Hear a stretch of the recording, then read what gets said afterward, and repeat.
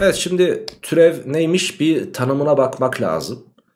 Bakalım ben nasıl bir yorum yapmışım. Ee, beraber inceleyelim. Bağımsız değişkendeki artma ya da azalma gibi bir değişime. Şimdi mesela x'lerdeki değişime. Değişken x ise biz buna delta x diyeceğiz. Yani bu değişim miktarını delta x ile göstereceğiz. Yani mesela kimya derslerinde falan sıcaklık değişimini nasıl gösteriyorsunuz? Delta t ile gösteriyorsunuz değil mi? Şimdi t burada sıcaklık oluyor. Başına delta gelince he, sıcaklıktaki değişim miktarı diyorsun sen buna. Yani fizikte de aynı şey mesela yol değişimi. Delta x diyoruz mesela ona da değil mi? Aynı şekilde burada x'lerdeki bir değişim varsa ben bu x'lerdeki değişim miktarına delta x diyebilirim o halde. İşte bu x'lerdeki değişime karşılık bağımlı değişkende yani y'de de bir değişiklik olabilir. Sonuçta bir fx fonksiyonu varsa sen onun içerisinde yazdığın x'i değiştiriyorsan sonuç olarak y'de değişebilir buna bağlı olarak.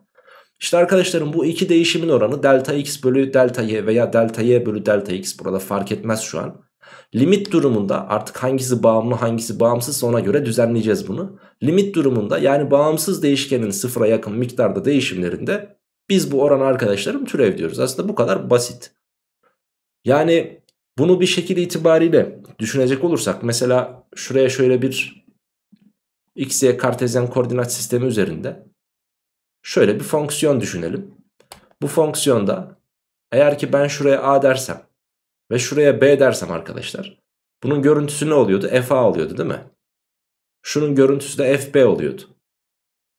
Şimdi hatırlarsan fonksiyon konusunda ta kitabın başında ortalama değişim hızı diye bir mevzu vardı.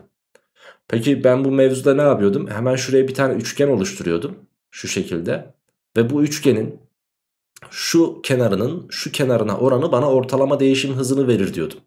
Yani arkadaşlar fb eksi fa bölü b eksi a bana neyi veriyordu? Ortalama değişim hızını. Şimdi aslında bakarsan türev de aynı şeyi yapıyor. Yani çok e, abartılacak bir durum değil türevin yaptığı. Ama diyor ki ya sen burada ortalama değişim hızını buldun eyvallah diyor. Fakat işte aması var. Ama diyor burada A ile B arasında senin aldığın uzaklık diyor benim için buradan Japonya kadar, buradan Ay'a kadar, buradan Güneş'e kadar bir mesafesi var diyor. Ben o kadar büyük aralıklarda çalışmıyorum diyor. Nasıl yani? Türev inanılmaz derecede küçük miktarlardaki değişimlerde bu oranı hesaplayabiliyor. Ya bu, bu durum çok ilginç. Yani bunu şöyle e, hayal edeceksin. Mesela şöyle bir fonksiyonum var. Türev şurasıyla şurası arasındaki değişimi. E şimdi görünmedi bile değil mi? Tek bir çizgi gibi duruyor. Şöyle dibine kadar girelim öyle bakalım. Bakın arkadaşlar. Şu ikisi arasındaki mesafedeki değişimde türev işte bunun nesini hesaplıyor? Ortalama değişim oranını hesaplıyor. Aslına bakarsan şöyle diyebiliriz. Bak şöyle kalemin ucunu da inceltelim. Bir nokta burası bir nokta burası işte türev bu ikisi arasında bir değişim var sonuçta x'leri arasında. Diyor ki ben burada diyor bir üçgen çizerim. Bakın üçgeni çizmek için bile kalemimin ucu yetmedi. Kalınlığı daha ince olması gerekiyor. Yetmedi. İşte burada çizilen üçgende türev karşı kenarın komşu kenara oranını bulursan ancak sen bunun türevini bulmuş olursun diyor. Ki mesela burada çizdiğimiz üçgene şöyle bir de uzaktan bakacak olursanız bunun üzerinde şöyle uzaktan baktığın zaman sinek konmuş gibi duruyor. Yani sinek, sineğin bile bacağının bile yani binde biri kadar mesafelerde biz bakacağız buna. Tamam mı? Türev bu işe yarıyor işte. Herhangi bir fonksiyonun herhangi bir noktasının hemen dibindeki o komşuluğundaki bir değişim miktarına uğruyor ya. İşte oradaki ordinatların değişiminin, absislerin değişimine oranı bize türevi veriyor. Merak etmeyin. Her seferinde bunu yapmayacağız bütün sorularda. Türevi almanın çeşitli kuralları var çünkü. O kurallara göre hareket edeceğiz ama İşin temelinde yatan mevzu bu. Hani ben sana diyorum x küpün türevini al sen de diyorsun ki 3x kare. Evet aferin başarılı bildin süpersin. Ama peki sen burada ne yapmış oldun diye sorsam eminim 100 kişiden 99'u da buna cevap veremeyecektir. Yani nerede ne yaptığınızı bilirseniz ileride öğreneceğiniz şeyler daha anlamlı hale gelir. Bu hayatın her evresinde böyledir. Tamam mı? Şimdi şu sinek mevzusunu atlattık diyelim. Şimdi burada sevgili arkadaşlar şöyle biraz daha ben bunu yine yaklaştırmak istiyorum tekrardan. Şuradaki üçgenimiz var ya. İşte bu üçgene sevgili arkadaşlarım artık böyle e, 100x zoomlu falan bir makineyle tamam mı dibine kadar yaklaşıp bu şekilde baktığımızı hayal edelim. Yani buradaki en ufak miktardaki bir un tanesi kadar e, büyüklükteki bir miktardaki sevgili arkadaşlarım e, kısmı çok büyüterek baktığımızı düşünelim. Yani ne kadar? Şöyle bakalım. Burada yanda kitapta verdiğimiz şekil gibi. Şimdi gençler mevzu anlaşıldıysa artık bunu biraz daha irdeleme zamanı. Örnek veriyorum. Burada demiş ki şurada benim x'im var. Tamam eyvallah. Bu x'e karşılık fonksiyon neyi verir arkadaşlar? fx'i verir. Bakın burada x'e karşılık fx'i verdi. Peki x artı delta x de x delta x kadar artmış bakın. Ve bunun da görüntüsü bize fx artı delta x'i verecek. Bakın bu buraya gitmiş. Şimdi ben bu x ile x artı delta x yani şuradaki delta x kadar değişimde neyi kontrol etmek istiyorum arkadaşlarım? Buradaki ortalama değişim hızını kontrol etmek istiyorum. O zaman üçgenimi buraya çizeceğim. Bakın unutmayın şurada çizdiğimiz o sineğin bacağı kadar olan e, üçgen var ya o üçgeni buraya çizdik aslına bakarsanız. Şu an böyle hayal edelim bunu. Şimdi o zaman buradaki değişim e, oranımız nedir bizim? fx artı delta x'ten yani şundan fx'i çıkarırsın şu kenarı bulursun eksi fx bölü dersin şu kenar. Yani arkadaşlarım x artı delta x'ten x'i çıkarırsın. Şimdi tabi üst tarafa yapacak bir şey yok. fx artı delta x eksi fx oldu. Ama alt tarafta şuradaki x'ler birbirini götürdü ve dikkat ettiysen delta x kadarlık bir değişimimiz vardı bizim burada. Zaten burada da delta x kaldı. İşte sen buradaki değişimi sıfıra doğru yaklaştırırsan ki ne demek? Zaten e, şuradakini de görecek olursan orada çizilen üçgende bir x'i böyle seçtik diğer x'i de şu şekilde yan yana seçmiştik. Artık yani sıfıra yakın bir değişim var. İşte o değişimi sıfıra yakın tutarsanız arkadaşlarım veya sen bunu delta x kadar azalttığında ki o zaman da karşına şuradaki üçgen çıkacaktır. Bu üçgen içinde şu kısım fx eksi fx eksi delta x'tir bölü Şurası nedir? X'ten x eksi delta x'i çıkarırsın gene delta x kalır. Gene sen bu değişimi sıfıra götürecek olursan fx eksi f x eksi delta x bölü delta x de bize yine neyi verecektir? Bu fonksiyonun hangi noktadaki sevgili arkadaşlarım? O noktadaki şu noktadaki bize türevini verecektir. İşte bu limitler sevgili arkadaşlarım eğer limit reel sayıysa y eşittir fx fonksiyonun türevidir. Tekrar ediyorum. Türevi bulmak için bu kadar çaba sarf etmeyeceğiz emin olun. Ama neyin nereden geldiğini bilmek zorundasınız. Bunu bilirseniz ancak diğer öğrendikleriniz ne oluyordu? Daha anlamlı oluyordu. Peki ben bu fx fonksiyonu türevini hani biliyorsunuz artık fonksiyonlardan da y eşittir fx fonksiyonu falan diyoruz ya hani biz. Heh. İşte f fonksiyonunun türevini o zaman ben y türev biçiminde gösterebilirim. Üstüne bir tane şöyle çentik atınca türev oluyor tamam mı? Veya f türev x.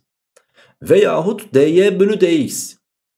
Aslına bakarsan, aslına bakarsan burada e, şunu da dillendirmek gerekiyor. Şimdi biz şurada ne yaptık aslında? Bakın şurada y'lerdeki değişim oranını x'lerdeki değişim y'lerdeki değişim miktarını x'lerdeki değişim miktarını oranladık değil mi? Delta y bölü delta x dedik. Bak yazıyorum şimdi buraya. Delta y bölü delta x dedik. E şimdi güzel kardeşim. Bu delta dediğimiz şey Ha bu Yunanlıların kullandığı büyük D harfi. Yani biz şöyle yapıyoruz ya D'yi. Onlar da böyle yapıyorlar. Bu büyük D harfi. Ama küçük D'lerimiz aynı arkadaşlar. Şu şekilde. Yani o zaman ben şunu söyleyebilir miyim? Bak buradaki büyük dy bölü büyük dx var. Burada da ne var? Küçük dy bölü küçük dx var. Yani onun aslında bunu aklında şöyle kodlayabilirsin. Hani küçükse he, tamam türevden bahsediyor. Niye? Çünkü inanılmaz derecede küçük miktarlardaki değişimlerdeki biz orana bakıyoruz. İşte bu türevdir. Veya y eşittir fx olduğunu söylemiştik ya. Sen buradan y'yi kaldırırsın. Yerine fx yazarsın. dfx bölü dx de bize neyi verir? Yine türevi verir. Kısaca bu şekilde, bu şekilde, bu veya bu şekilde soruların içerisinde her birini ama her birini görebilirsin. Sıkıntı yok. Her birini kullanacağız çünkü. Bu şekilde gösterilir. Eğer ki daha yaygın bir tabirle şunu birazcık da olsa daha düzenli göstermek istiyorsak şu şekilde yapabiliriz bak. Eğer ki ben delta x dediğim o x'lerdeki değişim miktarını bunu h olarak seçersem f türev x sevgili arkadaşlar neydi? f x artı delta x'ti x artı h oldu. Eksi fx bölü h. Bak bu nereden geldi? Hemen gösteriyorum şuradan. Ben buradaki delta x gördüğüm yere h yazdım. Bak buraya h yazdım. Buraya da h yazdım. Ve burada da h'ı sıfıra götürdüm. Kabul mü? Bu şekilde yaptık. fx artı h eksi fx bölü h veyahut fx eksi fx eksi h bölü h biçiminde yaptık. Ve unutma genelde en yaygın tabiri de şudur. Ve burada unutma şuradaki ifade neyse o noktadaki türev diyeceğiz. Ki burada da devreye bir noktada türev giriyor. Şimdi herhangi bir noktada bu fonksiyonun türevi falan sorulursa o zaman ne yapacağız? Bunları öğreneceğiz tamam mı? Şimdi doğal olarak şimdi x e, f fonksiyonunun az önce biz türevini nasıl bulmayı göstermiştik. Şimdi ne diyoruz? x0 noktasında bir fonksiyonun herhangi bir noktası x0 noktasında sevgili arkadaşlar bu fonksiyonun türevi nasıl hesaplanır onu göstereceğim. x'leri x0'a yaklaştıracaksın. fx eksi fx0 bölü x eksi x0 diyeceksin. Tamam. Yani bu da bize neyi verecek? Şurada yazan neyse bak burada söylemiştim ya yukarıda şurada. Hemen gösteriyorum. Şurada göstermiştim. Burada yazan neyse işte o noktadaki türev diyeceğiz. Burada sen x eksi x0'ı eğer h seçersen o halde sevgili arkadaşlarım hani x'ler x0'a yaklaşıyordu ya x0'dan x0 çıkarsa ne olur? E 0 olur. Demek ki h'lar nereye yaklaşacak? 0'a yaklaşacak. O halde h 0'a giderken x gördüğümüz yere x eksi x0'a burada biz h demiştik. O zaman x ne olur arkadaşlarım? x0 artı h olur. Bak burada da onu yazdık. x0 artı h. Eksi f x0 bölü h. En ama en klasik tabiriyle işte karşınızda limitin türev tanımı sevgili arkadaşlar. Bir noktada bir fonksiyonun türevi demek. h sıfıra giderken f fx0 artı h eksi fx0 bölü h demektir. Şimdi tabi bunlar soruların üzerinde çok ama çok daha anlamlı olacağı için senin bunlar hakkında böyle birkaç örnek çözmekte fayda var. Ben giderken şunu da yanında alayım sorular öyle çözelim. Bakın şimdi ben bunu buraya yapıştırdım ve buna göre düşünelim tamam mı? fx eksi f5 bölü x eksi 5. Arkadaşlarım bu ne demek? Bu fonksiyonun x'ler de 5'e gidiyorsa bu fonksiyonun 5 noktasındaki türevi demek. Yani f türev 5 demek sevgili arkadaşlar. Şimdi buraya bakıyoruz. Üst tarafı düzenlemek istiyorum çünkü yukarıdaki formata uygun değil bir kere. Eksiyle çarparsanız fx eksi f3 alttakini de eksiyle çarparsak bir şey değişmez x eksi 3. E bakıyorsun şuradaki ne yazıyor f3 yazıyor. O zaman bu nedir? f türev 3'ün ta kendisidir. Daha sonrasında bak yine f, e, x0 artı h 2 artı h x0 e, 2 e, h e h bu neydi? X0 noktasındaki türev demekti. O zaman bu da 2 noktasındaki türevdir. Yani f türev 2'dir arkadaşlar. E, alttakine bakalım. Aslına bakarsanız limit h sıfıra yaklaşırken f h artı 1 eksi f1 bölü h demiş olsaydım işte buradaki ifademiz sevgili arkadaşlarım f türev 1'i verecekti bize. Ama şuradakinin türeviydi değil mi? Ama ne demiş? Bak burada 2h var. E sen limit özelliğinden biliyorsun. Buradaki 2'yi alıp ne yapabiliyorsun? Dışarı sallayabiliyorsun. Yani şu şekilde 1 bölü 2 diye buraya atabiliyorsun. O zaman 1 bölü 2 çarpı f türev 1'dir. Yani bu neye eşitmiş? f türev 1 bölü 2'ye eşitmiş sevgili arkadaşlar. İkinci örneğimize bir bakalım. Demiş ki fx eşittir x kare fonksiyonunun x eşittir 3 absisli noktasındaki türevi kaçtır? Şimdi basit türev alma kuralını bilen arkadaşlarım iyi bilir. Bunun türevini alıp yerine 3 yaz diyor. Yani bunun türevi 2x'tir. 3'ü de yerine yazarsan cevap 6 gelecek hocam. Diyebilirsin eyvallah ama biz şu an limit tanımından çözeceğiz türevi. Nasıl yapacağız? Öncelikle şunu şuraya yapıştıralım tekrardan. Bunu uygulayacağız. Peki ben bunu nasıl uygularım? Şu şekilde. Önce x gördüğüm yere, önce x gördüğüm yere ne yazacağım arkadaşlarım? x artı h yazacağım. Sonuç olarak e, burada f türev x demiş olsaydık burası x olacaktı burası da x olacaktı. Öncelikle f x artı h eksi fx bölü h'ı bulmak istiyorum ben. Şimdi x gördüğümüz yere x artı h yazarsak x artı h'ın karesi gelir fonksiyonda. Eksi fx'imiz de zaten x kareydi. Bölü bir de h'ımız var. Üst tarafta x artı h'ın karesini açarsanız x kare artı 2xh artı h kare eksi x kare bölü ne gelir? h gelir. Şimdi arkadaşlar artı x kare ile eksi x karenin gittiğini görüyorsunuz. Geriye de şurayı h parantezine alırsanız 2x artı h gelir ve bölü h olur. Peki h nereye gidiyordu? Hocam sıfıra gidiyordu h. Pekala çok güzel. Ben şuradaki h'la buradaki h'ı sadeleştirmek istiyorum. Artık h gördüğüm yerinde götürüp sıfırı yazmak istiyorum. Artık burasına geldi 2x. Bakın türevimiz 2x'miş. Ve ne diyor? x eşittir 3 apsis noktasındaki türevi. Yani x gördüğümüz yere artık 3 yazacağız. Cevabımız 6 olacak. Türevin limit tanımıyla bütün türevleri hesaplayabilirsiniz. Sadece ama sadece normal türev alma kuralıyla şu şekilde tutmak varken kulağını diğer tanımla şu şekilde falan tutmak zorunda kalıyorsun ki o da biraz zorluyor tabi doğal olarak. Tamam. Üçüncü örnek.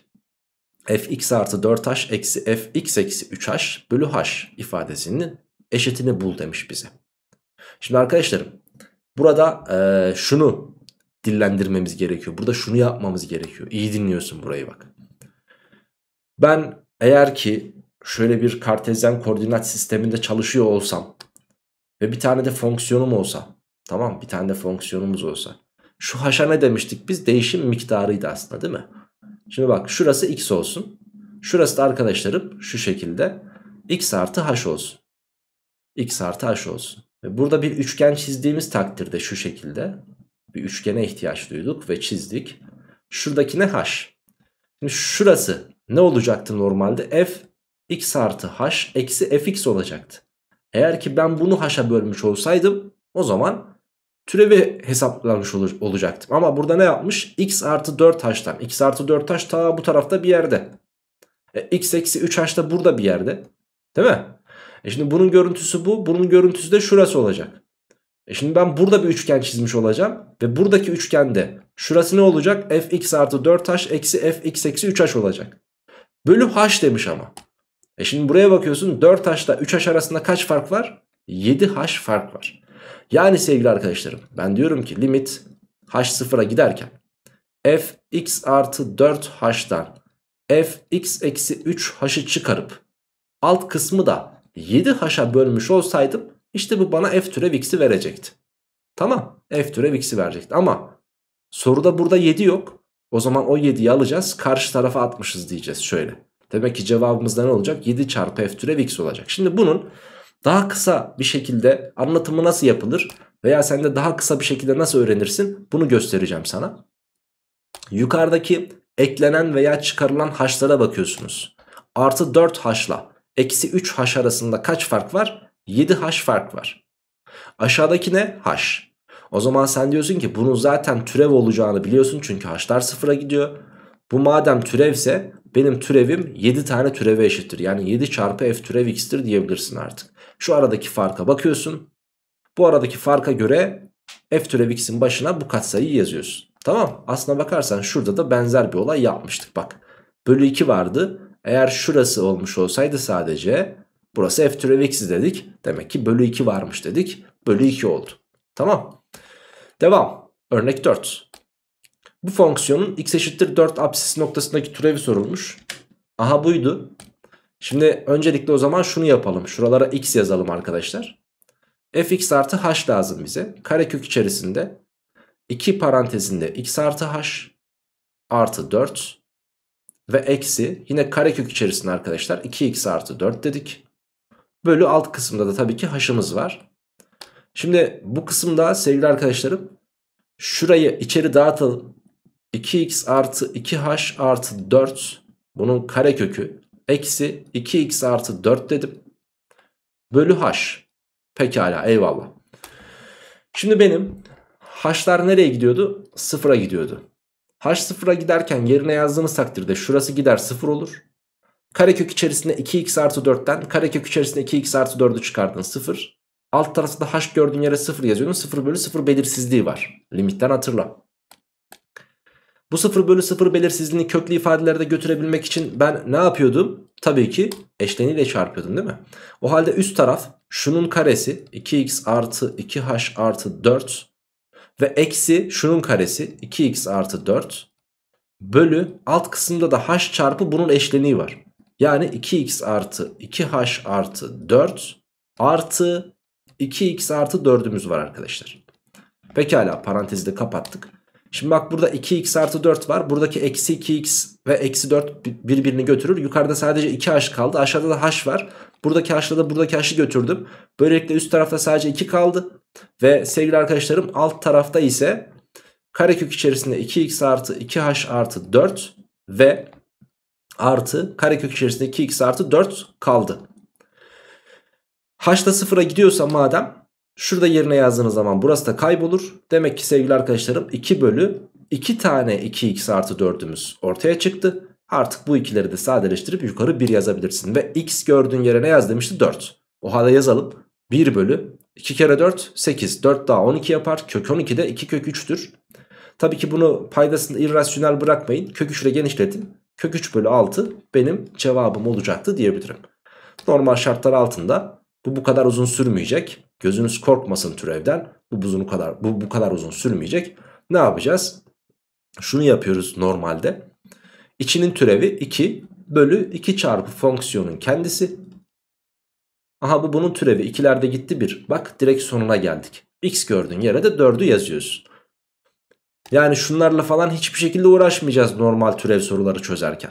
Tamam. Merak, meraklanma yani.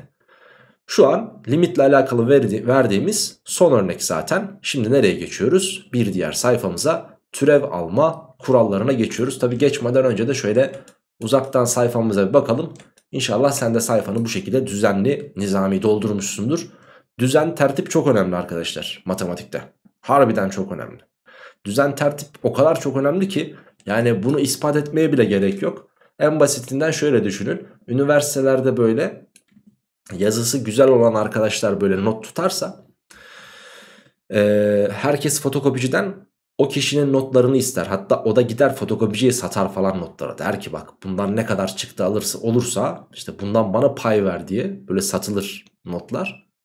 E, notu yani yazısı çirkin olan ve düzenli tertipli not tutamayan veya derslere düzenli katılmayıp da bundan mütevellit not tutamayan insanlar da kişilerde öğrencilerde giderler fotokopiciden bunların notunu alırlar. Niye bunun notunu alırlar? Çünkü düzenli yazdığı için, daha anlaşılır olduğu için, baktığı zaman her şeyi net olarak görebildiği için. Sen de düzenli bir şekilde yazarsan daha sonrasında tekrar için dönüp baktığında sayfalara her şeyi ama her şeyi böyle inanılmaz derecede en ince ayrıntısına kadar hatırlarsın. Benim anlattığım yeri yazdığım yeri tahtada diyecektim bak tahtaya yazmıyoruz ama ekranda nereye neyi yazdıysam her birini hatırlarsın hiç merak etme. Şimdi türev alma kuralları. Polinomun türevi. Zaten arkadaşlar müfredatımızda bu kaldı sadece. Polinomun türevi kaldı. Hocam başka neyin türevi var ki?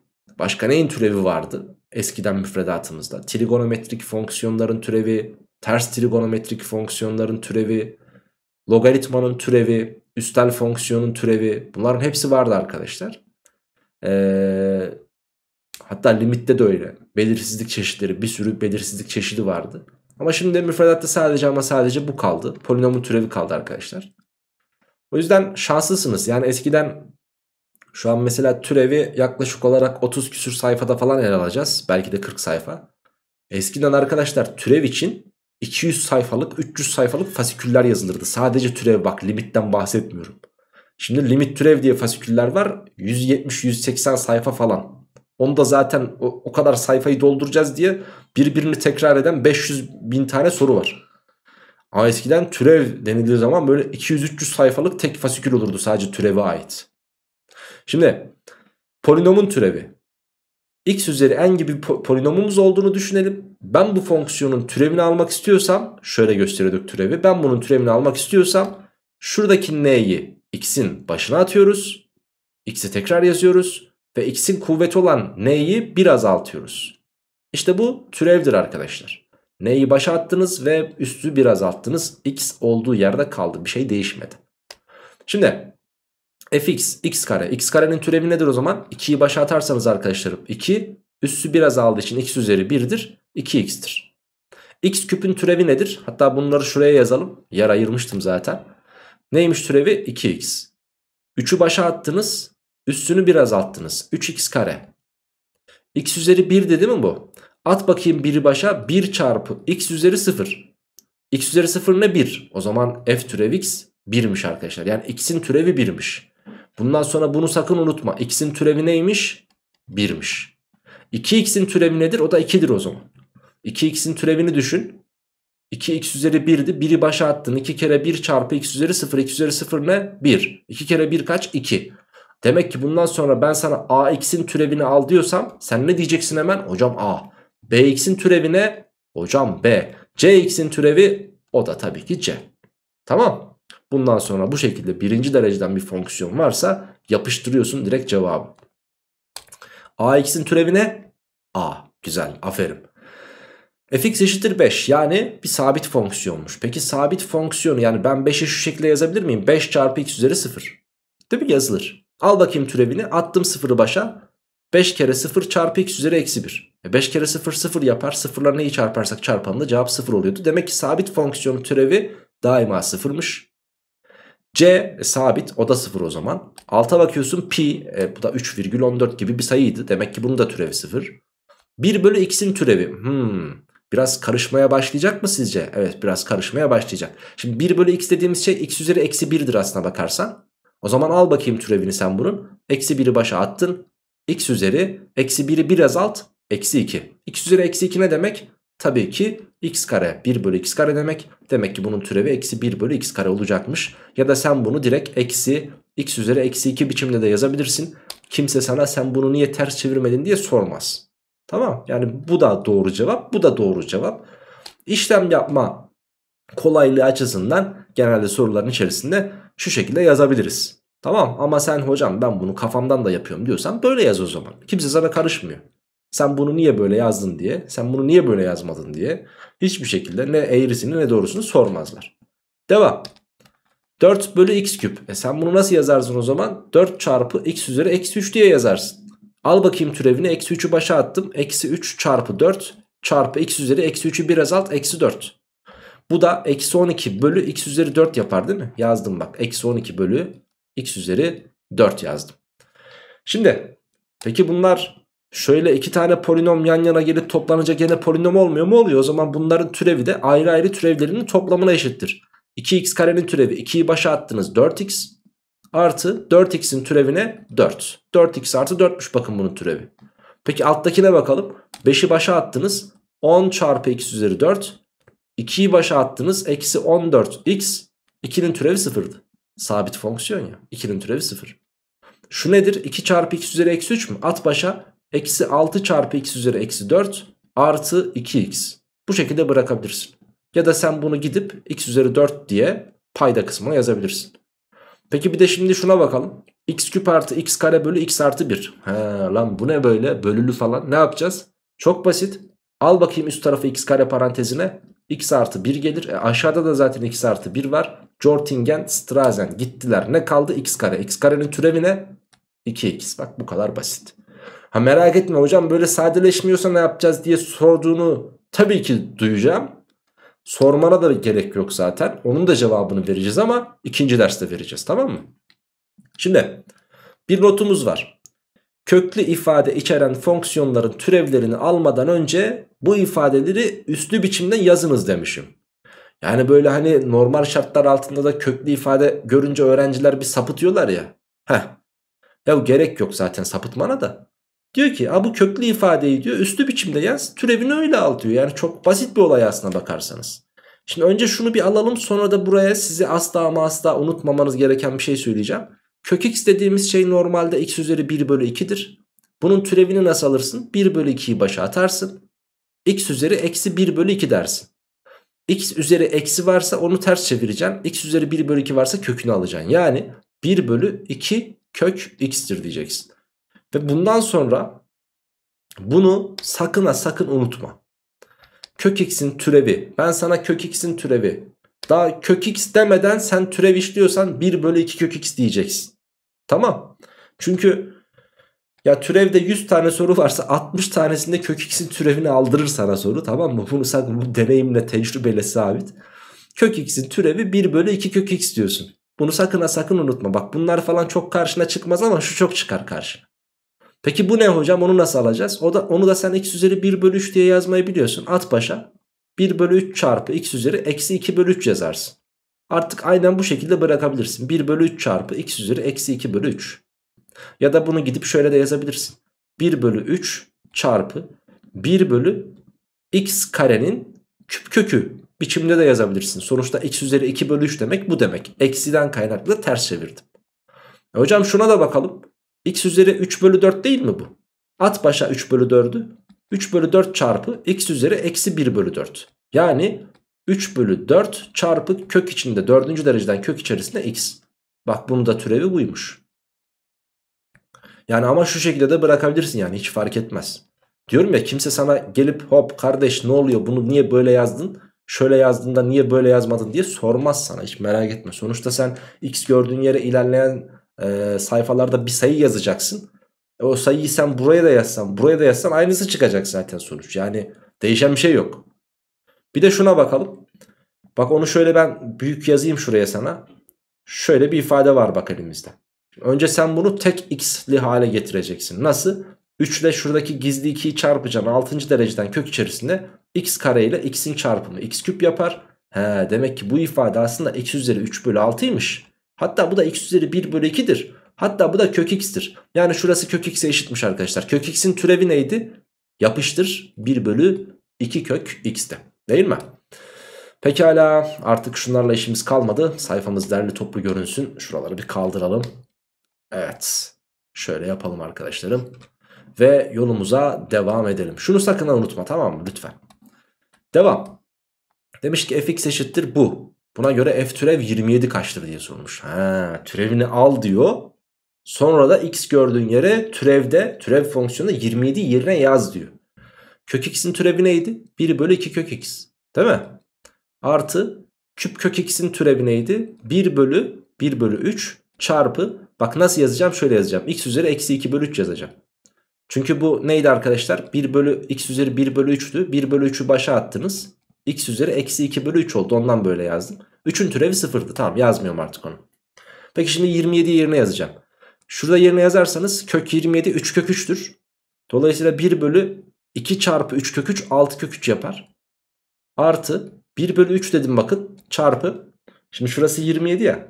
27'nin küp kökü yani şu bölü 3. kuvveti 3 yapar. 3'ün karesi 9 yapar. Bir de ters çevireceğim diyor. 1 bölü 9. Çok güzel. Şimdi şurayı gelin kök 3'te genişletelim. Bunu yaptıktan sonra kök 3 bölü 18 artı 1 bölü 27 gelir. Artık bunu da dilediğimiz dilediğimiz gibi toplayabiliriz. Yani mesela bunu 3 ile genişlet. Bunu 2 ile genişlet. Üst taraf 3 kök 3 artı 2 bölü 54 olur arkadaşlar. Cevabımız buymuş diyebiliriz. Pekala devam 8. soru. fx buymuş f türev 1 soruluyor. Tabii ki önce şunu bir içeri dağıtalım arkadaşlar. 2x kare eksi 4x eksi 3 kök x'miş bakın. Benim f fonksiyonum bu. Hadi gelin bunun türevini alalım. f türev x eşittir. 2x karenin türevi 2'yi başa attınız 4x. Eksi 4x'in türevi eksi 4. Kök x'in türevi neydi? 1 bölü 2 kök x miydi? O zaman eksi 3 bölü 2 kök x diyeceğim. Çünkü başında 3 var. Ve x gördüğün yere de ne yaz demiş? 1. Yani f türev 1'i nasıl bulacağız o zaman? x gördüğümüz yere 1 yazacağız. 4 eksi 4 eksi 3 bölü 2 yapar. Eksi 4 ile artı 4 birbirini götürür. Cevap eksi 3 bölü 2 olacaktır diyebiliriz sevgili gençler. Devam 9. soru. Kök kök kök x. Şimdi bu ne demek? 2 2 2 yani 8. dereceden kök içerisinde x demek arkadaşlar. Tamam. Yani x üzeri 1 bölü 8 demek. Sen bunun türevini alırsan 1 bölü 8'i başa attın. x üzeri eksi 7 bölü 8 geldi. Bu f türev x. Benden ne istenmişti? F türev 1 istenmişti. O halde 1 bölü 8 çarpı 1'in eksi 7 bölü 8. kuvveti. E 1'in eksi 7 bölü 8. kuvveti de 1 zaten. O halde cevap ne? 1 bölü 8 olur diyebiliriz sevgili arkadaşlar. 10. örnek. Diyor ki f'ten g'yi çıkarıp türevini al eksi 1'i de yerine yaz demiş. Şimdi f'ten g'yi ister önce çıkarırsınız tamam isterseniz de şunu yaparsınız. f türev eksi 1'den g türev eksi 1'i çıkarırsınız hiç fark etmez. Hangisi kolayınıza gidiyorsa tek bir defa türev almak istiyorum hocam diyorsan bundan bunu çıkar. 3x kare var yukarıda. Aşağıda eksi 6x küp kalır. Eksi 5x'ten eksi 2, e, eksi 2x'i çıkarırsan eksi 3x kalacaktır. 2'den 5'i çıkardın eksi 3 geldi. Şimdi bu fx eksi gx. Tamam mı? Ben bunun türevini almak istiyorum. Yani f eksi g türev x eşittir. Alın türevini 2'yi başa attınız 6x. Eksi 18x kare. Bak bir azalttım. Eksi 3x'in türevi eksi 3. Ve x gördüğün yere de eksi 1 yaz demiş. Hadi yazalım. 6 kere eksi 1 eksi 18 çarpı eksi 1'in karesi eksi 3. Şurası eksi 6 yapar. Eksi 3 daha eksi 9 gelir. Şurası 1'dir. 1 kere eksi 18 de eksi 18'dir. Toplarsanız eksi 27 gelir. Bu da bizim cevabımız olur. 11. örnek. Fx eşittir eksi x küp artı 4x kare artı ax artı b olarak verilmiş. f1 ile f türev eksi 1'in toplamı 4 ise 2a artı b toplamı kaça eşittir? Şimdi bak çok iyi dinle. Adım adım ilerle. Yani çok karışık sorular falan değil bak bunlar. Şu ana kadar öğrendiğim bilgilerle böyle çocuk oyuncağıyla oynarmış gibi oynayabilirsin bununla tamam mı? İnanılmaz derecede basit. F1. E, F1'i bu deyip bilirsin sen. F1 x gördüğün yere 1 yazacağım. Fonksiyonlar. 1'in küpü 1 olduğu için eksi 1 artı 4 artı a artı b yapar değil mi? Peki şimdi bana ne lazım? F türev x lazım. Ki neden? Çünkü f'in türevinde eksi 1'i yerine yazmam gerekiyor. Şunun bir türevini alalım arkadaşlar. 3'ü başa attınız. Eksi 3x kare artı 8x ve artı a geldi. Bize f türev eksi 1 lazımdı. Yerine yazarsanız eksi 3 gelir. Eksi 8 gelir bir de a gelir. Yani a eksi 11 olur arkadaşlar. Bakın f türev eksi 1 kaçmış? a eksi 11'miş. Bizden istenen şey ne? 2a artı b toplamı isteniyordu. Şimdi bak ben şunları toplarsam eğer soru bana zaten bunların toplamı hakkında da bir bilgi vermiş. Şununla diyor şunu toplarsan 4'ü bulursun diyor. Eşittir. A artı B artı A ne yapar? 2A artı B yapar. Eksi 1 ile 4'ü topladınız 3. 3 ile eksi 11'i topladınız eksi 8. Şimdi bizden istenen kısım şurasıydı. O halde ben hiç durmadan şu eksi 8'i sol tarafa fırlatırsam artı 8 diye geçer. 12 eşittir 2A artı B gelecektir. Bu da bize cevabı verir arkadaşlar. Bakın inanılmaz derecede basit. Bu sorunun Türev sorusu olmasının sebebi şurada bir kere türev almamız bak. Sadece şuradan kaynaklı türev sorusu. Geri kalan her şey zaten matematikte öğren önceden öğrendiğimiz şeyler. Başka hiçbir halt yapmıyoruz. Tamam. Devam. Evet 12. örnek. F türev 2 soruluyor. Hadi bakalım. Türev alacağız ya. Bundan daha kolay ne olabilir ki? F türev x eşittir. 4'ü başa atarsam çarpı 4 olacak ya bak 4'ler zaten gidiyor. Dolayısıyla sevgili arkadaşlarım sadece 3 kalır. Çarpı x küp kalır bakın yukarıda da. Şurayı da biraz azaltıyoruz. 3'ü başa attın 3'ler gidecek. Eksi 4 çarpı x kare kalacak. 4x'in türevi 4'tü. Eksi 9'un türevi 0'dı. Türevimiz buymuş. Benden ne istemiş? F türev 2'yi bul demiş. Yani 3 çarpı 2'nin küpü. Eksi 4 çarpı 2'nin karesi artı 4. Pekala. 2'nin küpü 8'dir. 3 kere 8 24 yapar. 2'nin karesi 4'tür 4 kere 4 16 yapar artı bir de 4'ümüz var 24'ten 16 çıktı 8 artı bunun üzerine 4'ü eklediniz cevap 12 olacaktı sevgili arkadaşlar devam 13. örnek F'i H'ı ve G'yi vermiş F türev 0 soruluyor aman Allah'ım bu ne böyle şimdi rahat ol rahat ol F'in türevini sorduğu için F'in türevini bulacağız şimdi bulalım F türev x eşittir. X küpün türevi 3'ü başa attınız 3x kare geldi. Şimdi hx'in türevine e, kolay h türev x değil mi? Eksi x karenin türevi 2x. 2x'in türevi 2. 5'in türevi 0. Şimdi f türev buymuş. Ama bana ne, ne gerekiyor? h türev x gerekiyor arkadaşlar. Pekala. H türev x'i de bulalım. h türev x eşittir. Alıyorum türevini. x karenin türevi 2x. Gx var burada. Gx'in türevine g türev x. Artı 2x'in türevi 2. 1'in türevi 0. H türev x de buymuş. Şimdi bana ne lazım? G türev x. Gx de burada vermiş. O zaman g türev x'i şurada bulalım hemen. G türev x eşittir 3x'in türevi 3. Bak g türev x kaçmış? 3'müş. Demek ki arkadaşlarım şurası 3 olacak. Yani h türev x neymiş? 2x artı 3 artı 2'den 5'miş. Yani şuradaki maviyle gösterdiğim kısım şuraya eşitmiş arkadaşlar. O halde ben f türev x'i baştan yazmak istiyorum. f türev x 3x kare. h türev x neydi? 2x artı 5'ti. 2x artı 5. Devam ediyorum. Eksi 2x artı 2. Bakın buraya. Artı 2x ile 2, eksi 2x gider. Geriye ne kalır? 3x kare artı 5 ile 2'yi topladınız 7. İşte bu f türev x. Benden ne istenmişti? f türev 0. Yani x gördüğüm yere artık 0 yazacağım. Bu da 3 çarpı 0'ın karesi artı 7'den tabii ki cevap 7 gelecektir arkadaşlarım. Doğru cevabımız 7 idi. Örnek 14. fx'i vermiş bize. f türev 1'i vermiş. f türev 2'yi vermiş. a artı b toplamı soruluyor. Şimdi f türev x'i bir elde edelim bakalım. Çünkü f türev 1 ve f türev 2 e, verilmiş bize. Dolayısıyla f'in türevini bir elde edelim. 2x küpün türevi 6x kare yapar. Artı ax karenin türevi 2'yi başa atarsanız 2ax gelir.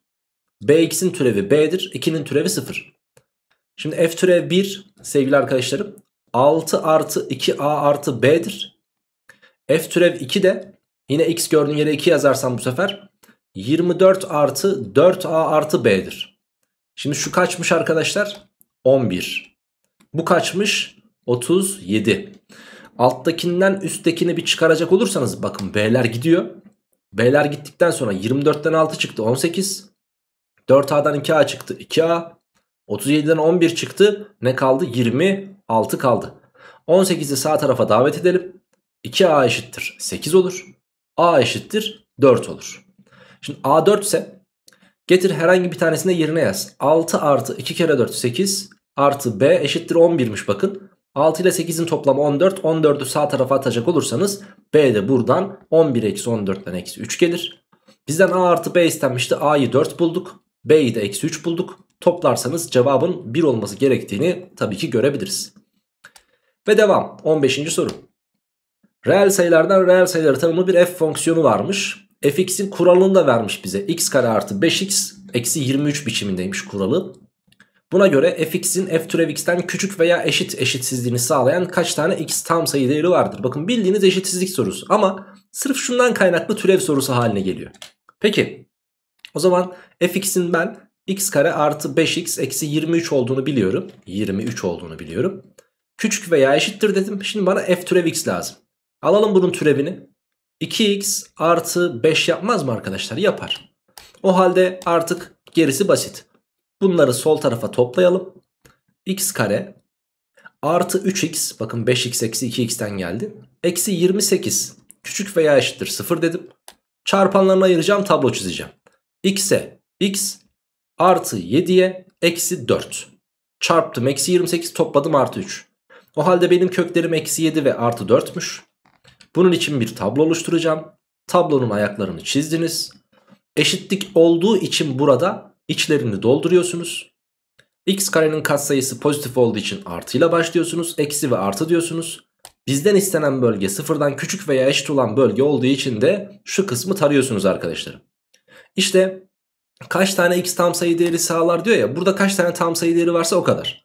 İlk sağlayan eksi 7 son sağlayan 4 olduğu için son terim eksi ilk terim artı 1 olarak yazarsak cevabı buluruz. Doğru cevabımız 12 tane tam sayının bu eşitsizliği sağladığı yönünde.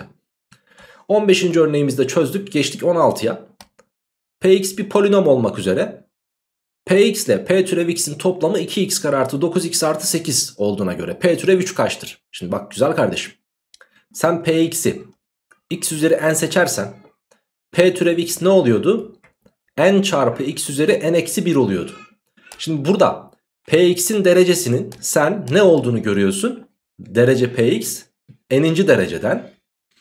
Peki P türev x'in derecesine n eksi birinci dereceden. Hangisinin derecesi büyük? Tabii ki polinomun kendisinin derecesi büyük. Türev aldıkça derece küçülür. Peki iki polinom toplanıyorsa hangisinin derecesi geçerli oluyordu sağ tarafta? Tabii ki büyük dereceli olanın yani Px'in. O halde ben şunu söyleyebilirim.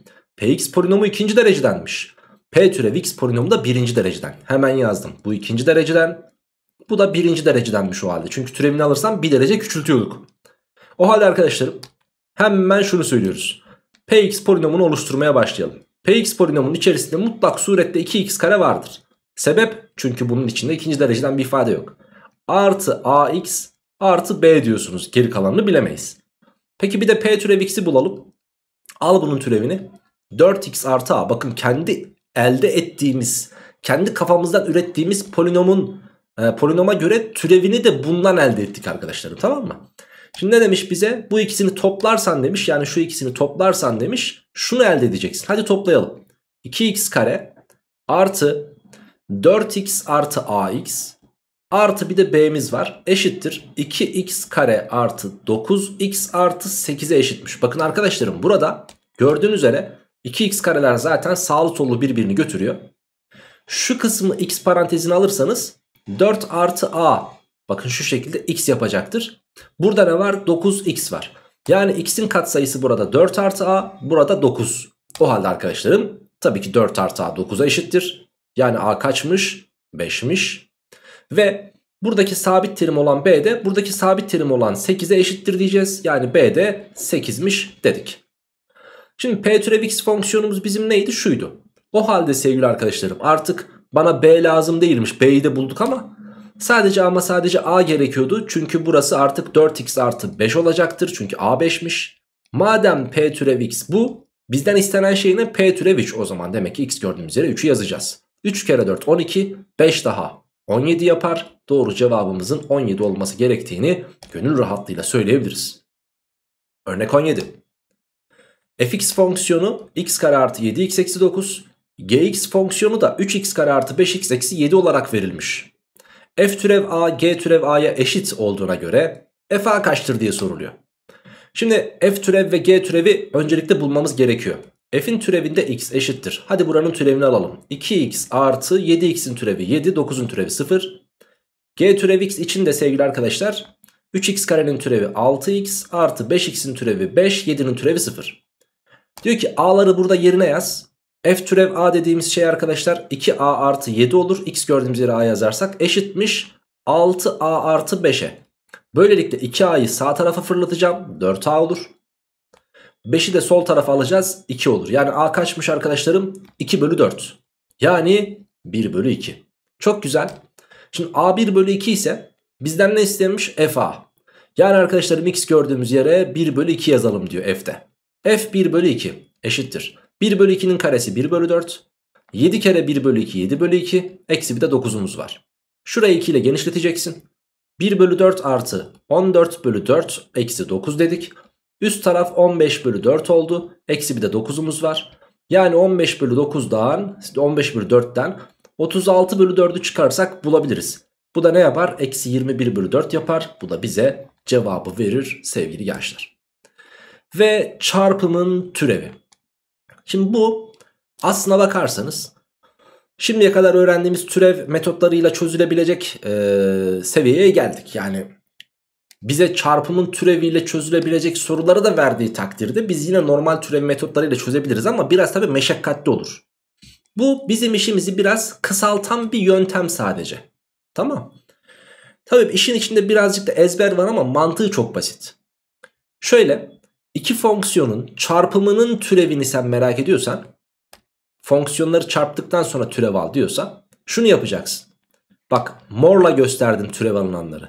F'in türevi çarpı G'nin kendisi artı F'in kendisi çarpı G'nin türevi. Yani sırasıyla birinin türevini alıyorsun öteki sabit kalıyor. Artı diyorsun ötekinin türevini alıyorsun öteki sabit kalıyor. Aynı şeyi yapıyorsun. Bu bize çarpımın türevini verir. Eğer bu çarpım üçlüyse yani 3 üç tane fonksiyon çarpılıyorsa o zaman da şunu yapacaksın. F'in türevi çarpı diğer ikisinin çarpımı. F ile H'ın çarpımı çarpı G'nin türevi. Bir de H'ın türevi çarpı diğer ikisinin çarpımı. Yani bunların hepsini topladığın takdirde çarpımın türevini elde etmiş oluyorsun. Şimdi alttakine bakalım. Bir tane fonksiyon vermiş. E hocam G'de olması gerekmiyor mu? Ya gerek yok. Bak sen bunu şöyle düşüneceksin. Şu birinci fonksiyon şu da ikinci fonksiyon. Bunlar çarpılmış mı? Çarpılmış. O zaman ben bunun türevini nasıl alırım? Birincinin türevi 4x küp çarpı ikincinin yani sarı kısmın aynısı artı mavi kısmın aynısı çarpı sarı kısmın türevi yani 4x. Bak bitti bu kadar. Bu bana f türev x'i verdi artık. Bunun türevi çarpı bu bunun türevi çarpı bu. Bu kadar basit. Örnek 19. Bakın yine şu ve şunun çarpımı verilmiş. O zaman ne yapacağız arkadaşlarım? Türevini alacağız. Yerine de 1 yazacağız. Hadi. Mavi kısmın türevi.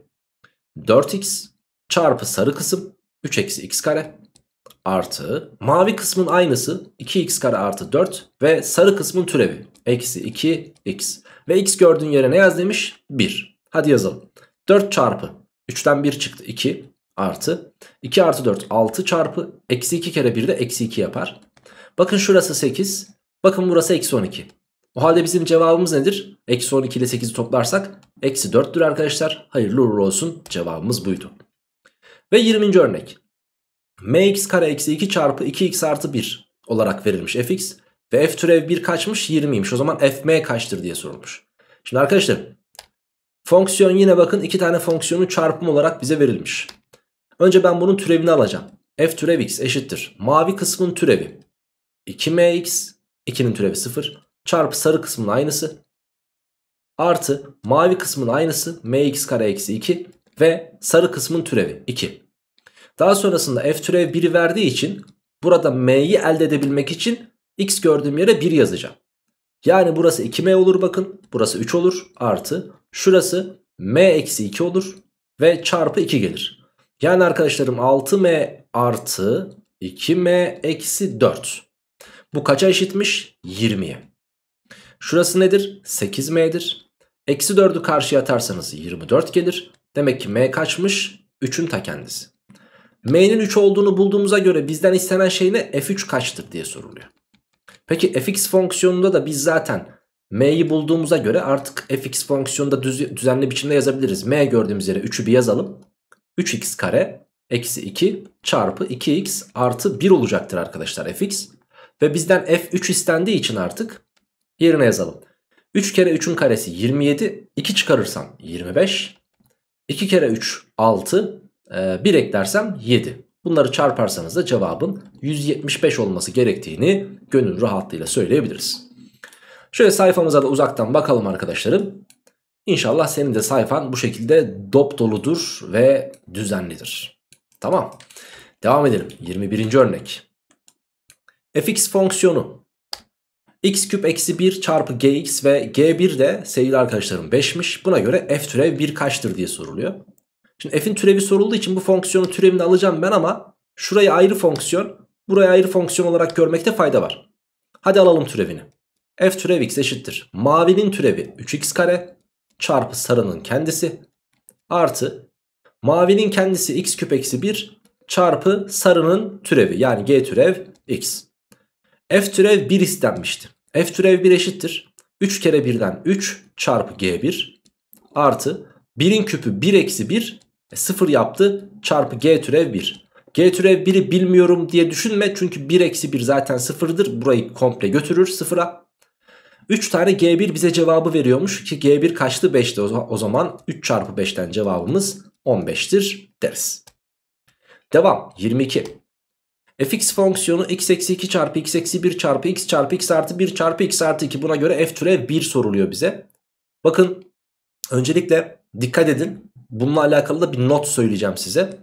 f türev x'i bulacak olursanız x eksi 2'nin türevi 1 çarpı diğerleri. Yani x eksi 1 çarpı x çarpı x artı 1 çarpı x artı 2 artı şimdi bunun türevi çarpı diğerleri x eksi 1'in türevi 1'dir çarpı diğerleri x eksi 2 çarpı x çarpı x artı 1 çarpı x artı 2 artı x'in türevi çarpı diğerleri x'in türevi 1'dir diğerleri x eksi 2 x eksi 1 x artı 1 x artı 2 artı x artı 1'in türevi çarpı diğerleri. Yani x artı 1'in türevi de 1 çarpı diğerleri. Bakın yazıyorum x eksi 2 x eksi 1 x ve x artı 2 ve son olarak x artı 2'nin türevi 1 çarpı diğerleri. x eksi 2 x eksi 1 çarpı x çarpı x artı 1 dediniz. Bakın fonksiyonun türevini aldım. Sıra sıra türevi çarpı diğerleri, türevi çarpı diğerleri, türevi çarpı diğerleri, türevi çarpı diğerleri, türevi çarpı diğerleri. Bu bunun türevidir arkadaşlar. Şimdi bizden istenen ne? F türev 1 yani x gördüğün yere 1 yaz diyor. Şimdi ben x gördüğüm yere şurada 1 yazarsam bak gösteriyorum. Şurada 1 yazarsam e, burası komple 0 olacaktır. Şurada 1 yazarsam şurası komple 0 olacaktır. Burada 1 yazarsam burası 0 gelecektir. Burada 1 yazarsam burası 0 gelecektir. Lan bu ifadenin yarısından fazlası 0 geldi. %80'i 0 geldi. Ne yapacağım? Sadece şurada yazmam yetiyormuş o zaman. Hadi yazalım 1'i. 1 çarpı 1 eksi 2 eksi 1 yapar. 1 çarpı 1 artı 1 2 yapar. 1 artı 2 de 3 yapar. Çarparsanız eksi 6 geldiğini görürsünüz cevabı. O halde ben size diyorum ki bundan sonra eğer ki şuradaki 5 tane ifade verilmiş ya tabi senin karşına 4'lüsü de çıkabilir 7'lisi de çıkabilir 10'lusu da çıkabilir hiç fark etmez. Kaçlı çıkarsa çıksın. Bana burada sorduğu sayı 1. Bu hangisinin kökü? Şunun kökü. O halde bundan sonra sadece şunu yap. Bunun türevi çarpı diğerlerini bul ve yerine yaz. şunları bulmana sarıyla işaretlediklerimi bulmana lüzum yok. Tamam. Sadece ama sadece de ki x eksi 1'in türevi 1 çarpı diğerlerini yaz. Daha sonrasında götür 1'i yerine yaz. Cevabı bulursun. Diğerlerini yazmana lüzum yok. 23. örnek. fx ax artı b ile bx artı a'nın çarpımı olarak verilmiş. Buna göre f türev 1 kaçtır diye soruluyor. Hmm, hadi bulalım f türev 1. f türev x'i bulalım önce. Birincinin türevi a çarpı ikincinin aynısı bx artı a. İkincinin e, türevi b çarpı birincinin aynısı ax artı b. Şimdi arkadaşlarım f türev 1 sorulmuş bize. f türev 1 nedir? a çarpı b artı a yani a artı b diyebiliriz. Artı b çarpı x gördüğümüz yere 1 yazarsanız yine a artı b gelir. Ve burada a artı b parantezine alınırsa bu ifade yine a artı b gelir. Yani cevabımız a artı b'nin parantez karesiymiş diyebiliriz. Çünkü iki, iki aynı ifadenin çarpımı kareyi veriyordu biliyorsun. 24. örnek. fx eşittir 2x artı 3 çarpı x artı 4'ün karesi olduğuna göre f türev eksi 1 kaçtır diye sorulmuş.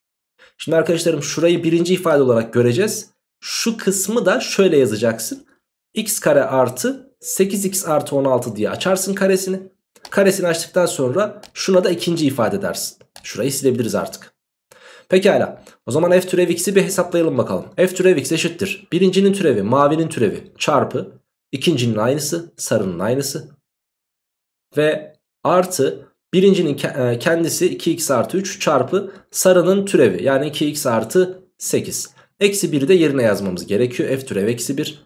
2 çarpı eksi 1'in karesi 1 eksi 8 artı 16 artı Eksi 1'i burada yerine yazarsam 1 gelir. Şurada yerine yazarsam 6 gelir. Burası 1'den 8'i çıkardım eksi 7. 16 daha 9 yapar. 2 kere 9 18'dir. Artı 1 kere 6 da 6 yapar. Toplarsanız 24 bizim cevabımızdır deriz sevgili gençler. Evet arkadaşlarım.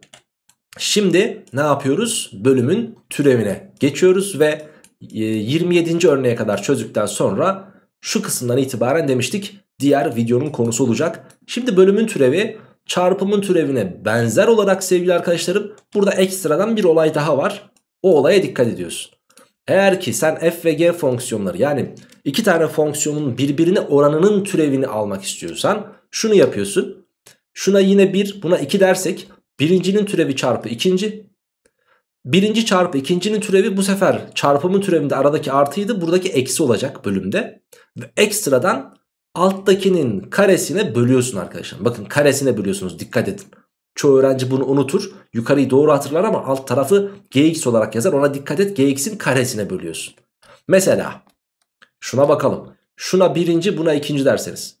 f türev x'i bulalım. f türev x birincinin türevi 1 çarpı ikinci eksi birinci çarpı ikincinin türevi ikinci türevi 1 bölü alttakinin yani ikincinin karesi diyoruz arkadaşlar. Üst tarafı da düzenleyeceğiz. Bak şurası x eksi 4 gelir. Şurası da x artı 2 gelecek zaten. Eksi var önünde çıkarırsan x'ler gidiyor. Eksi 4 eksi 2 daha eksi 6 yapıyor.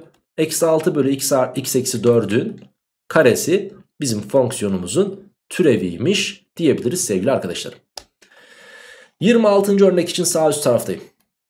Bu fonksiyonun türevini al ve yerine de 1 yaz demiş. Hadi bakalım f türev x eşittir. Şu birinci şu ikinci. Birincinin türevi 4x çarpı ikinci eksi birinci sabit 2x kare artı 3 çarpı ikincinin türevi 1 zaten bölü alttakinin yani ikincinin karesi diyoruz. Daha sonrasında da x gördüğümüz yere 1 yazıyoruz. Yani 4 çarpı eksi 4 eksi 5 çarpı 1 bölü 1'den 5 çıktı. Eksi 4 karesi 16. Bakın şurası eksi 16. Eksi 5 daha kaç yapar? Eksi 21 bölü 16 bize cevabı veriyormuş. Ve artık son sorumuz 27. örneğimiz. F fonksiyonunu x kare artı 3'ün gx'e oranı olarak vermiş. G2'nin 3 ve g türev 2'nin eksi 2 olduğu bilgisini de verdikten sonra f2 ile f türev 2'nin toplamı sorulmuş. Öncelikle f'in türevinde x'i bir bulmam gerekiyor benim. Kesir çizgimi attım. Bölümün türevi uygulayacağım. Şimdi sırasıyla yazalım. Üsttekinin türevi 2x çarpı alttakinin aynısı. Eksi. Üsttekinin aynısı çarpı alttakinin türevi ve son olarak alttakinin karesi dedik. Şimdi bizden tabii ki doğal olarak f türev 2 ihtiyacımız olduğu için bunu istendiği için x gördüğümüz yere 2 yazmamız gerekiyor. O halde arkadaşlarım 2 kere 2 4 yapar bakın. 4 çarpı g2 eksi 2'nin karesi 4 3 ekledim. 7 çarpı g türev 2 dedim. Alttakinde de g, g kare 2 var. Şimdi dikkat edin. Bana zaten g2'yi vermişti 3. Dolayısıyla g2'nin karesi yani 3'ün karesinden burası 9 olur. G2 3 de arkadaşlarım 3 kere 4'ten burası 12 olur. Eksi var arada. G türev 2 de eksi 2 idi. Bak burası eksi 2 ise şurası eksi 14 gelir. Önündeki artıyla beraber artı 14 olur. 12 14 daha kaç yapar? 26 yapar. Bir de aşağıda ne var? 9 var. Şimdi f türev 2 dediğimiz şey 26 bölü 9'muş. Tabi bir de ne lazım bize? f2. f2'yi bulmak için de direkt x gördüğümüz yere f fonksiyonunda 2 yazacağız. Bu da 2'nin karesi 4 artı 3'ten 7 bölü g2 yapar. G2 3'tü. Dolayısıyla 7 bölü 3 yapacakmış arkadaşlarım burası da. 7 bölü 3 ile 26 bölü 9'un toplamı bize cevabı verecek. Tabii ki burayı 3 ile genişletelim. 3 kere 7 21 yapar. 21 ile 26'nın toplamı ee, ne gelir? 40. 21 ile 26'nın toplamı 47 gelir. Bölü 9 bize cevabı verecektir sevgili gençler. Evet gençler şimdi fx'in eninci kuvveti gibi bir fonksiyon varsa elimizde y türev yani fonksiyonumuzun türevi şu olacak. Aynı normal x üzeri n gibi düşüneceksin. x üzeri n'in türevini biz nasıl alıyorduk arkadaşlar? n'yi başa atıyorduk. x'in üstündekini de bir azaltıyorduk doğru mu? Peki şimdi fonksiyonun n'inci kuvveti varsa aynı şekilde sen buradaki n'yi alacaksın. Şöyle bak fx'in n'inci kuvveti varsa ve sen bunun türevini almak istiyorsan n'yi yine başa attın. Sonra fx'in dedin tamam mı? Üstünü bir azalttın n eksi 1. Bitti mi bitmedi. Burada türevini almadığımız bir şey var. Ne? fx'in türevini hala almadık. Yani biz ne yaptık burada? Üstünü başa indirdik. Üstünü de bir azalttık. E tamam hoş. fx'in türevi nerede? Yok. İşte o yüzden unutmadan çarpı diyorsunuz. f türev x diyorsunuz sevgili arkadaşlarım. Yani burada e, genelde soruları çözerken hızlı hızlı şöyle diyeceğiz. İçinin türevi. Yani iç tarafın türevini almayı unutmuyorsun. Bak genelde bu unutulur. Yani ben sana şöyle söyleyeyim öğretmenliğimin dördüncü senesine kadar falan böyle tahtada falan soru çözerken unutuyordum. Öğrenciler uyarıyordu. Hocam bir de içinin türevi vardı. Evet bir de içinin türevi vardı. Onu unutmayalım. Lütfen arkadaşlarım siz de unutmayın. İçinin türevi mevzusu bizim için inanılmaz derecede değerli. En ufak bir hatada soru gümler. Bak en ufak hatada en basit soruyu gümletirsin. O yüzden içinin türevi mevzusuna dikkat ediyorsun. Normal türevi aldıktan sonra bir de içinin türevi diyorsun. Hatta ve hatta hocam ben unutmaktan çok korkuyorum ki böyle bir problemim de var diyorsan önce içinin türevini al sonra soruya başla. Tamam. Şimdi bu şekilde türev alıyoruz dedik. Bakın burada f türev x'i unutmuyorsunuz. Bileşke fonksiyonun türevi diyoruz. f ve g türevlenebilir fonksiyonlar. Ve sevgili arkadaşlarım f bileşke gx. Bu f bileşke gx ne demek? f'in içerisindeki gx'in türevinden bahsediyoruz. Şimdi bunu da alırken şöyle gösterelim. F'in içerisindeki gx'in bu fonksiyonun bileşke fonksiyonun türevini alacağız. Ne yapıyoruz biliyor musunuz? Normal standart bak f'in türevi diyorsun. İçinin aynısını yazıyorsun gx. Bitti mi bitmedi. Neyin türevini almadın bu sefer de burada? İçinin türevini almadın. He. İçinde ne var? gx var. O zaman g türevi x diyorsun. İşte bu da bunun türevi olmuş oluyor. Bununla bu e, ilişkili olduğu için sevgili arkadaşlarım arka arkaya peş peşe verdim. Şimdi hiç uğraşmayacağız ayrı ayrı. Sen bunu farklı bir şey bunu farklı bir şey olarak görmeyeceksin. İkisini beraber harmanlayıp çözmeye başlayalım. Hadi bakalım 28. örnek. fx fonksiyonu 2x küp artı 6x eksi 7'nin karesi olarak verilmiş bize. Biz ne yapacağız şimdi? Bunun türevini alacağız. Hadi bakalım. 2'yi başa indiriyorsun. 2 çarpı 2x küp artı 6x eksi 7 üstünü biraz azalttık birinci kuvveti dedik. Ama dikkat et ben burada hala iç tarafın türevini almadım. İç tarafın türevi de 6x kare artı 6 diyeceğiz arkadaşlar. İşte size f türev x fonksiyonu karşınıza çıkmış oldu böylelikle. Tamam. 29. f 2x artı 3 eşittir 3x eksi 5'in karesi olduğuna göre f türev 2. Bak şimdi buna dikkat. Niye dikkat ediyorsun buna? Çünkü şu kısım bak şu kısım fx değil. He. Peki neler yapılabilir? Bak şimdi. İyi dinle. Şurada f'in içinde bir gx fonksiyonu vardı değil mi? Ve sen bunun türevini nasıl alıyordun? F'in türevi diyordun. İçine aynen yazıyordun. Sonra çarpı içinin türevini alıyordun. E şimdi güzel kardeşim şuradaki f var. İçerisine farklı bir fonksiyonmuşçasına o gözle baksak yani tamam mı? O gözle baksanız. Ben desem ki f'in türevinde 2x artı 3 e 2x artı 3'ün yani içini türevini almadım onu da alalım. 2x artı 3'ün türevine 2. Eşittir diyorum şimdi karşı taraftayım. 2'yi başa indirdim. 2 çarpı 3x eksi 5 üzeri 1 üzeri 1 yazmıyorum. Çarpı içinin türevi 3. F türev 2x artı 3 çarpı 2 eşittir 2 çarpı 3x eksi 5 çarpı 3. Bak her iki taraftaki ikileri bir götürelim isterseniz olmaz mı? Bizden istenen f türev 2'ymiş. F türev 2'yi ben elde edebilmek için x gördüğüm yere burada ne yazmalıyım? He, o zaman diyeceğim ki 2x artı 3'ü 2'ye eşit diyelim madem öyle. 2x eşittir eksi 1 gelsin. X de buradan eksi 1 bölü 2 olsun arkadaşlar. Demek ki x gördüğüm yere eksi 1 bölü 2 yazınca içerisi 2 oluyormuş. Yani f'in türevinde 2 dedik artık içeriye. x gördüğümüz yere eksi 1 bölü 2 yazacağız. Sakın ama sakın unutma. Yazıyorum 3 çarpı eksi 1 bölü 2 eksi 5 çarpı 3 dedim. Tamam. Tabi şunu da unutmayalım. Burada bir parantez hatası yapmaktan çok fazlaca korkuyorum. 3 çarpı şu bak şöyle de bir parantez var. Tamam şimdi oldu. F'in türevinde 2 artık gerisi 4 işlem. 3 ile eksi 1 bölü 2'yi çarptınız. Eksi 3 bölü 2. Bundan bir de 5 çıkardınız. Eksi 13 bölü 2 geldi. Bir de bunu 3 ile çarpacaksınız. Yani eksi 39 bölü 2 geldi. Eğer şıklarda böyle bir cevap yoksa şöyle bir cevap kesinlikle vardır. Eksi 19,5 gibi bir cevap olabilir arkadaşlar. Doğru cevabımız buydu. Ve devam ediyorum örnek 30'da. Pozitif reel sayılardan reel sayılara tanımlı olmak üzere f fonksiyonu demiş ki f x kare artı 1 8x eksi m'nin dördüncü kuvveti demiş. Ekstradan şunu da söylemiş. F türev 2 2000'e eşittir. Buna göre F2 kaçtır diye sorulmuş.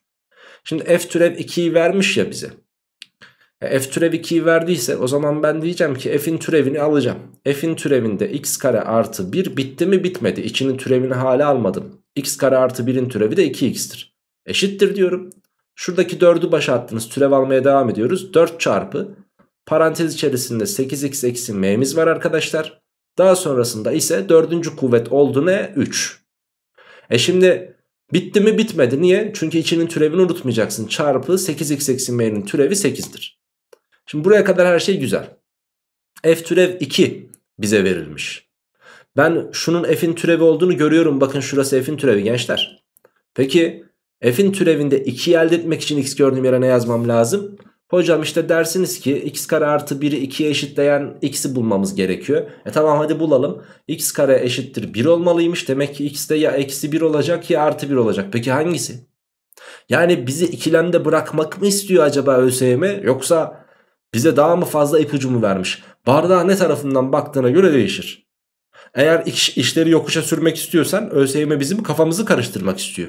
Ama bardağı dolu tarafından bakarsan ve bu soruyu gerçekten çözmek istiyorsan şunu fark etmen gerekiyor. Hocam eksi 1 olamaz. E niye? Çünkü bizim fonksiyonumuzda biz x'leri negatif seçemiyoruz. Çünkü tanım kümemiz pozitif reel sayılar. Demek ki x kaçmış? 1'miş. O halde arkadaşlar x gördüğümüz yere 1'i monte edeceğiz. F'in türevinde bakın burası 2 oldu. Çarpı 2 kere 1'den 2 geldi. 4 çarpı 8 kere 1'den 8 eksi m'nin kübü çarpı 8 bu da sevgili arkadaşlarım şurası bakın f türev 2 kaçtı? 2000'di. 2000 kere 2 kaç yapar? 4000 yapar. 4000 eşittir. 4 çarpı 8 çarpı 8 eksi m'nin kübü dedik. Şimdi arkadaşlar 4'e böldüm 4'e böldüm 1000. 8'e böldüm 8'e böldüm bu tarafı 125 oldu. 125 eşittir 8 eksi m'nin küpüymüş. Neyin küpü 125? 5'in küpü değil mi? O halde gençler ne diyeceğiz? 8 eksi m eşittir 5 diyeceğiz. Buradan m kaç gelecek? 3 gelecek. Şimdi m'yi bulduk. Bizden ne isteniyor? F2 isteniyor. F2'yi bulmak için x gördüğüm yere 1 yazacağım. Hadi bakalım yazalım şurada.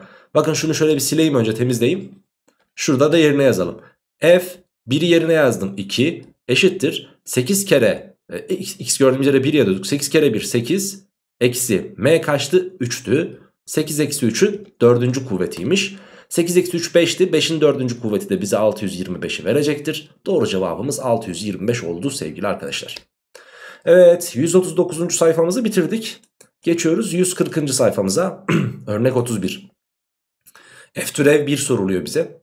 Şimdi burada gördüğün üzere şu ayrı bir fonksiyon bu da ayrı bir fonksiyon olarak nitelendirirsek burada bir çarpımın türevi uygulayacağız. O halde f'in türevini bulabilmek adına çarpımın türevini yapacağız. f türev x ee, birincinin türevi 2'yi başa attınız x artı 4 dediniz çarpı 2'nin türevi 2'nin türevi 1 olduğu için yazmıyorum. Çarpı ikinciyi aynen yazdınız.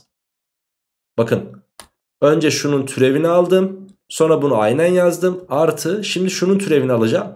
3 çarpı 2x eksi 1'in karesi çarpı 2'nin türevi 2 çarpı birincinin aynısı mavinin aynısı x artı 4'ün karesi. Şimdi kardeş f türev x bu muymuş? f türev 1 soruluyor o zaman x gördüğümüz yere tabii ki 1 yazacağız hadi bakalım. 2 şurası ne yapar 5 yapar 10 çarpı şurası ne yapar arkadaşlarım 1 yapar 1'in küpü de 1'dir artı 3 çarpı bu 3 bu 3 arkadaşlar. 2 kere 1 2 1 çıkardım 1 1'in karesi 1 yazmadım. 2 çarpı 1 artı 4 5 5'in karesi 25 yapar.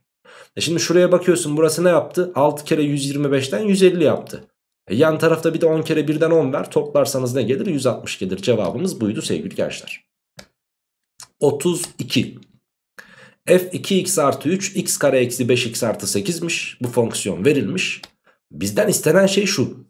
f1 artı h eksi f1'in bölü h'ın h'lar sıfıra giderkenki türevi. Yani limiti özür dilerim. E bu ne demekti? Şuradakinin türevi demekti. Yani f türev 1 soruluyor arkadaşlar bize.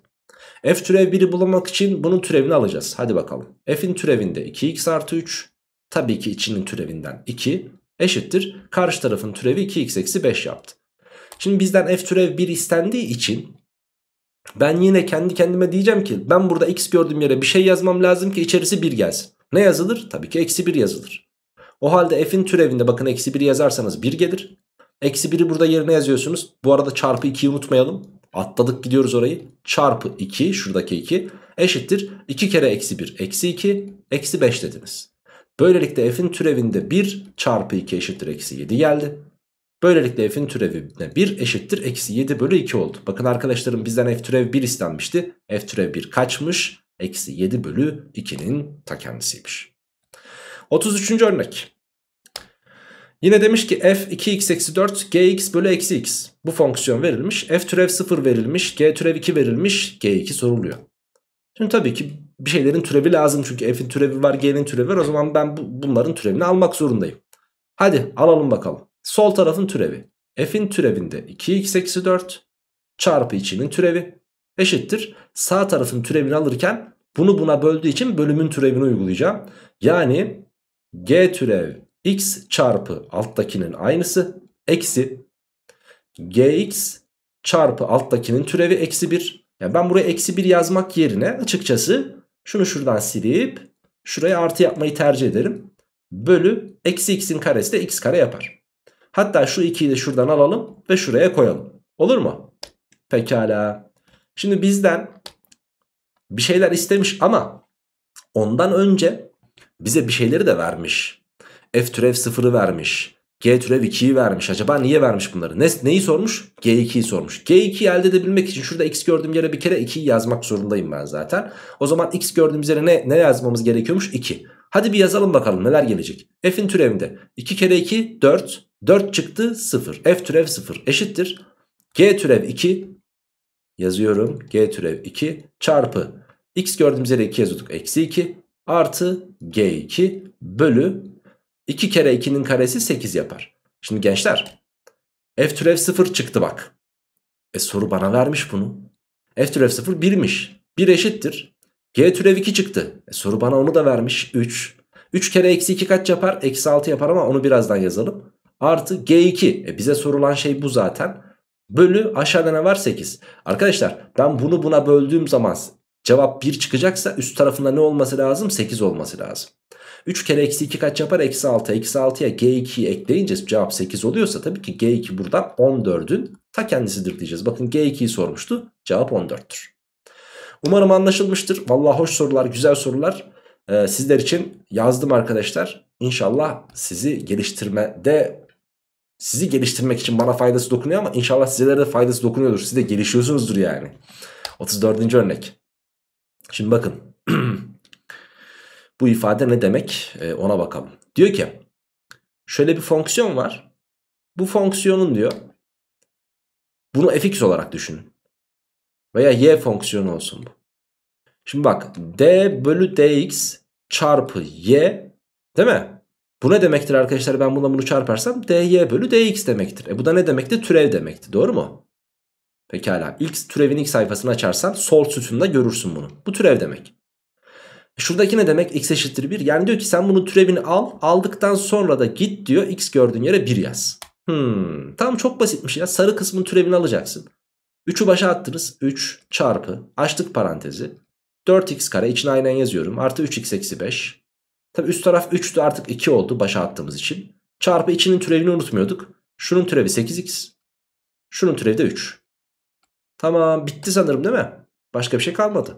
Ve ne diyor bir de? X gördüğün yere de 1 yaz diyor. Hadi bakalım x gördüğün yere 1 yazalım. Çok basit arkadaşlar türev. 3 çarpı 4 artı 3 eksi 5. Bunun karesi çarpı 1 yerine yazarsanız 11 gelir. 4 ile 3'ü topladınız 7 5 çıkardınız 2 2'nin karesi 4 3 çarpı 4 çarpı 11 eşittir ee, bize sonucu verecek bak burası 12 11 kere 12 kaç yapar 132 yapar o halde cevabımız da 132'dir diyebiliriz tamam valla gayet basit umarım sen de anlıyorsundur dinliyorsundur bence gayet basit sana da basit gelmesi için elimden gelen bütün çabayı sergiliyorum bana fx'i vermiş bana gx'i de vermiş benden ne istiyor f bileşke g'nin türevinde 2 isteniyor. Yani şimdi f bileşke g'nin türevi ne demektir? f'in türevinde gx çarpı g türev x'te diyor. x gördüğün yere 2 yaz diyor. Yani aslına bakarsan şu isteniyor. f'in türevinde g2 çarpı g türev 2 isteniyor. Şimdi burada ayrı ayrı yani f'in içerisine g'yi yazıp da bulabilirsin. Onu da ikinci yol olarak çözelim hatta. Şuraya yazalım da unutmayalım ikinci yol diye tamam mı? Şimdi bu şekilde bir çözmeye çalışalım bakalım. Bana ne lazım? G2 lazım. G2'yi bulmak için tabii ki x gördüğün yere 2'yi yazarsın. 2 kere 2 4 artı 5'ten 9 geldi. Bak burası 9'muş. Yani f'in türevinde 9 çarpı g türev 2. E bir de g türev lazım. G türev x eşittir 2 olduğu için g türev 2 de 2'dir arkadaşlar. Fark etmez. Şimdi bir de f'nin türevi lazımmış. Bak f türev x dedin. Aldım buranın türevini 6x artı 2 mi geldi? F türev 9 lazım olduğu için 6 kere 9 54 2 eklediniz 56. 56 ile 2'yi çarparsanız 112'nin ta kendisi gelir cevap. Bir de sevgili arkadaşlarım ikinci yol olarak f'in içerisinde g'yi yazmış ya burada. Sen f'in içerisinde g'yi nasıl yazarsın? f gx'i şu şekilde yaparsın. x gördüğün yere 2x artı 5 yazarsın. Yani 3 çarpı x gördüğüm yere 2x artı 5 yazdım. Bunun karesi artı 2 çarpı 2x artı 5 dediniz tamam mı? Sonra bunun türevini alacağız. 2'yi başa attınız 6 çarpı 2x artı 5 üzeri 1 çarpı 2'nin türevi. Artı şuranın da türevi bak. Burası normalde 4x artı 10 olduğu için türevi nedir? 4'tür. Şimdi sen artık gönül rahatlığıyla x gördüğün yere 2'yi monte edebilirsin. 6 çarpı 2 artı 2 4. 5 daha 9 yapar. 6 kere 9 54 çarpı 2'den 108. Artı bir de şurada 4'ümüz var. 108'e 4 eklersen 112 cevabını bulursun. Yine yani matematikte cevap sekmez ama çözüm yolları birbirinden farklı olabilir. Hiç sıkıntı yok. İster böyle bul ister böyle bul. Soru her zaman doğru bir şekilde sana ulaşsın. Örnek 36. hx eksi 3 eşittir f 3x artı 2 çarpı 3 çarpı e, artı 3 çarpı f x kare artı 2. Bize ne verilmiş? h fonksiyonu verilmiş. Bir de ne demiş? F türev 11 2'dir demiş. Buna göre H türev 0 soruluyor. Şimdi F'in türevi verilmiş. H'ın türevi soruluyor. Biz bir türev almamız şart. O zaman başlayalım şuradan türev almaya hadi. H'ın türevinde x eksi 3 çarpı içinin türevi 1. O yüzden yazmıyorum. Eşittir. Şu kısmın türevinde f'in türevinde 3x artı 2 içinin türevi 3 artı 3 çarpı şuranın türevi de f'in türevinde x kare artı 2 çarpı içinin türevi 2x. Şimdi arkadaşlar f türevi 11 verilmiş ya. F'in türevi bak burada. Şurada bak göstereyim ben sana. Onu turuncuyla yazalım isterseniz. F'in türevi burası. Şimdi ben f'in türevinde 3x artı 2 için f'in türevinde 11 elde edebilmek için x gördüğüm yere tabii ki de 3 yazmam gerekiyor. Hadi bir yazalım bakalım 3'ü. Bak burası ne gelir? F'in türevinde 11 gelir. Çarpı 3 artı 3 çarpı f'in türevinde yine ne geldi bak 3'ün karesi 9 2 daha o muhteşem 11 geldi çarpı 2 kere 3 6 yaptı. Eşittir diyorum. Şurası ne olur? H türev 3 eksi 3 0. X gördüğümüz yere 3 yazıyorduk. Şimdi bak kardeşim H türev 0 bana sorulandı. F türev 11 de bana verilendi. Soruda bilinmeyen başka hiçbir şey kalmadı. Yani 3'leri ve 6'ları biliyorsan nasıl işlem yapman gerektiğini e, tamam işte soru çözüldü. H türev 0 sorulmuştu zaten. H türev 0 eşittir. F türev 11 kaçtı arkadaşlarım? 2 idi. Yazıyorum yerine 2 çarpı 3 artı 3 çarpı 2 çarpı 6 dediniz. Bak şurası 36 yapar. Burası da 6 yapar. Toplarsanız doğru cevap 42 gelir sevgili gençler. Evet 37. örneğimiz. Bu sayfaya bayağı örnek sığdırmışım bu arada. Helal olsun bana. Uygun tanım aralığında tanımlanan böyle bir fonksiyonumuz var. Buna göre f türe 5. Hayda bak bu çok uzun sürecek. Çok ama çok uzun sürecek desem de siz inanmayın. Çünkü arkadaşlar matematik ameliliği sevmez. Tamam mı? Matematik ameliliği sevmez. Matematik kurnazlığı çok sever ama. Burada biraz kurnazca hareket etmemiz gerekiyor. Kurnazca davranmamız gerekiyor. Peki nasıl kurnaz davranabiliriz arkadaşlar? Şöyle ki 2x ve 1 bölü 2x. Şu ne? 2x'in karesi. E, bu ne? 1 bölü 2x'in karesi. Anam o ne? Demek ki sevgili arkadaşlar şunun karesi burada bunun karesi burada olduğuna göre bizim bir kare alma işlemi uygulamamız gerekiyor. Şimdi 2x eksi 1 bölü 2x'in dedim. Ben bunun karesini alırsam neler meydana gelir? Birincinin karesi 4x kare. ikincinin karesi 1 bölü 4x kare. Ve eksi 2 çarpı birinci çarpı ikinci diyeceksiniz. Buradan gördüğünüz üzere şuradaki 2x, 2x de buradaki 2x birbirini götürür eksi 2 gelir. Demek ki ben bunun karesini alınca şurası eksi 2 geliyor. E şimdi ben e, fonksiyona bakıyorum. Karşı tarafta şurası var da bu yok. Demek ki arkadaşlar bizim fonksiyonumuz içine aldığı a değerlerinin önce karesini alıyor. Aldıktan sonra da şurayı vermesi için ne gerekiyor? 2 eklememiz gerekiyor ki buraya şunlar birbirini götürsün ve şurası gelsin. İşte fonksiyonumuz aslında bu. f a eşittir a kare artı 2. Peki f türev a nedir? Hocam bu da bunun türevini alırsak 2a'dır. E benden ne istemiş? F türev 5. O zaman a gördüğün yere 5'i yazarsın. 2 kere 5 cevap 10'dur dersin. Tamam. 38. örnek h x kare artı 2x artı 1 eşittir 4x kare artı 8x eksi 7 olarak verilmiş.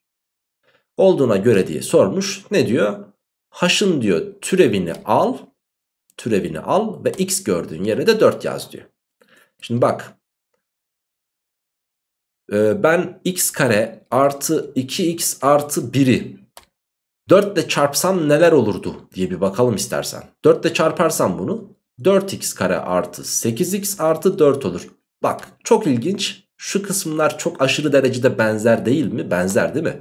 Ne fazlası var bunun? 4 fazla. E buraya göre 11 fazlası var. O zaman e, 4 ile çarptınız bir de 11 çıkarırsanız sevgili arkadaşlarım burayı elde edersiniz. Yani ben iç taraftakini 4 ile çarpıp 11 çıkarıyorum. Yani f a o zaman ne olur? a'yı 4 ile çarparsın ve 11 çıkarırsın bu olur. İşte f fonksiyonumuz bu. O halde arkadaşlar x gördüğümüz yere yani a gördüğümüz yere de yani şöyle diyelim artık fx eşittir 4x eksi 11 olur ya x gördüğün yere de 4 yaz demiş. Hadi yazalım. O, a, bu arada özür dilerim. Şurada da aynı hatayı yaptık mı yapmamışız. Çok güzel çok güzel çok güzel. Şimdi ben fa'yı buldum ya 4 ile çarpıp 11 çıkarıyormuş hani. Heh. Bizden f'in türevinde Hatta ve hatta burası f değil h'mış arkadaşlar. Bak h onu unuttuk. Hep f'e dilimiz alışmış ya f fonksiyonu f fonksiyonu. Bu h fonksiyonudur. Yani hx eşittir. Aslında 4x eksi 11'dir. Bizden istenen şey şu. Türevini al ve 4'ü yerine yaz demiş. Bana, bakalım h'ın türevini alınca ne gelecek? Sadece 4 gelecek. x gördüğüm yere 4 yazacak bir yer var mı? Yok. O zaman cevabımız neymiş? 4'müş sevgili arkadaşlar. Evet sayfayı bitirdik. Kaçıncı sayfayı bitirdik? 140'ı bitirdik. Az önce de sevgili arkadaşlarım zaten şurada 139. sayfamızdaydık. Ee, orayı bitirmiştik yarısını. Ve burada da sevgili arkadaşlarım örnek 31'den 38'e kadar geldik. Güzel oldu. Senin de sayfan bu şekilde doluysa eyvallah. Teşekkürler. Şimdi sevgili arkadaşlarım evet, devam edelim. Bir sonraki sayfamız 141. sayfayla sevgili arkadaşlar. Zincir kuralı. Bu arada videoda bir kopuk fark ettiyseniz kendime çay doldurdum arkadaşlar. Size de tavsiye ederim. Kahveyle çayla türev çok ama çok iyi gider. Evet zincir kuralı. Y eşittir fu. Yani y fonksiyonu f fonksiyonu u'ya bağlı bir fonksiyon. u t'ye bağlı. t de x'e bağlı bir fonksiyon. Olarak verildiyse ve sana ısrarla y fonksiyonunun x'e bağlı türevi soruluyorsa bak x ta nerede? Y burada. Y u'ya bağlı, u t'ye bağlı, t x'e bağlı. Sana gitmiş y'nin x'e göre türevini soruyor. Yapmanız gereken hareket çok basit. Önce gideceksin sen diyeceksin ki şunları bir silelim tertemiz olsun. Sen diyeceksin ki hocam ben y'nin neye göre türevini alabilirim? U'ya göre. Y'nin u'ya göre. U'nun t'ye göre türevini alabilirim. T'nin de x'e göre türevini alabilirim. Ve böylelikle eğer ki bu türevleri çarparsam du'lar dt'ler gideceği için al sana y'nin x'e göre türevi karşına çıkmış olur. Şimdi bunları uygulayacağız 39. örneğimizle birlikte. Bize demiş ki 2u küp eksi 5u kare artı 6u artı 2 bu y'ye u da 2x kare artı 5 x'e bağlı. Y u'ya u da x'e bağlı. dy bölü dx soruluyor. O zaman sen ne yapacaksın? dy bölü dx'i bulabilmek için tabii ki y'nin u'ya göre türevini alabilirsin. u'nun da x'e göre türevini alabilirsin. Bunları çarparsan eğer du'lar gider ve elinde sadece dy bölü dx kalır. Demek ki y'nin u'ya göre türevini yani şunun türevini alıyoruz arkadaşlarım. 6u kare eksi 10u ve artı 6. Bununla neyi çarpıyormuşsun? u'nun x'e göre türevini yani şunun türevini çarpıyorsun. O da nedir? 4x'tir. Bunları çarpıyorsun. E, çarptık hocam. Ama bir sıkıntı var. Sıkıntı ne? Çünkü e, d, y'nin x'e göre türevini istiyorduk. Ama burada hala u'lu ifadeler var. O zaman ne yapacaksın? Tabii ki u'ların x cinsinden değerini de şuraya yazacaksın. 6 çarpı u kare demişti. u neydi? 2x kare artı 5'ti. Bunun karesi eksi 10 çarpı 2x kare artı 5 artı 6 ve bunu da neyle çarpıyormuşuz? 4x ile çarpıyormuşuz. İşte dy bölü dx karşımıza çıkmış olur. Bütün sorularda bu şekilde yani şuradaki tarzda böyle kar, karman çorman ifadeler gelmeyecek tabii ki. Bu sadece bir uygulama sorusuydu. Şimdi örnek 40 ile beraber asıl amacımızın ne olduğunu öğrenelim. dy bölü dx sorulmuş. y u'ya x de u'ya bağlı. Hmm, ikisi de u'ya bağlı. Peki dy bölü dx diyor ya bize. dy bölü dx diyor. Peki ben bu dy bölü dx'te ne yapabilirim? y'nin x'e göre türevini istiyor. O zaman bir kere y'yi x cinsinden yazabilir miyiz diye bir düşünmeden olmuyor değil mi? Düşünmeden olmuyor. Peki ben acaba şurada u'yu çeksem nasıl çekeriz? 2'yi bir karşıya at atalım. Mesela x eşittir 3u artı 2 idi ya. 2'yi şu tarafa bir atalım. x eksi 2 eşittir ne olur? 3u olur. Her iki tarafı 3'e bölerseniz de x eksi 2 bölü 3 eşittir u olur. Şimdi şunu siliyorum. Bu artık işimizi gördü. Teşekkür ediyoruz. Ee, özlemle anacağız. U eşittir x eksi 2 bölü 3 desek. Bak şimdi ne oldu? Y u'ya bağlı. U da x'e bağlı oldu. Şimdi ben y'nin u'ya göre türevini alırsam dy bölü du. U'nun da x'e göre türevini alırsam du bölü dx gelir. Burada bunları çarptığımız takdirde yine, yukarıdaki mevzu du'lar gider. dy bölü dx elimizde kalır. O halde arkadaşlarım Y'nin U'ya göre türevini şurada bir alalım hadi beraber. 2U artı 3 yapar. Çarpı U'nun X'e göre türevi. U'nun X'e göre türevi bak şimdi şöyle. X eksi 2 bölü 3 ya. Bunun türevini nasıl alacağım? Bölümün türevi falan yapma sakın ha. Bunu şöyle düşün. X bölü 3 eksi 2 bölü 3 diye düşün. X bölü 3'ün türevi X'in katsayısıdır. 1 bölü 3. Eksi 2 bölü 3'ün türevi sıfırdır çünkü sabit sayı. İşte bitti. Bu ikisinin çarpımı bana dy bölü dx'i verecek ama Dikkat ettiysen hiç x'li bir ifade yok. Ve özellikle de demiş ki bize bu sefer x gördüğün yere de 1 yaz demiş. Şimdi x yok. Ne yapacağız? Şunu yapıyorsun. Arkadaşım x kaçtı 1'di. Şurada 1 yerine yazarsan 1'den 2'yi çıkar eksi 1 bölü 3. x 1 iken u eksi 1 bölü 3'müş arkadaşlarım. Demek ki ben u gördüğüm yere ne yazacağım? Eksi 1 bölü 3 yazacağım. O zaman hiç durmuyorum. 2 çarpı eksi 1 bölü 3 artı 3 dedim. Çarpı bir de dışarıda 1 bölü 3'ümüz var. Hayırlı uğurlu olsun. Geri kalanı sadece işlem. Eksi 2 bölü 3'e 3 ekleyeceğim. Eksi 2 bölü 3 artı 3. Bu da bana 7 bölü 3'ü verir. 7 bölü 3 ile 1 bölü 3'ü çarparsanız da cevabın 7 bölü 9 çıktığını görebilirsiniz. 41. örnek. Biraz daha karıştıralım işleri.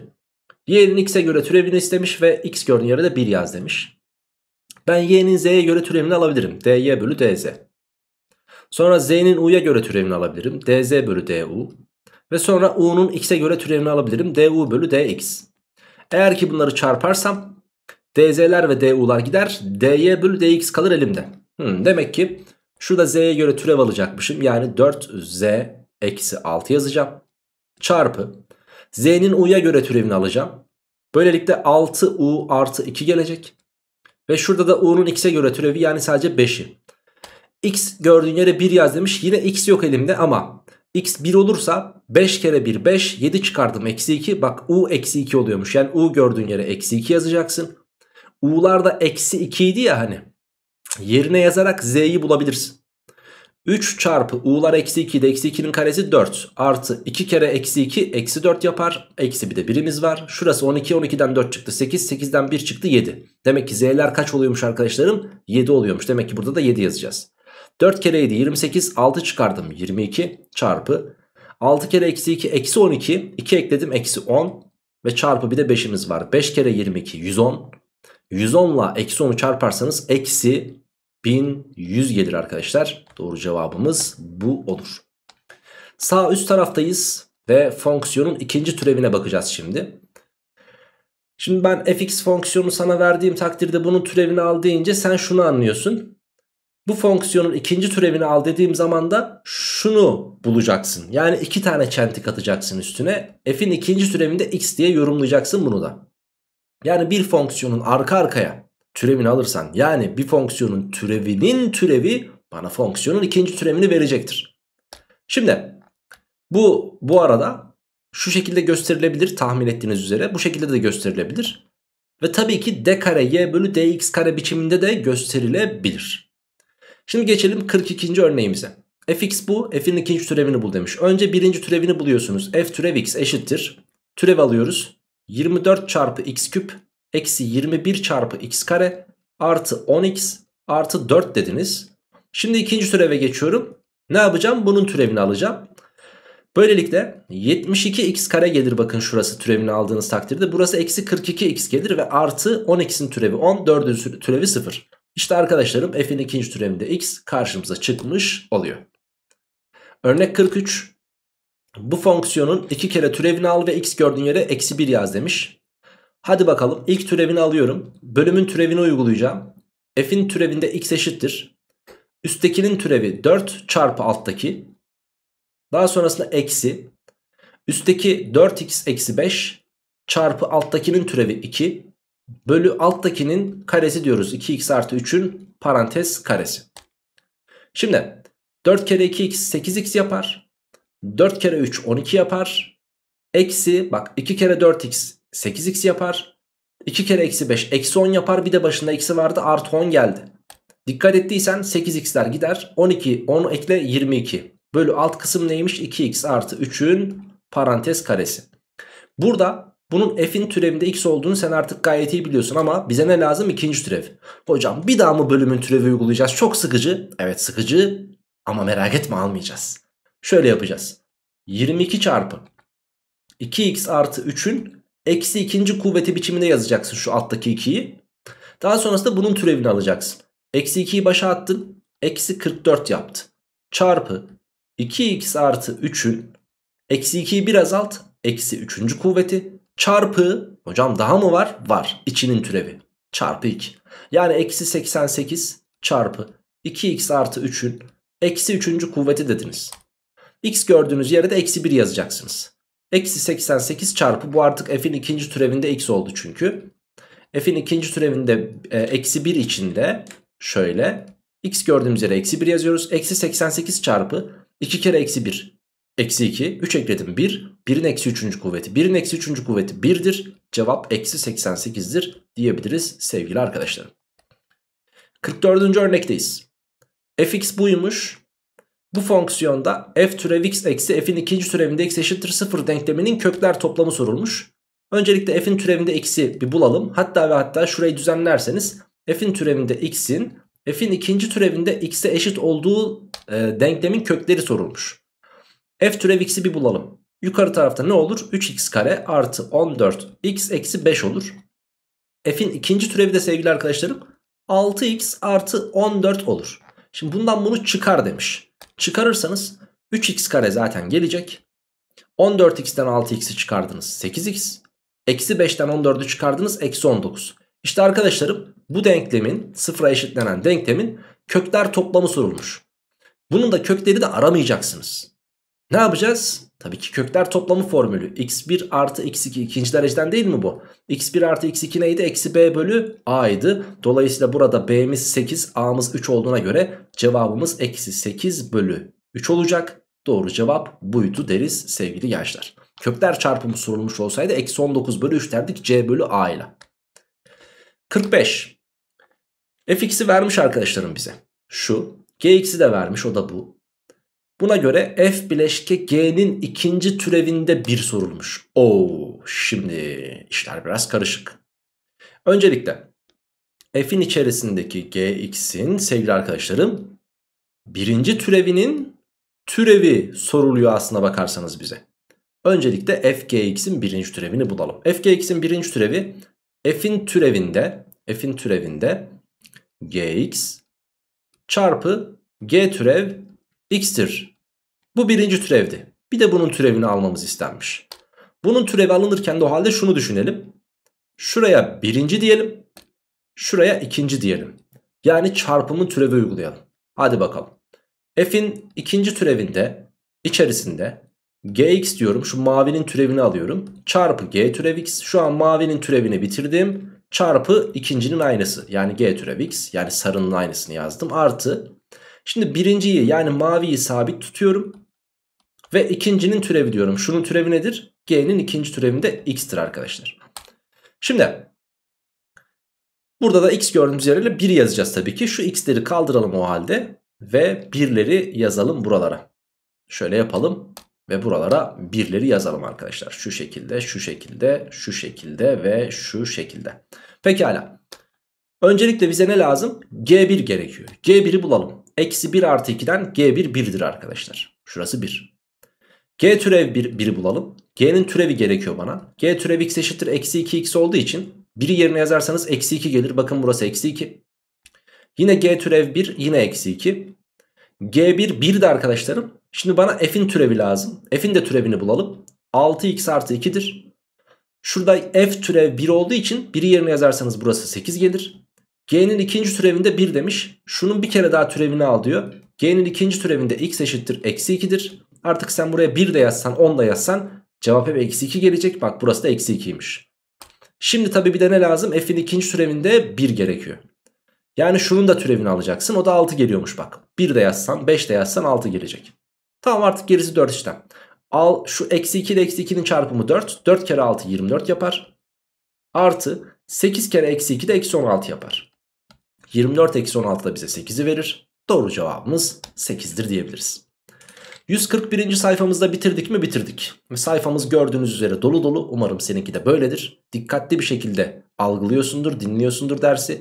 Artık sevgili arkadaşlarım bu videomuzda son 3 tane örneğimiz kaldı. 46, 47 ve 48. örnekleri çözdükten sonra sağ ve sol türev kavramından sonra da süreklilik ile türev arasındaki ilişkiyi vereceğiz ve köprüyü tamamlayacağız. Limitle türev arasındaki köprüyü tamamlayacağız.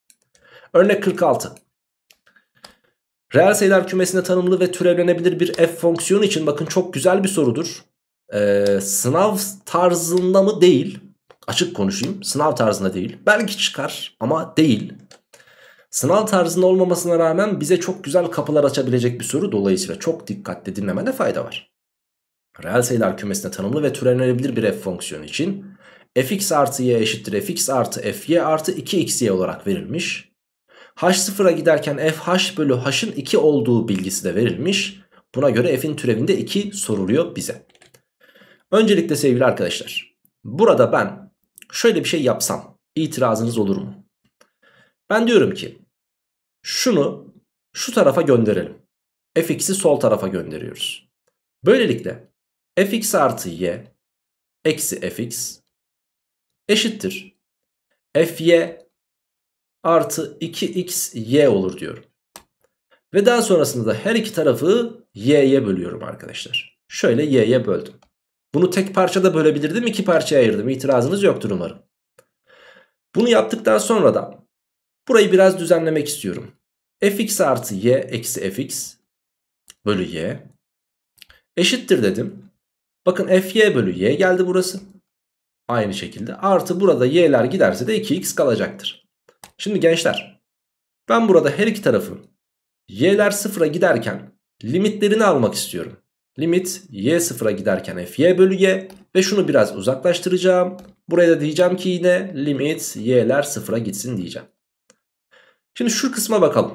Arkadaşlarım bu kısım fx artı y eksi fx bölü y yani h gibi düşünün y'yi fx artı h eksi fx bölü h. h'lar sıfıra gidiyorsa burası şuradakinin türevi anlamına geliyordu. Yani f türev x eşittir. Ha, limit y'ler sıfıra giderken fy bölü y. E bu da limit h sıfıra giderken fh bölü h'ın ta kendisi değil mi? Aynısı değil mi? O zaman bunun sonucu kaçmış? 2'ymiş. Bak burası 2. Ve son olarak Limit y'ler sıfıra giderken 2x. 2x'in limiti nedir? y sıfıra gidiyorsa e, 2x'tir. Y, y yok çünkü. Bakın arkadaşlar ne bulduk? F'in türevi 2 artı 2x'miş. Hmm, bize ne sorulmuş? İkinci türevi. O zaman ben türevin türevi olduğunu bildiğim için ikinci türevin şunun türevini almamı istiyor. Yani bunun türevini. 2 artı 2x'in türevi 2'dir. Ve diyor ki x gördüğün yere 2 yaz. Artık bir şey yazmamıza gerek var mı? x yok çünkü. Cevabımız 2 olacakmış sevgili gençler. 47. örneğimiz fx buymuş f1 1'miş ve f'in ikinci türevinde bir de 2'ymiş. Buna göre m kere n kaçtır? Şimdi arkadaşlarım f1'in 1 olduğunu bildiğimiz için direkt x gördüğümüz yere 1 yazarak bir olaya başlayalım. f1 eşittir 1'in dördüncü kuvveti 1. 1'in karesi 1 olduğu için eksi m oldu. Eksi 3 artı n dedim. Ve bu kaçmış? 1'miş. Her iki taraftaki birleri götürürsem burası 0 olur. Ve böylelikle n eksi m, n eksi m eşittir eksi 3 karşıya atarsanız 3 gelir. Bakın n eksi m'nin kaç olması gerektiğini bu şekilde elde ettik bulduk. Bu cepte dursun. Daha sonrasında ikinci türevini alırsan ve yerine 1 yazarsan cevap 2 çıkar diyor. Şimdi f'in türevinde eksi bir bulalım. x üzeri 4'ün türevi 4x küp. Eksi mx karenin türevi 2mx. Eksi 3x'in türevi eksi 3. n'nin türevi 0. Ama bana ne lazım? İkinci türev lazım. F'in ikinci türevinde x eşittir. Bunu türevini alıyorum şimdi. 4x küpün türevi 12x kare. 2mx'in türevi 2m. Eksi 3'ün türevi 0. Sen diyor burada x gördüğün yere 1 yazarsan 12 çarpı 1'in karesi 1 eksi 2m yani 12 eksi 2m cevap diyor 2 gelecek diyor eşittir 2. O halde burada 2m eşittir 10'dur ve m eşittir 2'dir arkadaşlar. m'yi buldunuz mu buldunuz bak burası 2'ymiş. E güzel kardeşim n'den m'yi yani 2'yi çıkarınca 3 kalıyorsa n kaçtır? Tabii ki 5'tir. n de 5'miş. 2 kere 5 sorulmuş bize. Cevabımızın 10 olması gerektiğini gönül rahatlığıyla söyleyebiliriz. Ve bu videodaki ve bu dersteki son sorumuz. Dersimizde yaklaşık 44-45 dakika falan sürmüş oldu. fx eşittir. 2x küp eksi 6x kare artı 7x eksi 8 olarak bize verilmiş arkadaşlarım. Buna göre d kare y bölü dx karede x gördüğün yere 2 yaz. Bu ne demekti? F'in ikinci türevi demekti. Ve x gördüğün yere 2 yaz diyorsa f'in ikinci türevinde 2 sorulmuştur diyebilirsin sen. Yani bunun iki kere türevini alacağım ve yerine x gördüğüm yere 2 yazacağım. Hadi alalım. 2x küpün türevi 6x kare. Eksi 6x karenin türevi eksi 12x. Artı 7x'in türevi artı 7. Eksi 8'in türevi sıfırdı. Bu bize f'in birinci türevini veriyor. İkinci türevi bulabilmek için de türevin türevini alacağım. Yani bunun türevini alacağım. Hadi bakalım. 12x eksi 12 mi yapar? Aynen. x gördüğümüz yere ne yazıyorduk? 2'yi yazıyorduk. O halde f'in ikinci türevinde 2 eşittir. 12 çarpı 2 eksi 12'den 12 verir. 24 eksi 12'den 12'yi verir. Bu da bizim cevabımızdır diyebiliriz sevgili arkadaşlar. Sağ ve sol türev kavramı dedik. Şimdi öncelikle bu sağ ve sol türev kavramı neyle alakalıymış buna bir bakalım. Tıpkı limit dersinde fonksiyonun sağ ve sol limitlerini incelediğimiz gibi sağ ve sol türevlerini de inceleyebiliriz. Fonksiyonun bir noktadaki sağ ve sol limitleri eğer birbirine eşit oluyorsa sevgili arkadaşlarım ne demiştik? Bu fonksiyonun o noktada limiti vardır. Eğer ki sağ ve sol limitler birbirine eşit değilse limit yoktur demiştik. O halde bir fonksiyonun bir noktadaki sağ türevi sol türevine eşitse fonksiyon o noktada türevli değildir. Eşit değilse türevli değildir demektir sevgili arkadaşlarım. Yani aynı limit dersine yaptığımız gibi. Sağ limit sol limite eşitse limit oluyordu değilse limit yoktu. Türevde de sağ türev ve sol türev mevzusu var. Peki ben ben sağ türevi sol türeve sevgili arkadaşlarım nasıl bakacağım? Cümle bizi yanıltmasın. Sağ ve sol türev eşitse o noktada türev vardır demek her zaman doğru değildir. Aa bir de böyle bir durum var. Limitte böyle bir sıkıntımız yoktu. Sağ limit sol limite eşitse limit vardır diyorduk eyvallah. Ama ama sağ türev sol türev eşitse bazen e, türev olmaya da bilir. fx'in a'nın sağ tarafındaki türevini arkadaşlarım şöyle gösteriyoruz. f türev a'nın sağı diye gösterirken sol tarafındaki türevinde f türev a'nın solu biçiminde gösterebiliyoruz. İşte bunlar birbirine eşitse türev olabilir diyoruz. Türev her zaman vardır demiyoruz. Ama bunlar birbirine eşit değilse kesinlikle türev yoktur diyoruz. Parçalı tanımlı ve mutlak değerli fonksiyonların kritik noktalarındaki türevleri incelenirken sağ ve sol türev sıkça kullanılacak. Şimdi türev ile limit arasındaki köprüyü inceleyelim ve konu anlam kazansın. Bakın türev ile limit arasındaki köprüyü incelerken süreklilikle türev ilişkisini vereceğiz. Şimdi burada bir kodlamamız var. Az önce de belirttim dersin başında. Ne dedim? Bu kodlamanın içerisindeki bütün cümleler kesinlikle doğru. Ama bu kodlamanın içerisinde bulunmayan cümleler de kesinlikle yanlış diyeceğiz. Bakın inanılmaz güzel bir kodlama. L limit S süreklilik T'de türev arkadaşlarım. Sağdan sol tarafa doğru yaklaşırken gelirken olumlu cümleler soldan sağa doğru giderken de olumsuz cümleler kuruyorsunuz ve bu cümleler kesinlikle ama kesinlikle doğru olan cümlelerdir. Bir fonksiyon bir noktada türevi varsa kesinlikle o noktada süreklidir. Ve sürekli ise de kesinlikle o noktada limiti vardır. O halde şunu kullanabiliriz bak. Bir fonksiyonun bir noktada türevi olması demek o noktada direkt limiti olması da demektir. Sürekli olması da demektir. Şimdi tersinden düşünelim. Bir fonksiyonun bir noktada limiti yoksa kesinlikle sürekli değildir. Sürekli değilse kesinlikle ama kesinlikle türevi yoktur diyoruz. Bu cümlelerin haricindeki herhangi bir cümle bize kesinlik belirtmeyecek arkadaşlar. Kesinlikle doğrudur falan gibi bir şey söyleyemem. Anlaştık mı? Sağdan sola doğru gelirken olumlu cümleler, soldan sağa doğru giderken de olumsuz cümleler kurulacak. Burada zaten yeşil ve kırmızı olarak tik ve çarpı olarak da gösterdik bunları. Bir fonksiyonun bir noktada türevi varsa sürekli ve limitli bak. Türevi varsa hem sürekli hem limitli. Sürekli ise lim, kesinlikle limitli. Limiti yoksa sürekli değil ve türevsiz. Limiti yoksa sürekli değil ve e, türevsiz. Sürekli değilse sürekli değilse türevsiz. Bak bunun haricinde bir cümle kuralım şimdi. Bir fonksiyon bir noktada sürekli ise e limiti vardır denilebilir ama bu tarafa doğru gidilebilir mi? Kesinlikle türevlidir diyebilir miyiz? Hayır bunu diyemeyiz işte. Bundan kaynaklı sadece ama sadece buradaki cümleler kesinlik belirtirken diğer cümleler kesinlik belirtmiyor. Ha, bir fonksiyon sürekli ise türevi olabilir mi? E, olabilir ama kesinlikle olabilir mi? İşte orası muallak arkadaşlar. Dolayısıyla kesinlik belirten özellikle her zaman daima e, kesinlikle diye öncüllü sorularda sorulan sorular var ya. O öncülü sorularda bu bizim hayatımızı kurtaracak bir kodlama. Aklında bulunsun. Bunu mutlaka ama mutlaka kafana yaz, duvara yaz, kağıda yaz, yapıştır bir yere ama mutlaka ama mutlaka öğren. Bu cümlelerin haricinde hiçbir cümle kesinlikle doğru değildir demiştik. Şimdi burada arkadaşlarım incelememiz gereken bir nokta daha var. Türev bazı durumlarda olmaz. Mesela bu fonksiyonun limiti var. Aynı zamanda sürekli de ama türevi yoktur. Şimdi türevi neden yok? Çünkü arkadaşlarım sağ türev sol türeve eşit değildir. Bunun sebebi ise buradaki sivri noktadır, sivri uçlardır. Sivri uç varsa grafik üzerinde sen grafiğin üzerinde bakarken diyeceksin ki aa bak burada sivri uç var. O halde türev yoktur diyeceksin. Arkadaşlarım yukarıda da belirttiğimiz üzere sürekli değilse bir fonksiyon türevi yoktu. O halde buraya bakıyorsun bu fonksiyon sürekli mi bu noktada? Hayır o halde sürekli değil ve aynı zamanda limiti de yok. Aynı zamanda türevi de yok diyoruz. Ve en sağdakine bakıyoruz. Bu fonksiyonun limiti var fakat sürekli değil. Hatta ve hatta sürekli değil derken tanımlı da değil zaten. E, tanımlı değilse tanımlı olmadığı noktada türevde o zaman aranmaz arkadaşlar. Yani bu limit süreklilik dersindeki şeye benziyor. Bir fonksiyon A noktasında tanımlı değil. E tanımlı değilse sen o noktada bu fonksiyona süreklisin veya süreksizsin diyemezsin. Ee, aynı şekilde türevlisin veya türevsizsin de diyemezsin. Çünkü o nokta zaten o fonksiyonda yok arkadaşım. 49. örnek. Bu fonksiyonun x eşittir 0, x eşittir 1 ve x eşittir 2 noktalarındaki türevlerini hesaplayınız demiş. x eşittir 0 noktasındaki türevi hesaplayabiliriz. 0 nerede? Burada. O halde ben 3x eksi 1'in türevini arıyorum. 3x eksi 1'in türevi 3'tür. Yerine 0 yazamıyorum. Çünkü zaten cevap bu. 1'i es geçelim 2'ye bakalım. x eşittir 2 için 2 burada arkadaşlar. Buranın türevini alacağız. Türevini aldım 2x. Ve ne demiş? x gördüğün yere 2 yaz demiş. Yazarsanız ne gelir türev? 4 gelir. Şimdi ise geçelim 1'e.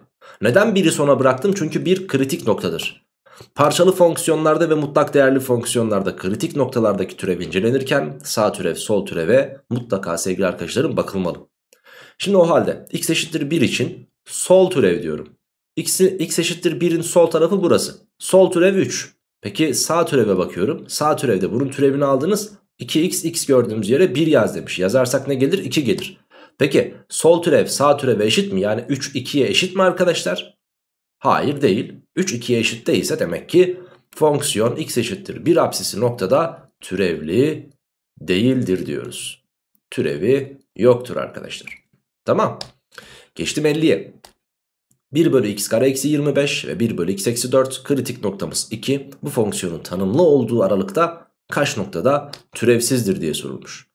Öncelikle sevgili arkadaşlar x 2'den küçüktür demiş 1 bölü x kare eksi 5. Ya kardeşim bak 1 bölü x kare eksi 25 bu bir rasyonel fonksiyon. Bunun paydasını sıfır yapan değerler var. Birisi eksi 5 öteki artı 5. 2'den küçük dediği için 5'i zaten alamayız. x eşittir eksi 5 de zaten bu fonksiyonun tanım kümesinde yok. Tanım kümesinde yoksa ben bu noktada bu fonksiyona türevsizdir de tabii ki diyemem. Pekala. Burası içinde x eşittir 4 de tanımsız oluyor. 4 burada ama dediğim gibi tanım e, tanımlı olduğu aralıkta 4 yok. O halde arkadaşlarım geriye tek bir ihtimal kalıyor. x eşittir 2 noktasındaki türeve bakacağız. Niye? Kritik nokta çünkü. Size sağ ve sol türevine bakmamız gerekiyor.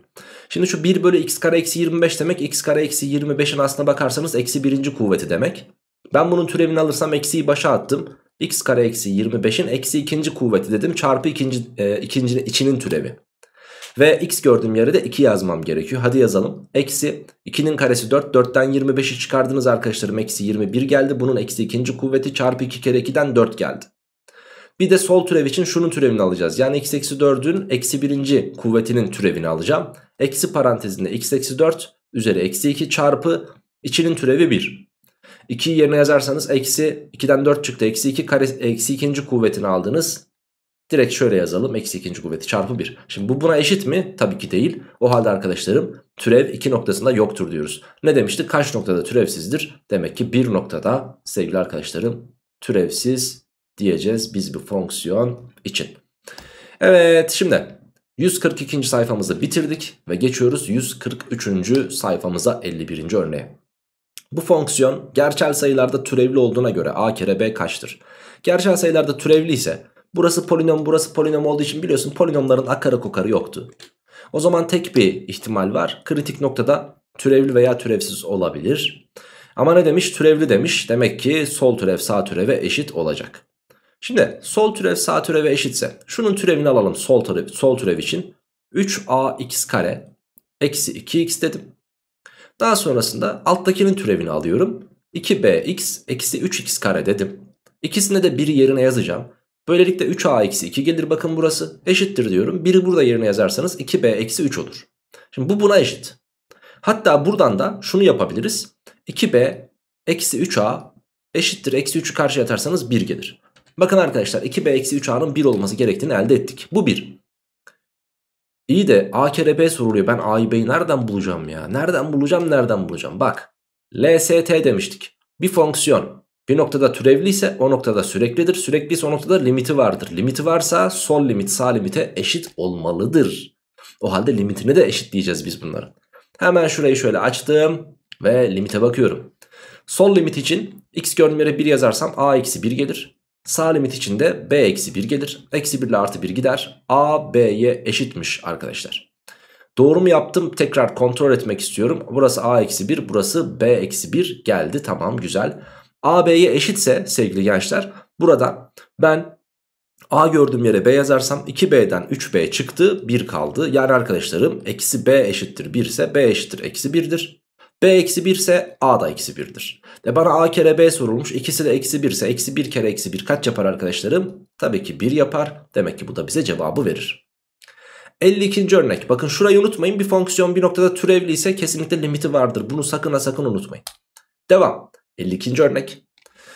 Yine bir fx parçalı tanımlı fonksiyonu verilmiş. Bu fonksiyon için 4 tane ifade var. Hangileri doğrudur diye soruluyor. Diyor ki 2'deki limiti 12'dir. Şimdi 2'de limiti var mı yok mu ona bakalım. 2'nin sağ limiti ve sol limitine bakacağız. 2'yi şurada yerine yazarsanız 12. 2'yi burada yerine yazarsanız 12. 12 12 eşit olduğu için limit vardır. Ve burada da, burada da belirttiği gibi 12'dir. Yani birinci öncül doğru. İkinci öncülde f türev 2 12'dir demiş. Şimdi şunun türevini alın arkadaşlar 6x gelir. Şunun türevini alın 2x gelir. x gördüğünüz yere 2 yazarsanız buradan 12 buradan 4 gelir. 12 4'e eşit değildir. O halde türev yoktur 2 noktasında. Burada 12'dir demiş yanlış. F türev 0 0'dır demiş. 0 nerede arkadaşlar? Burada. Şunun türevini al diyor 2x ve x gördüğün yere 0 yaz demiş. 2 kere 0 kaç yapar? 0. Demek ki türev var ve 0'a eşit yani 3. öncül doğru. F türev 3'te 6'dır demiş. 3 nerede? Burada. Demek ki bunun türevini alacağız. 6x ve x gördüğümüz yere 3 yazacağız. 6 kere 3 18 yapar. Bakın burada 6'dır demiş ama biz cevabı 18 bulduk. Demek ki bu da yanlış. O halde doğru olanlar 1 ve 3'tü. Cevabımız 1 ve 3 olacaktı diyebiliriz. Geçtim 53'e. fx mutlak değer x eksi 4 fonksiyonuymuş. x eşittir 1, 4 ve 6 apsis noktalarda fonksiyonun türevini hesaplayınız demiş. Yani aslına bakarsanız f türev 1, f türev 4 ve f türev 6 soruluyor bize. Şimdi gençler iyi dinliyorsunuz. x eşittir 1 için 1'i yerine yazarsanız 1'den 4 çıkarsa negatif olur içerisi. Dolayısıyla dışarı nasıl çıkar? Eksi diye çıkar. Yani 4 eksi x diye çıkar. Ve siz x eşittir 1 için bunun türevini alırsanız bunun türevi eksi 1 gelecektir. 1'i yazacak yer de yok. O halde bunun türevi kaçmış? Eksi 1'miş. Bakın yazdım eksi 1. 6'ya bakalım 4 kritik nokta ona en son bakarız. 6 için içerisi pozitif olacağı için olduğu gibi çıkar x eksi 4. Bunun türevini alırsanız e, bunun türevi 1 gelir. Ve 6'yı yerine yazacak bir şey olmadığı için demek ki bunun türevi de kaçmış 1'miş. Bakın burası da 1. Ve son olarak x eşittir 4 noktasına bakacağız. Şimdi 4'ün sol tarafı ve 4'ün sağ tarafı için incelemem gerekiyor çünkü kritik nokta. 4'ün sol tarafı için burada yerine yazılırsa negatif olacağı için eksiyle çarpılarak çıkar. 4'ün sağ tarafı için içerisi pozitif olacağı için olduğu gibi çıkar. Bunun türevi eksi 1'dir. Bunun türevi artı 1'dir. Sol türev sağ türeve eşit olmadığından 4 noktasında türev yoktur diyoruz. Yani f türev 4. Şurası 1 değil arkadaşlarım. Şurası 1. Bunun da sonucu yoktur olacak sevgili arkadaşlar. Evet 54. sorumuzdayız. fx fonksiyonu böyle bir yine mutlak değerli fonksiyon türevsiz olduğu absisleri bul demiş. Şimdi bu soruya geçmeden önce yukarıdaki soruyu daha farklı bir şekilde yorumlamak istiyorum sizlere ben. Yani daha iyi anlayacağınızı da düşünüyorum açıkçası.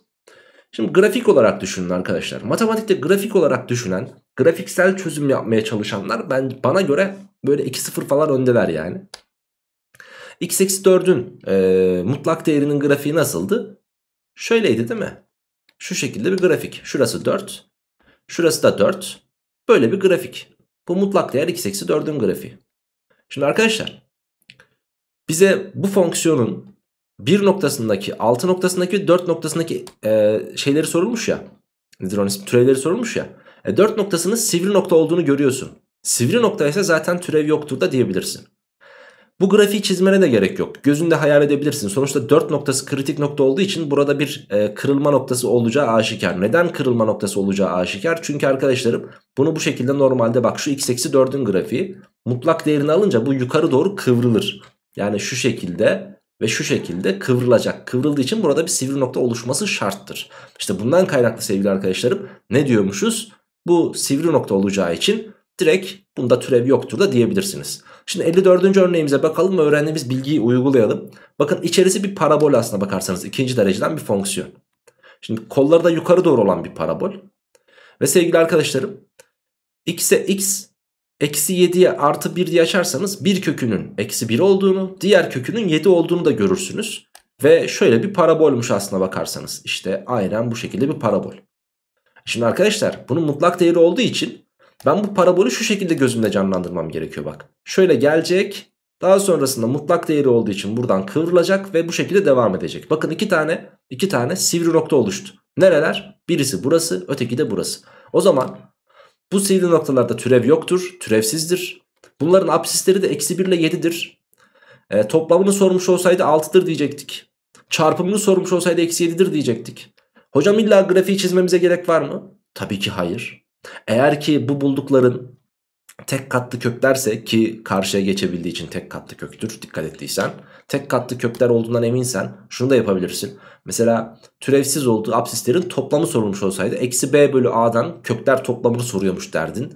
Ee, bu absislerin çarpımını sormuş olsaydı kökler çarpımı c bölü a'dan eksi 7 diyebilirdin. Gibi gibi bunları çoğaltabiliriz tabii ki ihtimalleri. Devam 55. örnek. F türev 3 soruluyor arkadaşlar. Bakın buna dikkat. İçerisi bir yerden tanıdık geliyor olması lazım ki x eksi 3'ün karesidir içerisi. Ve bunun mutlak değeri. Arkadaşlarım x eksi 3'ün karesi olduğu için içer içeride x eşittir 3 noktası bizim için bir çift katlı köktür. Çift katlı kök. Ve çift katlı köklerde fonksiyonumuz biliyorsunuz ki x eksenine paralel oluyordu. Ee, x eksenine özür dilerim teğet oluyordu. Paralel beni andı sanırım. Şurası 3 ve bu fonksiyon şu şekilde bir fonksiyonmuş. Ve sen bunun mutlak değerini alırsan x eksenin altında kalan yerleri yukarı doğru kıvırmamız gerekiyor ya kıvrılabilecek bir yer yok bu fonksiyon üzerinde. Demek ki bunun mutlak değeri de bu. Yani x eksi 3'ün karesinin grafiği de bu. x eksi 3'ün karesinin mutlak değerinin grafiği de bu. Yani ikisi de aynı. Çünkü kıvrılabilecek bir nokta yok. O halde arkadaşlarım bu fonksiyonun f türev 3 demiş ya bu noktadaki türevi tam olarak şurası olduğu için sıfırdır diyoruz. Şimdi hocam sıfırı nereden çıkarttın dediğini duyar gibiyim. Sıkıntı yok öğreteceğim. Şöyle ki hocam sıfırı bak ben şuradan çıkarttım. Ee, biraz daha ileride ki biz hani türevi ilk başta nasıl tanımlamıştık? Şöyle bir şeyler yapmıştık ya hatırlıyor musun? Şöyle yapmıştık. Şöyle yapmıştık. Şöyle yapmıştık. Şuranın şuraya oranıdır demiştik. Ulan bu zaten karşı bölü komşu işte bu üçgende. Tanjant yani. Yani eğim eğim. He eğim. Tamam. Bunları bir yerlerde hatırlatacağım ben size. Tamam hatırlatmanıza gerek yok bana. Hocam bir şey hatırlatacak hatırlatmanıza gerek Ben bir yerde sizlere çok güzel şeyler hatırlatacağım. Bunlar şimdilik aklınıza kalsın. Ben bunun 3 olduğunu nereden bulurum? Bunun veya bunun hiç fark etmez. İkisi de aynı fonksiyon olduğu için türevini alırsınız. 2 çarpı x eksi 3 çarpı içinin türevi 1. Yerine de 3'ü yazarsınız. 2 çarpı 3 eksi 3 çarpı 1'den cevap 0 gelir dersiniz. Şimdi bu tarz soruları zaten şunları öğrettikten sonra türevin geometrik yorumunda tek atacağınız sorular olacak. fx eşittir x eksi 4'ün küpünün e, mutlak değeri. Bu fonksiyon için f türev 4 kaçtır diye soruluyor. Hmm, şimdi bunu düşünelim bakalım. Hadi bir de bunu düşünelim. Şimdi gençler 4 burada kritik nokta. Eyvallah. 4 kritik nokta da. E, hatta hatta şöyle bir şey yapsak sizle beraber. Yapmamıza gerek yokmuş ya. Şöyle yapalım. Şimdi x eksi 4'ün küpü ve 4 kritik nokta dedik ya 4'ün sağına soluna bizim bakmamız gerekiyor. Şimdi 4'ün e, sağ tarafı için 4'ün sağ tarafı için şöyle gösterelim. İçerisi bakın pozitif olacak. Dolayısıyla x eksi 4'ün küpü diye direkt çıkacak. 4'ün sol tarafı için de içerisi negatif olacağı için dışarı 4 eksi x'in küpü diye çıkar bu. Tamam mı? E peki şunun türevini alalım. 3 çarpı x eksi 4'ün karesi çarpı içinin türevi. Bunun türevini alalım. 3 çarpı 4 eksi x'in karesi çarpı içinin türevi. Yani eksi 1. Pekala 4'ü de yerine yazalım. Yaz 4'ü e 0. Yaz 4'ü 0. E bu eşittir 0 bu da eşittir 0. Demek ki türev varmış ve 0'mış. Hmm, peki. Madem öyle artık bir şeyleri genelleyelim hadi. Şuraya o genellemeyi yazalım.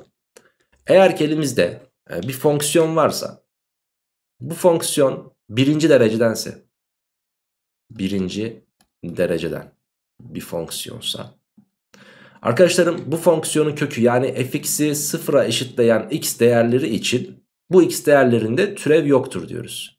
Türev yok. Ama yine birinci dereceden bir fonksiyonun eğer ki eninci kuvvetini düşünecek olursak ve bunun mutlak değerinin kökünde e, türev var mı diye soruluyorsa evet türev vardır buradaki x'te ve kaçtır arkadaşlarım x'teki türev? sıfırdır. Anlaştık mı? Yani burada şunu söyleyebiliriz. İçerisi birinci derecedense kökte türev yok. İçerisi o birinci dereceden fx'in birinci kuvveti haricinde ikinci kuvveti, üçüncü kuvveti, dördüncü kuvveti, 5, 6, 7, 8 artık kaçıncı kuvveti ise o kuvveti. O şekilde verildiyse o noktada yani kritik noktada türev var ve sıfıra eşit. Aynı burada gördüğünüz gibi bakın x eksi 4 birinci derecedendi. Küpü geldi. Normalde kritik noktada türev yoktu demiştik az önce. Ama burada ne çıktı cevap 0. Şimdi yukarı doğru çıkalım. x kare eksi 6 x artı 9 yani x eksi 3'ün karesi. Bakın yine birinci dereceden ama bu sefer de karesi verilmiş. Türevi bulduk yine 0 geldi. Aşağı bakıyoruz şuraya. x kare eksi 6 x eksi 7 veya x eksi 4 bak birinci dereceden. Kritik noktası 4 ama burada türev yoktur demiştik. Hemen şuna bakıyoruz. İki tane birinci dereceden ifadenin çarpımı bak. x artı 1 ile x eksi 7'nin çarpımı. Birinci dereceden birinci dereceden. Kuvvetleri 1 yani. E şimdi burada türev var mıydı? Eksi 1'de yoktu. Artı 7'de var mıydı? O da yoktu. Demek ki birinci derecedense yok. Ama o birinci dereceden ifadenin ikinci kuvveti, üçüncü kuvveti en az ikinci dereceden bir kuvveti varsa türev vardır ve sıfırdır diyoruz gençler. Şimdi şunu çözmedik az daha çözdük zannedip geçiyordum bak. Burayı bir silelim diyeceğim. Çok fazla ileri gittik sanırım. Kitabın sonuna doğru gittik. Yanlışlıkla e, sanırım şeye bastım. E, nedir onun ismi? Page down gibi bir şeye bastım ya. Bilmiyorum bir şeye bastık işte orada. Dizilerde falan değiliz ya. Biz bayağı bildiğin kitabın sonlarındayız. Şuralarda bir yerdeyiz değil mi? Heh. Evet şimdi şöyle yukarı doğru çıkalım. Şuralarda bir yerlerdeyiz. Niye bu kadar uzağa gitmişiz anlamadım. Heh şuradayız. Şimdi şurayı sileceğiz. Alt tarafı delete'e basacaktım. Heh şimdi bastım. Tamam. Şimdi x kare artı mx artı 8 bu fonksiyonun diyor tüm gerçel sayılarda türevi varmış. E, tüm gerçel sayılarda türevi varsa ya bu içerisinin kökü yoktur ya kök yoktur ya da çift katlı kök vardır. Tamam. Şimdi kökü yoksa delta sıfırdan küçük. Çift katlı kökü varsa delta sıfıra eşit. İkisini birleştir. Delta'nın sıfırdan küçük veya eşit olması şart. Delta neydi delta? B kare eksi 4 AC. Ya şu deltayı da kullanmadığımız yer kalmadı ha. Tamam m kare eksi 4 AC. Hadi bulalım. m kare eksi 4 çarpı 1 çarpı 8 yani 32. Küçük veya eşit 0 derseniz m kare küçük veya eşittir 32 gelir. m'nin değer aralığı sorulmuştu. O halde m dediğimiz değer arkadaşlarım artık karekök içerisine alırsak ne olacaktır? Kök 32 yani 4 kök 2. 4 kök 2'den küçük veya eşit. Eksi 4 kök 2'den de büyük veya eşit olmalı. Şimdi m'nin değer aralığı demiş ya. m kare 32 ise bir kere bu 4 kök 2 dediğimiz sayı sevgili arkadaşlarım. Hani karesi 25'ten daha büyük olduğu için burası 5'ten büyüktür. Otomatikman m'nin alabileceği ilk değer 5'tir burada. Burada da o zaman eksi 5'tir. Eksi 5'ten 5'e kadar. Yani m'nin değer aralığı sorulmuş. Tabi tam sayılar isteniyor zannettim. Kusura bakmayın. Ee, bizden zaten bu istenmiş. M'nin değer aralığı eksi 4 kök 2 ile artı 4 kök 2 aralığıdır sevgili arkadaşlarım. Eşitlik var mı? Tabii ki var. Sıkıntı yok. Devam. 58. örnek. 4 eksi mx kare artı mx artı 3. Ee, mutlak değer fx fonksiyonun türevsiz olduğu bir tane nokta varmış. Buna göre fm artı f türev m kaçtır diye soruluyor. Şimdi yukarıdaki fx kaçıncı dereceden? 2 değil mi? İkinci dereceden bir fonksiyon Burayı algılarını çok iyi aç. Çok iyi dinle burayı. Şimdi üçüncü dereceden, ikinci dereceden özür dilerim bir fonksiyon paraboldür. Şimdi parabol ise ya şöyledir ya şöyle teğettir ya da geçmiştir karşıya. Üçünden biri. Kolları tabi aşağı doğru da olabilir sıkıntı yok ama hani budur ihtimaller. X eksenine değme veya değmeme açısından budur ihtimaller. Şimdi mutlak değerini alırsak bu böyle kalır. Bunun mutlak değeri de budur. Bunun mutlak değeri de şudur. Şöyledir. Değil mi? O zaman maviyi silelim. Şimdi bunun e, her yerden türevi var. Türevsiz olduğu bir nokta yok. Bunun her yerde türevi var. Türevsiz olduğu bir nokta yok. Bunun iki tane noktada türevi yok. E şimdi bir parabolden bahsediyoruz. Bütün ihtimalleri sıraladık. İki, ilk iki ihtimalde şunda ve şunda her noktada türevi var. Sonuncu ihtimalde İki noktada türev yok. Bize demiş ki türevsiz olduğu bir tane nokta var. Hadi düşünelim bakalım. Bu nasıl bir parabol? Bilmediğimiz bir parabol çeşidi mi var? Ya da ya da algılarımız bizi bunu parabol gibi görmeye mi itiyor? Bu bir parabol olmak zorunda mı? Biz buradaki x kare yüzünden gittik ona parabol dedik değil mi? Çünkü parabol için bu sağlanmıyor yani sorunun bize verdiği şart bir tane türevsiz olduğu nokta var bu sağlanmıyor. O zaman bize bunu parabol diye kim dedi? Sırf buradaki ikinci dereceden x kareyi görünce mi biz buna parabol dedik? Evet. O zaman arkadaşlar kimse kusura bakmasın bu bir parabol değilmiş. Parabol olmaması için ikinci dereceden olmaması gerekiyor. Yani buradaki x kareyi yok etmem gerekiyor. Yani 4 eksi m'yi sıfıra eşitlemem gerekiyor. 4 eksi m eğer sıfırsa m burada 4'tür. Burası giderse artık yeni fx'imizi yazabiliriz. fx eşittir 4x artı 3'müş arkadaşlar. Pekala. m kaçtı? m 4'tü. Benden ne isteniyor o zaman? Şurada f4 artı f türev 4 isteniyor. Şimdi f4'ü bulmak kolay. Yazalım. 4 kere 4 16 artı 3'ten 19. Bir de f türev 4'ü bulmak için f türev x'i bulmam gerekiyor. Bunun türevini alırsanız 4 gelir. E 4'ü de yerine yazınca zaten yazacak yer yok. Demek ki f'in türevinde 4 de 4'müş. E burası da 19'du. İkisini toplarsanız doğru cevabın 23 olması gerektiğini gönül rahatlığıyla söyleyebiliriz. Bakın çok tatlı sorular, çok güzel sorular. 143. sayfamızda bu şekilde bitirdik. Geçtik 59. örneğimize, 144. sayfaya. fx'in mutlak değer x eksi 2 olduğu bilgisini vermiş bize. gx de parçalı tanımlı. f artı gx fonksiyonu tüm gerçel sayılarda türevli olduğuna göre m artı n toplamı soruluyor. Şimdi arkadaşlarım şunun kritik noktası ne? Hocam 2. Buranın kritik noktası ne? E, hocam o da 2. Hmm. Şimdi ben o zaman şuradaki e, mutlak değerli biçimde verilmiş fx'i parçalı tanımlı biçimde yazabilirim pek tabi. Nasıl? İyi dinle şöyle. fx eşittir. x'ler 2'den küçükken burası dışarı nasıl çıkar? 2 eksi x diye çıkar. x'ten x'ler 2'den büyük veya eşitken de x eksi 2 diye çıkar. Veyahut 2 eksi x diye çıkar. Yani eşitken şuradaki eşitliği ister alta koy ister yukarı koy hiç fark etmez yani tamam mı? Çünkü mutlak değerli ikisinde de 0 geliyor. 0'ın eksisi de 0 zaten. Gx fonksiyonu da şuydu zaten. Şimdi güzel kardeşim x'ler 2'den küçükken burada da küçüktü ya hani. O zaman ben şununla şunu toplayıp yazacağım. Topla demiş çünkü burada. f artı gx fonksiyonunu yazıyorum şimdi hazırsanız. 2 eksi x'de bunu toplayacağız. Yani 3 artı mx eksi x dedim. x'ler 2'den küçükken bu. Ve şunla da şunu toplayacağım. Yani x'ler gidiyor bakın. x kare ve artı n eksi 2 geliyor. Ve x'ler 2'den büyük veya eşitken de bunu kullanacağız dedik. Ve bu fonksiyon tüm reel sayılarda türevliymiş. E burası polinom burası polinom olduğu için benim bakmam gereken tek yer kritik nokta. Kritik noktada türevliyse o halde sol türeve bakıyorum. Sol türev. Ne olur arkadaşlar şuranın türevi? m eksi 1 olur. Sağ türeve bakıyorum. Sağ türeve bakıyorum. Şuranın türevi 2x olur. Ve x gördüğümüz yere de 2 yazacağız. Yani 4 olur. Şimdi buranın türevi m eksi 1 buranın türevi 4 ise m eksi 1 4'e eşittir. Çünkü tüm reel sayılarda türevliymiş. Yani m kaçmış arkadaşlar? 5'in ta kendisiymiş. Bak burası 5. Yani e, neyi nereden bulacağım şunu? Bunu bulamayız. Şimdi nasıl bulacağız? Ne demiştik? LST. Türevli ise sürekli, sürekli ise limiti var. Yani limiti varmış arkadaşlar. Limit varsa 2'nin sol limiti sağ limite eşit olacak. 2'yi yukarıda yerine yazarsanız 3 şöyle yazalım sol limit yazalım. Sol limit 2'yi yukarıda yerine yazacağız. 3 artı m kaçtı arkadaşlar 5'ti. 5 kere 2 10 yapar. Eksi 2 burası 11 yapar. Bir de sağ limite bakacağız. Sağ limit dedik. Bu da şurada 2'yi yerine yazarsanız 4 artı n eksi 2. Bu da bize n artı 2'yi verir. Bu buna eşitse n kaçtır? Tabii ki 9'dur. Bakın n'yi de 9 buldum. İkisinin toplamı sorulmuş kaçtır? O halde cevap 14'tür diyebiliriz. Oldukça şık ve kaliteli ve güzel bir soruydu. Devam ediyorum 60. Örne örneğimle. Demiş ki Ha bu boşlukları doldur. Hadi. Limit olmayan noktalar. Hmm.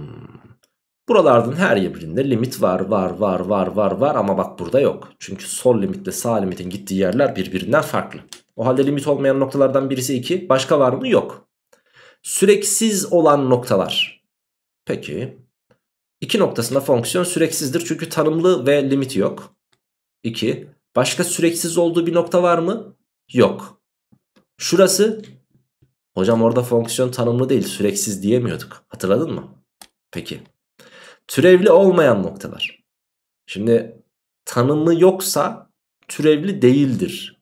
Bak türevsizdir ayrı türevli olmayan ayrı bir fonksiyon eksi bir noktasında burada e, sürekli şey türevli değildir. Dolayısıyla sevgili arkadaşlarım eksi 1 yazdım. Sivri noktalar aa çok mantıklı eksi 2. Aa kopmuş 2 çok güzel. Aa bak bir tane de sivri nokta 4. Sürekli ama türevsiz noktalar. Sürekli ama türevsiz. Yani sivri noktalardan mı bahsediyor? Sadece eksi 2 ve 4. İşte bu kadar basitti. 61. örnek. Aşağıda sevgili arkadaşlarım f fonksiyonunun grafiği ve g fonksiyonunun kuralı verilmiş. F'in grafiği bu. G'nin e, kuralı da bu. 3 tane öncül var. Hangileri doğrudur diye soruluyor. Şimdi f fonksiyonunu parçalı tanımlı biçimde yazalım mı? Aa o da nesi? O da nesi? Hocam mutlak değeri yazabildiniz eyvallah da bunun yazılabileceğini ben hiç bilmiyordum. Yazarsın be güzel kardeşim niye yazamayasın? Bak çok basit. X'ler birden küçükken nasıl davranmış? Hep 2 olmuş. O zaman ne diyoruz? X'ler birden küçükken hep 2'ymiş. E tamam sağına da bakalım. X'ler birden büyükse ne yapacağız hocam? Çok basit. Şurası kaç birim? 2. Şurası kaç birim? 1. 2 bölü 1 2 yapar. Karşı bölük olmuş 2 yapar. Ama azaldığı için eksi 2x. Eksi 2x. 1'i yerine yazınca kaçtan geçmiş? 2'den. Yaz bakayım 1'i yerine.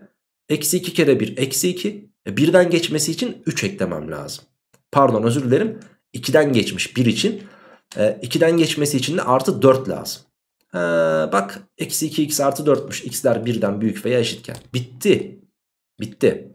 Şimdi f artı g, f artı g, f artı g artık bütün öncüllerde f artı g'den bahsettiği için az önce yaptığım gibi birden küçük bölgeleri kendi içinde toplayacağım. Birden büyük veya eşit bölgeleri de yine kendi içinde toplayacağım.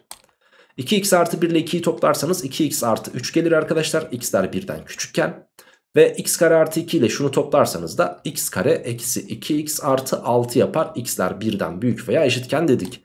İşte bu bize artık f artı g fonksiyonunu vermiş oldu. f artı g x fonksiyonumuz budur.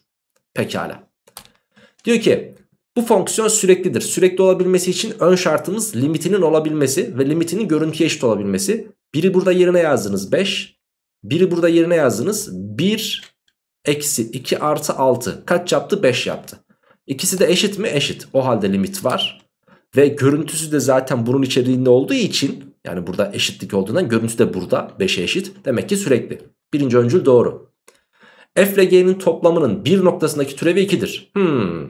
Şimdi bir bu bu toplam fonksiyon için e, kritik noktası 1'dir. Dolayısıyla sevgili arkadaşlarım birin sağ ve sol limitlerine pardon türevlerine bakacağız. Limiti var zaten. Şunun türevi 2.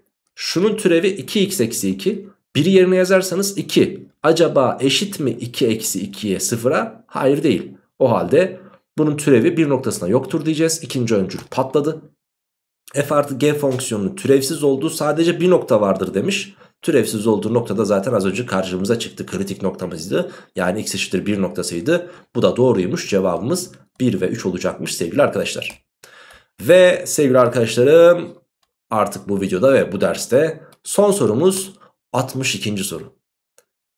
fx parçalı tanımlı biçimde verilmiş f fonksiyonu tüm gerçel sayılar için türevli olduğuna göre f türev 6 ile f türev 1'in toplamı nedir? Şimdi üst taraf polinom alt taraf polinom bunların akarı kokarı yok. O zaman bizim akarı kokarı olabilecek olan tek noktamız neresi? Kritik noktamız olan 4. Ama zaten bu noktada da türevliymiş. Demek ki sol türev sağ türev eşit olacak. Sağ türev yazdım. Şunun türevini alıyorsunuz. 2ax artı b ve 4 noktasındakini istediği için x gördüğüm yere 4 yazacağım. Böylelikle 8a artı b gelecek. Bu sağ türev. Şimdi sol türeve bakıyorum. Sol türev. Soldakinin türevini yani şuranın türevini alırsanız da 4x artı 3 gelir ve x gördüğümüz yere 4 yazacağız yine. Yazarsanız da 16 artı 3'ten 19 gelir. Şimdi türevli olduğuna göre demek ki bu buna eşitmiş. Yani 8a artı b eşittir 19'un ta kendisiymiş. Bu cepte artık. Tamam. Tabi türevli ise yine LST'den kaynaklı. Türevli ise sürekli sürekli ise limiti var demiştik. O halde limitliymiş de aynı zamanda. 4'ün sağ limiti sol limite eşit olacak. Sağ limit yazdım. Sağ limiti bir bulalım. 4'ü yerine yazın arkadaşlarım. 16a artı 4b. Ve sol limit diyorum. Sol limit de 4'ü burada yerine yazarsanız 32 artı 12 artı 4. Yani 44 artı 4'ten 48 gelir. Bakın demek ki 16a artı 4b'miz de bize 48'i veriyormuş. Bizden istenen f türev 6 ile f türev 1 yani a'yı b'yi bizim bulmamız şart. A'yı da B'yi de bulacağız şimdi. Nasıl bulmamız gerekiyor? Şu ikisini kullanaraktan bulacağız bunu. Şimdi mesela ben bunu 4 ile çarparsam 4 ile genişletirsem 32A artı 4B yapar. 4 kere 19 da arkadaşlarım bize e, kaçı verir? 76'yı mı verir? Değil mi? Alttakinden üsttekini çıkaracak olursanız şimdi 16A 4B'ler gitti. 76'dan e, 48'i çıkarırsanız 78'den çıkarsaydık 30 olurdu. Demek ki 28 oluyor. Değil mi? Pekala. Doğru yaptık mı? Yaptık. 16A eşittir. Kaç oldu? 28. Yani arkadaşlarım burada her iki tarafı 4'e bölersek 4A eşittir 7 olur. A eşittir 7 bölü 4'müş. Şimdi A'nın 7 bölü 4 olduğunu bulduk biz. Şurada getirip yerine yazarsan 8 çarpı 7 bölü 4 artı B eşittir 19'muş. B'yi de bulalım. 4 ile 8 sadeleşti 2. 2 kere 7 14. 14'e B ekleyince 19 oluyorsa B 5'miş. B 5 de sevgili arkadaşlarım artık A'yı yazdım 7 bölü 4. B'yi yazdım 5. Şimdi bizim fonksiyonumuz aslında şuymuş bakın. X'ler 4'ten büyükken ax kare artı bx demiş ya a 7 bölü 4 bulmuştuk. 7 bölü 4x artı 5x'miş. Ve alt kısımda 2x kare artı 3x artı 4'müş. Şimdi sevgili arkadaşlar. F türev 6'yı bir bulalım önce. 6 buradadır. Yani ben şuranın türevini alacağım ve yerine 6 yazacağım. Al bakayım türevini. 7 şurası x kare bu arada. 2'yi başa atarsanız 7 bölü 2 şurası x kareyi unutmayın. x artı 5. x gördüğünüz yere 6 yazarsanız 7 bölü 2 çarpı 6 artı 5 gelir. 2 ile 6 sadeleşti 3. 3 kereydi 21. 5 daha 26 yapar. Artı.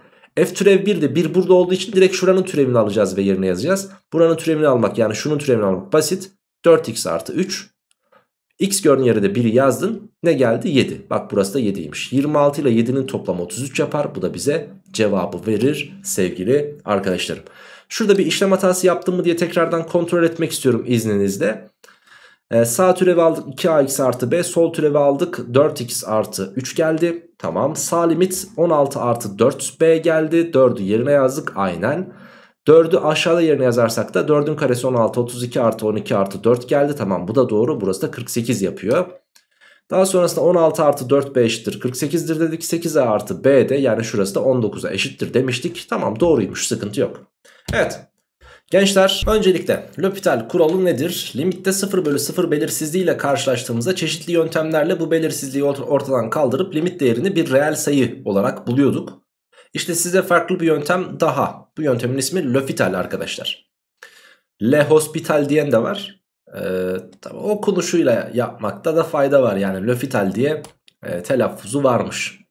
X'ler A'ya yaklaşırken fx bölü gx eğer e, 0 bölü 0 oluyorsa arkadaşlarım. Şurası e, bakalım.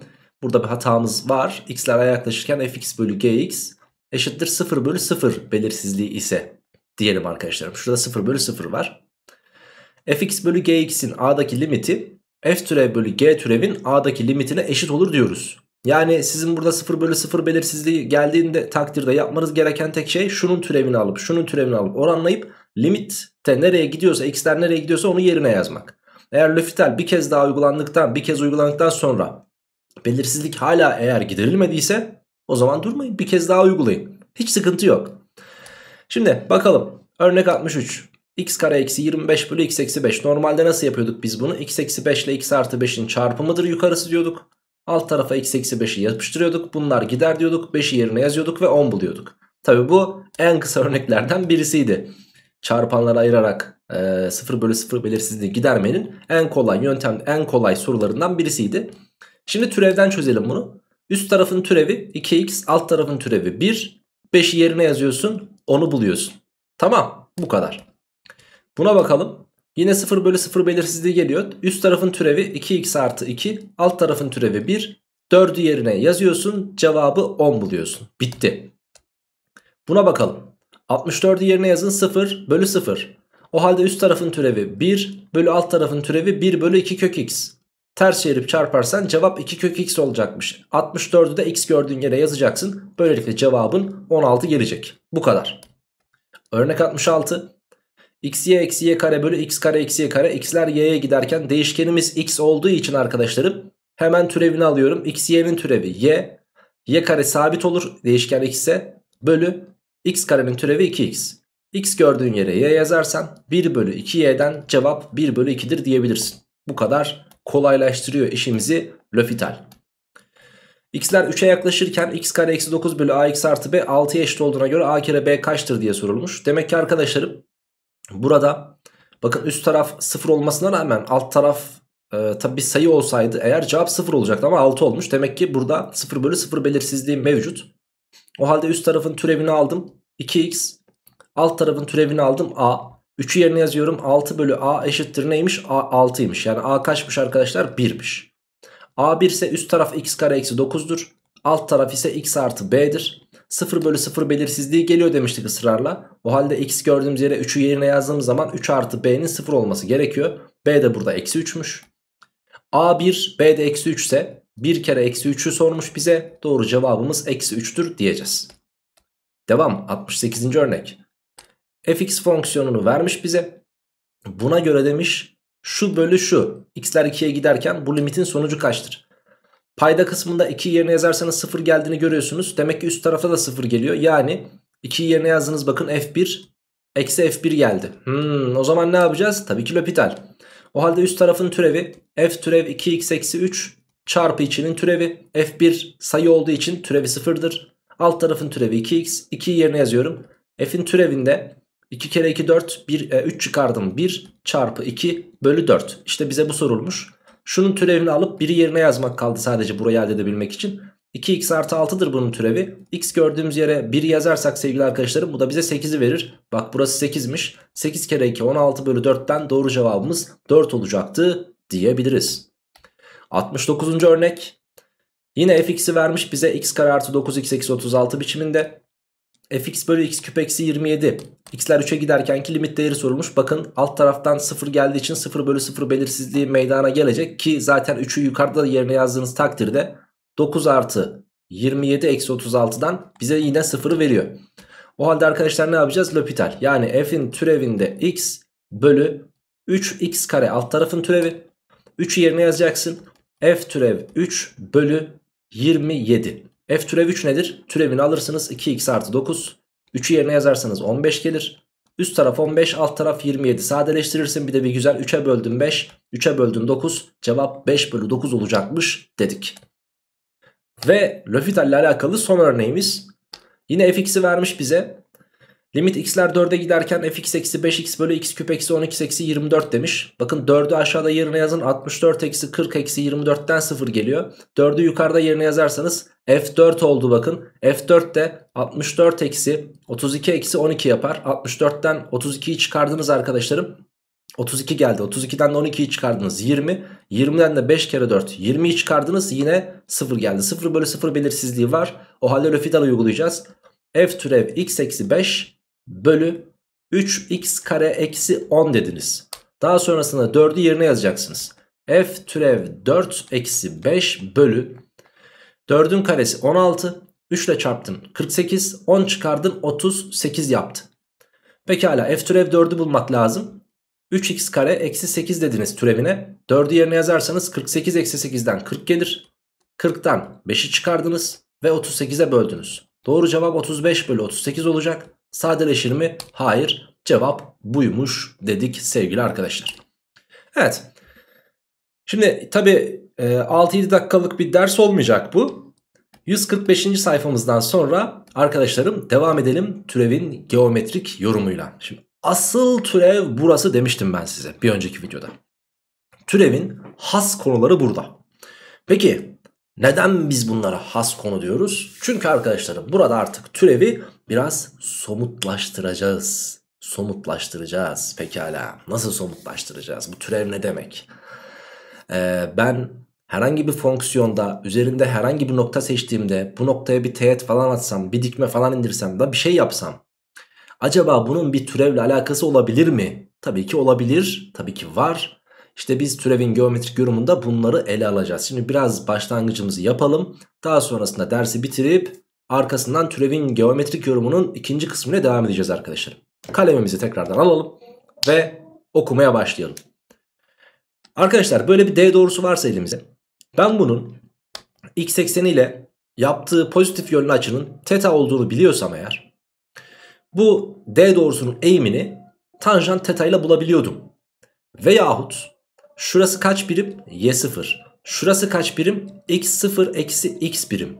Ya da y0'ı x0 eksi x'e bölerek elde edebiliyordum. Karşı bölü komşu ya da tanjant. Artık açı biliniyorsa tanjant kullanırsın. Kenar, kenarları biliyorsan da karşı bölü komşuyu kullanırsın. Pekala. A noktası x0'a y0 ve B noktası x1'e y1 noktalarından geçen doğrunun eğimini biz nasıl buluyorduk arkadaşlarım? E, ordinatlar farkı bölü x'ler farkı, absisler farkı olarak eğimi bulabiliyorduk. Yine başka bir hatırlatma. Bunlar analitik geometrideki hatırlatmalar. Bunlar işimize yarayacağı için hatırlatma olarak başladık derse. x0'a y0'dan geçen ve eğimi m olan doğrunun denklemini nasıl yazıyorduk peki? y eksi y0 eşittir eğim çarpı x eksi x0 olarak yazıyorduk. Yine bak unutmaman gereken formüllerden bir tanesi. Analitik geometride zaten sıkça karşına çıkan bir formül. Bunu yine unutma bu konuda da tamam mı? Pekala. Örnek 71 demiş. Bir de örneğimize bakalım pekişsin. A noktası 2'ye 5 ve B noktası eksi 1'e 3 noktalarından geçen doğrunun denklemini yaz demiş. Eğimin şart bulacağız. Eğim nasıl bulunuyordu? 3'ten 5'i çıkarın. 3 eksi 5 bölü eksi 1'den 2'yi çıkarın. Eksi 1 eksi 2. Eğim arkadaşlarım eksi 2 bölü eksi 3 yani 2 bölü 3'müş. Şimdi herhangi bir noktayı ele alalım. Mesela şu nokta. ve y'den 5'i çıkarın. Eşittir. Eğim çarpı az önce bulmuştuk. X'ten de kaçı çıkaracağız? 2'yi çıkaracağız. İşte size bizim fonksiyonumuz. Tabi burada bölü 3 kalmasını istemiyorsanız ne yapacaksınız? 3 ile çarpacaksınız. 3y eksi 15 eşittir 2 parantezinde x eksi 2 yaptı. 2'yi içeri dağıtırsınız. 3y eksi 15 eşittir 2x eksi 4. Artık bu şekilde de bırak, bıraksanız olur ya da şöyle de yazabilirsiniz. 3y eksi 2x eksi 11 eşittir 0 biçimde de yazsanız olur arkadaşlarım. Sonuç olarak bu da kabul, bu da kabul, bu da kabul, bu da kabul. Hepsini kabul ediyor sistem. Bunda bir sıkıntı yok. İşte arkadaşlarım şunu unutmayın dedim. Y eksi y 0 eşittir eğim çarpı x eksi x 0 unutmayacaksınız. Eğimin nasıl bulunduğunu unutmayacaksınız. Bir de tanjantı kullanmayı gerektiğini de çok iyi bileceksiniz. Şimdi tüm bunlardan sonra şu kısma bir bakalım. Bir fonksiyona x eşittir a noktasından çizilen teğetin eğimi f türev a'dır. Bu cümle bizim için hayat kurtarır mı? Kurtarır. Tamam mı? Bir fonksiyona herhangi bir noktasından çekilen teğetin eğimi o fonksiyonun o noktadaki türevine eşittir arkadaşlarım. Bunu sakın unutmayın. Türevi eğimi eşit olacak. Örneğin x kare artı 3x artı 2 fonksiyonunu ele alalım. Bu fonksiyona bir noktasından bir teğet çizilsin. Bu teğetin eğimini bulmak için de f türev 1'i bulacaksın. Türevini alıyorsun 2x artı 3. 1'i yerine yazıyorsun 2 kere 1 artı 3'ten 5 geldi. O halde diyorsun ki türevi bulduk ya eğim 5'e eşittir diyebiliyorsun. 72. örneğimize bir bakalım isterseniz. fx eşittir 2x kare eksi 4x artı 8 çarpı x fonksiyonuna x eşittir eksi 1 apsis noktasından çizilen teğetin eğimi. Öncelikle x'i bir içeri dağıtalım. Çarpım türevi uygulanmayacak kadar basit bir fonksiyon çünkü x.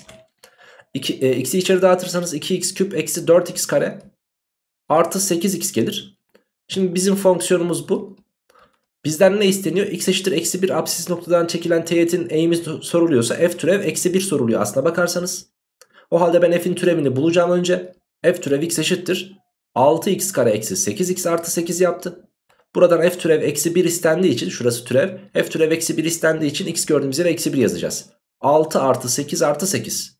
Yani benim cevabım ne olacak? 16 artı 6'dan 22 olacak. Bu da bize eğimi verir sevgili arkadaşlarım. Bakın neyi bulduk? f türev eksi 1 eğime eşit oldu. Cevap da 22 oldu. Sağ üst tarafa devam ediyoruz. 73. örnek. Böyle bir fonksiyon var. Bu fonksiyona x eşittir 1 apsisi noktasından çizilen teğetin eğimi soruluyor. Yani f türev 1 soruluyor diyebiliriz artık. Peki f'in türevini alacağım şimdi. Nasıl alacağım? İçinin türevi yani 3x kare artı 2 çarpı kök x'in türevi neydi? Ee, 2 çarpı 1 bölü 2 kök x'ti. İçinin türevi bölü 2 çarpı fonksiyonu kendisi. Yani x küp artı 2 kök x diyeceksiniz arkadaşlarım. İçinin türevi bölü 2 çarpı fonksiyonu kendisi. Bu f'in türevinde x. Pekala bak şimdi burada şu ikileri gittiğini görüyorsun. Daha sonrasında da x gördüğün yere 1 yazarsan sistem çalışır. 3 artı 1 bölü 1 1 yapar. 2 çarpı karekök içerisinde 1 artı 2'den 3 yapar. Üst taraf 4 alt taraf 2 kök 3 geldi. 4 ile 2'yi sadeleştirdin 2 bölü kök 3 geldi. Buraya kök 3 ile genişlet ki payda da irrasyonel kalmasın. Genişletirsen 2 kök 3 bölü 3 bize cevabı verir. İşte size bu fonksiyona x eşittir 1 apsis noktadan çizilen teğetin eğimi karşımıza çıktı sevgili gençler. 74. örnek. Yine bize böyle bir fonksiyon vermiş. Bu fonksiyona x eşittir 2 apsis noktadan çizilen teğetin bu sefer denklemi soruluyor. Pekala. O zaman bana eğim lazım önce. Eğimi ben nasıl bulacağım? f türev 2 ile bulacağım arkadaşlar. İse f türev x'i önce bulalım. f türev x 2x eksi 2'dir. f türev 2 ise sevgili arkadaşlarım 2 kere 2 eksi 2'den 2'dir. Yani eğim kaçmış? 2. Pekala hangi noktadan çizilen teğetti? x eşittir 2. Yani ben bu fonksiyonun üzerindeki bir noktanın apsisinin 2 olduğunu biliyorum. Ordinatını bilmiyorum. Bunu nasıl bulacağım? 2'yi fonksiyonda yerine yazacağım tabii ki. Yerine yazarsanız 4 eksi 4 artı 3 gelir. Yani 3 gelir arkadaşlar. 2 3 noktasından geçen ve eğimi 2 olan fonksiyonun şimdi e, denklemini yazacağız. Şöyle ki y eksi 3 bakın y'den 3 çıkardım. Eğim çarpı x eksi 2. Tamam. Y eşittir diyelim artık. 2x eksi 4. Eksi 3'ü de bu tarafa atarsanız artı 3 gelir. Yani y eşittir 2x eksi 1 sevgili arkadaşlarım. Benim bu teğetimin denklemi olmuş oldu. 75. örnekteyim. Yukarıda f fonksiyonu ve bu fonksiyona x eşittir a apsisli noktasından çizilen teğet doğrusu olan gx verilmiş. Buna göre f türev a eksi g3 kaçtır diye soruluyor. F türev a demek ne demek? Fonksiyonu a noktasından çizilen teğetin eğimi demek. Zaten teğet gx işte bu gx'in eğimi soruluyor. Burada bize çok güzel bir şey vermiş. Açıyı vermiş. O halde bu e, gx'in eğimi sevgili arkadaşlarım yani g türev a demek. F türev a özür dilerim. F türev a demek ne demekmiş? Eğim yani tanjant 30'a eşit olacak. Peki tanjant 30 derece kaçtı sevgili arkadaşlarım? 1 bölü kök 3'tü. Yani kök 3 bölü 3'tü. Pekala bak burası kök 3 bölü 3'müş. Eksi bir de G3 lazım bize. Peki ben G3'ü nasıl bulurum? Şu şekilde buluruz. Arkadaşlarım benim Gx doğrumun eğimi kök 3 bölü 3 olduğundan kök 3 bölü 3x dedim. 2'yi yerine yazdığım zaman sıfırdan geçiyormuş bak. Yaz 2'yi burada yerine 2 kök 3 bölü 3. Tamam. Bunun sıfıra eşit olması için bir de 2 kök 3 bölü 3'ü çıkarmam gerekiyor. Yani o zaman benim bu gx'im ne olmuş oldu? Kök 3 bölü 3x eksi 2 kök 3 bölü 3 olmuş oldu. Pekala artık gx'i biliyoruz. Bizden ne isteniyor? g3. 3'ü yerine yazacağız. Ben burada 3'ü yerine yazarsam 3'ler gider. Burada sadece kök 3 kaldı. 3 kere kök 3 3 kök 3. 2 kök 3 çıkardınız. Kök 3 bölü alt kısımda 3 kaldı. Kök 3 bölü 3'ten kök 3 bölü 3'ü çıkarırsanız da doğru cevabın 0 olması gerektiğini görebilirsiniz. 76. örnek. fx'i vermiş bize 2x küp eksi 6x kare artı ax artı 2 biçiminde. x eşittir 2 apsis noktasından çizilen teğet doğrusu x ekseni ile pozitif yönlü 45 derecelik açı yapıyor. 45 derecelik açı yapıyorsa hemen eğimini buluruz. Tanjant 45 derece 1 olduğundan ve x eşittir 2 apsisli noktadan çizilen teğet dediğine göre bunun eğimi f türev 2'dir. Demek ki f türev 2 1'e eşitmiş arkadaşlar. Şimdi bizden istenen fa. Arkadaşlarım ben f'in türevinde 2'yi bildiğim için öncelikle şu kısmından yararlanarak f'in türevini bir bulalım. f'in türevinde x eşittir. Buranın türevini alıyorum. 6x kare eksi 12x artı a'dır dedim. Buradan f türev 2 eşittir. 24 eksi 24 artı a yapar. Bu da kaçmış? 1'miş. O halde artı 24 ile eksi 24 artık birbirini götürecek. Ve son olarak diyeceğim ki f türev 2 yani a 1 ise a 1'dir. Çok güzel. Bizden ne isteniyor o zaman? F1 isteniyor değil mi? Pekala F1'i nasıl bulacağım? Tabii ki şurada yerine yazarak. F1 eşittir. 1'in küpü 1 olduğu için 2. 1'in karesi 1 olduğu için eksi 6. 1 kere A A'ydı. A da 1'di. Ve son olarak artı 2 diyeceğiz sevgili gençler. 2 artı 2 4 yapar. 1 daha 5 yapar. 5'ten 6'yı çıkardınız. Bunun kaç olduğunu gördünüz. Eksi 1 olduğunu gördünüz. Doğru cevabımız buydu dedik sevgili arkadaşlarım. Evet valla gayet güzel verimli bir ders olduğunu düşünüyorum. Şimdi ise devam edeceğiz arkadaşlarım. 147. sayfamızda bir sayfayı daha tükettik. Böylelikle kitabın da %75'ine yakın kısmını bitirdik fiziki anlamda. Evet 77. fx fonksiyonunu bize vermiş. Bu. Bu fonksiyonun üzerinde bir a noktasından çizilen teğeti buymuş. Hatta buna paralelmiş. He, paralel doğruların eğimleri eşitti. Pekala. Buna göre a noktasının koordinatları toplamı. Şimdi paralel doğruların eğimleri eşitse bunun bu doğrunun eğimi kaç arkadaşlar? 2. Bunun baş katsayısı eğimi veriyordu değil mi? Ya da sen bunun direkt türevini alarak da eğimini bulabilirsin. Ha türev öğrendin artık. Peki eğiminin 2 olduğunu biliyoruz. Peki ben şunu soruyorum. Ya bu A noktasının eğer apsisi K ise örnek veriyorum. Bu K noktasından çizilen teğetin eğimi 2 ise şunu söyleyebilir miyim? F türev K eşittir 2'ymiş. E tamam o zaman gel güzel kardeşim biz bunun türevini bir bulalım. F türev x eşittir 2x eksi 8. Demek ki f türev k kaçmış? 2'ymiş. Yani f türev k'yı şurada yerine yazarsanız 2k eksi 8 yapar. Bu da 2 ise 2k eşittir 10 gelir. K da buradan arkadaşlarım 5 gelecektir. A noktasının koordinatlarından olan K yani apsis şurası neymiş arkadaşlar? 5'miş. Virgül ordinatını nasıl bulacağım ben bunun peki? Tabii ki götürüp 5'i yerine yazacağım bu kadar basit. 25 eksi 40 artı 4 diyeceğim. Bak burası eksi 15. 4 eklersen eksi 11 gelir. Demek ki bunun ordinatı da eksi 11'miş. Koordinatları toplamı sorulmuş. Yani 5 ile eksi 11'in toplamı isteniyor bizden. Doğru cevabımız eksi 6'nın ta kendisidir dedik. 78. örnek. Yukarıda f fonksiyonunun grafiği ve x eşittir 1 absisli noktadan çizilen teğet doğrusu verilmiş. Bakın arkadaşlarım x eşittir 1'den bir teğet çizilmiş. Mavi teğet fx ise kırmızı olarak gösterilmiş bize. Ve bir de hx fonksiyonu oluşturmuş. Bu fonksiyon 3x kare çarpı fx eksi 1 imiş. Ve bu fonksiyona x eşittir 2 absisli noktadan çizilen teğetin eğimi soruluyor. Yani arkadaşlarım x eşittir 2'yi şunun türevini aldıktan sonra yerine yaz diyor. Ne sorulmuş? h'ın türevinde 2 sorulmuş arkadaşlar. Pekala. O zaman önce h'ın türevi lazım tabii ki. H türev x'i bulalım ama nasıl bulacağız? Birinci fonksiyon ve ikinci fonksiyon diye ayıracağız. Çarpımın türevi uygulayacağız. Buna 1 buna 2 derseniz. Birincinin türevi 6x çarpı ikincinin aynısı. Artı birincinin aynısı 3x kare. İkincinin türevi f türevi x eksi 1. İçinin türevi 1 olduğu için yazmadım. Bizden istenen h türev 2 idi arkadaşlar. Yerine yazalım. 12 çarpı f1 artı burası da 12 yapar. Çarpı f türev 1 dedik sevgili arkadaşlar. Şimdi şu an h türev 2'yi bulabilmem adına f1'i ve f türev 1'i de bulmam gerekiyor. Peki bulmaya çalışalım. Arkadaşlarım nasıl bulacağız bunu? Şöyle. Öncelikle f1 dediğimiz şey k'ya eşitmiş. Yani burası 12k artı f türev 1. f türev 1'i nasıl bulacağım? Şurası k değil mi? Evet. Şurası kaç? E hocam burası da 2. K bölü 2 karşı bölü komşu ama burada azalan olduğu için eğim negatiftir. Yani burası eksi K bölü 2 olacak. O halde ben şuraya eksi diyeyim. 12 ile eksi K bölü 2'yi çarparsanız 6 bölü K gelecektir. Pardon özür dilerim. 6K gelecektir.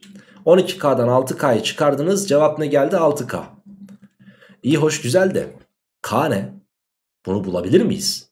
Tabii ki de buluruz. Şöyle Hemen dikkatli bir şekilde dinliyorsun beni. Bak güzel kardeşim. Şurada bir üçgenin var senin. Şuradaki üçgen. Ve burada da bir üçgen var. Bu üçgenler benzer üçgenler olmak zorunda çünkü eğimleri aynı. Pekala. Şurası kaç birim? 1. Burası 2.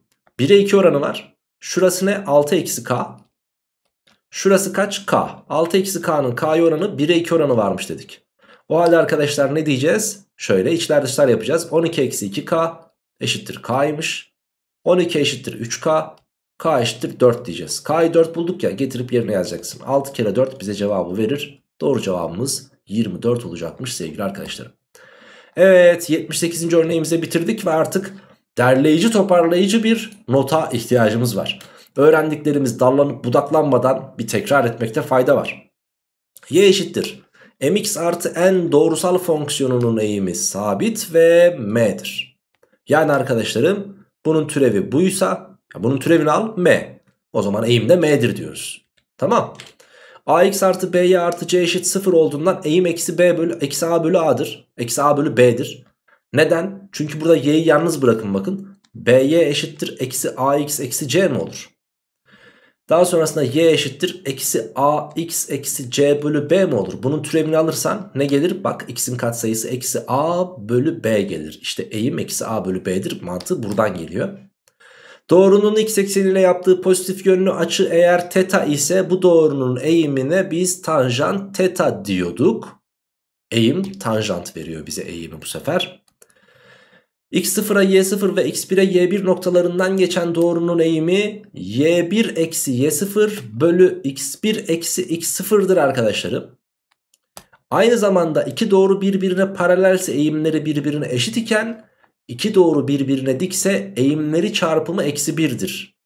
Yani şunu şuraya atarsan md1 yani d1'in eğimi çarpı d2'nin eğimi eşittir eksi 1'i vermek zorundadır. Ve son olarak x0'a y0'dan geçen ve eğimi m olan doğrunun denklemini nasıl buluyorduk unutmayın demiştim. y eksi y0 eşittir eğim çarpı x eksi x0 biçiminde bulunacak sevgili gençler. Evet şimdi arkadaşlarım şuradaki iki sorumuzu da çözelim. Şuradaki notta dersimizi bırakacağız. Sizi salacağım artık. Tamam. Şimdi bakalım 79. örnek. Bu eğrinin yatay eksene paralel olan teğetlerinin eğriye değen noktalarının apsisleri toplamını bul demiş. O neler neler diyor bak. Şimdi bu bir eğri. Şu sallıyorum mesela böyle bir eğri varmış tamam mı? Şu x, y ekseni şu da x ekseni. Yatay eksen dediği şey ne? X ekseni. Yatay eksen diyor ya o x ekseni. Peki bu eğrinin yatay ekseni paralel olan eğimleri de birisi şuradadır öteki şuradadır. Bak paralel gördün mü? Bak paralel. İşte arkadaşlarım bunların eğriye değdikleri noktaların diyor apsislerinin toplamı istenmiş bizden. Bu ne demek? Eğer ki x ekseninde paralelse buradaki doğrular eğimleri söyle. X eksenine paralel olan eğimleri, x eksenine paralel olan doğruların eğimleri neydi? Sıfırdı değil mi? Çok güzel. O zaman ben f'in türevini sıfır yapan noktaları arıyorum demektir bu. Çok güzel. F'in türevini nasıl bulacağım? E, türev alacağım. Bildiğin türev. Al bakayım 3'ü başa attın. 3'ler gitti. 2x kare. 2'yi başa attın. 2'ler gitti. Eksi x. 4x'in türevi 4. Eksi 5'in türevi 0. Bak ben bunu 0 yapan apsislerin toplamını mı istiyorum? Artık bu çok basit. Bu artık bizim için bir ikinci dereceden denklemdir güzel kardeşim. İkinci dereceden denklemin köklerinin toplamı isteniyor aslına bakarsan. Kökler toplamını da ben eksi b bölü a ile bulurum. Eksi b bölü a'mız burada 1 bölü 2'dir. O halde cevabımız da 1 bölü 2'dir diyeceğiz sevgili arkadaşlarım. Devam. Örnek 80. Yukarıda fx fonksiyonunun grafiği verilmiş. Buna göre gx eşittir x çarpı fx fonksiyonu için bak fx'in grafiği veriliyor. Sonra ayrı bir fonksiyon tanımlıyor gx ama onun içinde de yine fx'i kullanıyor. x çarpı fx fonksiyonu için bu gx fonksiyonuna x eşittir eksi 2 ve 3 noktalarından çizilen teğetlerin eğimleri toplamı isteniyor. Yani bu ne demek? g'nin türevinde eksi 2 ile g'nin türevinde 3'ün toplamı isteniyor bizden demek. Peki ben g'nin türevini bulabilir miyim? Pek tabii bulurum yani o kadar matematikçiyiz. Sen de o kadar matematik öğrendin. İkimiz de buluruz bence. g türev x. Hadi şunun türevini alalım. Bak burada ne var? Çarpımın türevi var. Şuna 1 buna 2 derseniz birincinin türevi 1 çarpı ikincinin aynısı. Artı birinci bu sefer aynı ikincinin türevi dedik. Yani g türev x buymuş. Şuradaki 1'i silmekte fayda var. Bir işe yaramayacak çünkü. Pekala. Şimdi bizden istenen g türev eksi 2 ile g türev 3 ya. G türev eksi 2'ye bir bakalım hadi. Bu ne demektir? F eksi 2 eksi 2 çarpı f türev eksi 2 demektir. Sağdaki de yani g türev 3 de şu demektir. f3 artı 3 çarpı f türev 3 demektir. Şimdi benim ihtiyacım olan şeyler f eksi 2, f3, f türev eksi 2 ve f türev 3 arkadaşlar. İhtiyaçlarımız bunlar. Peki bu ihtiyaçlara karşılık verecek mi bakalım yukarıdaki grafik? Daha onu hiç kullanmadık çünkü. F eksi 2 bak verdi. Eksi 2 nereye gitmiş? 4'e gitmiş. O halde yazıyorum 4 eksi 2 çarpı f türev eksi 2. Ya güzel kardeşim diyor ki bu f türev eksi 2 ne, demek ne demek? Bu fonksiyona eksi 2 apsis noktadan çizilen teğet var ya bak şurası.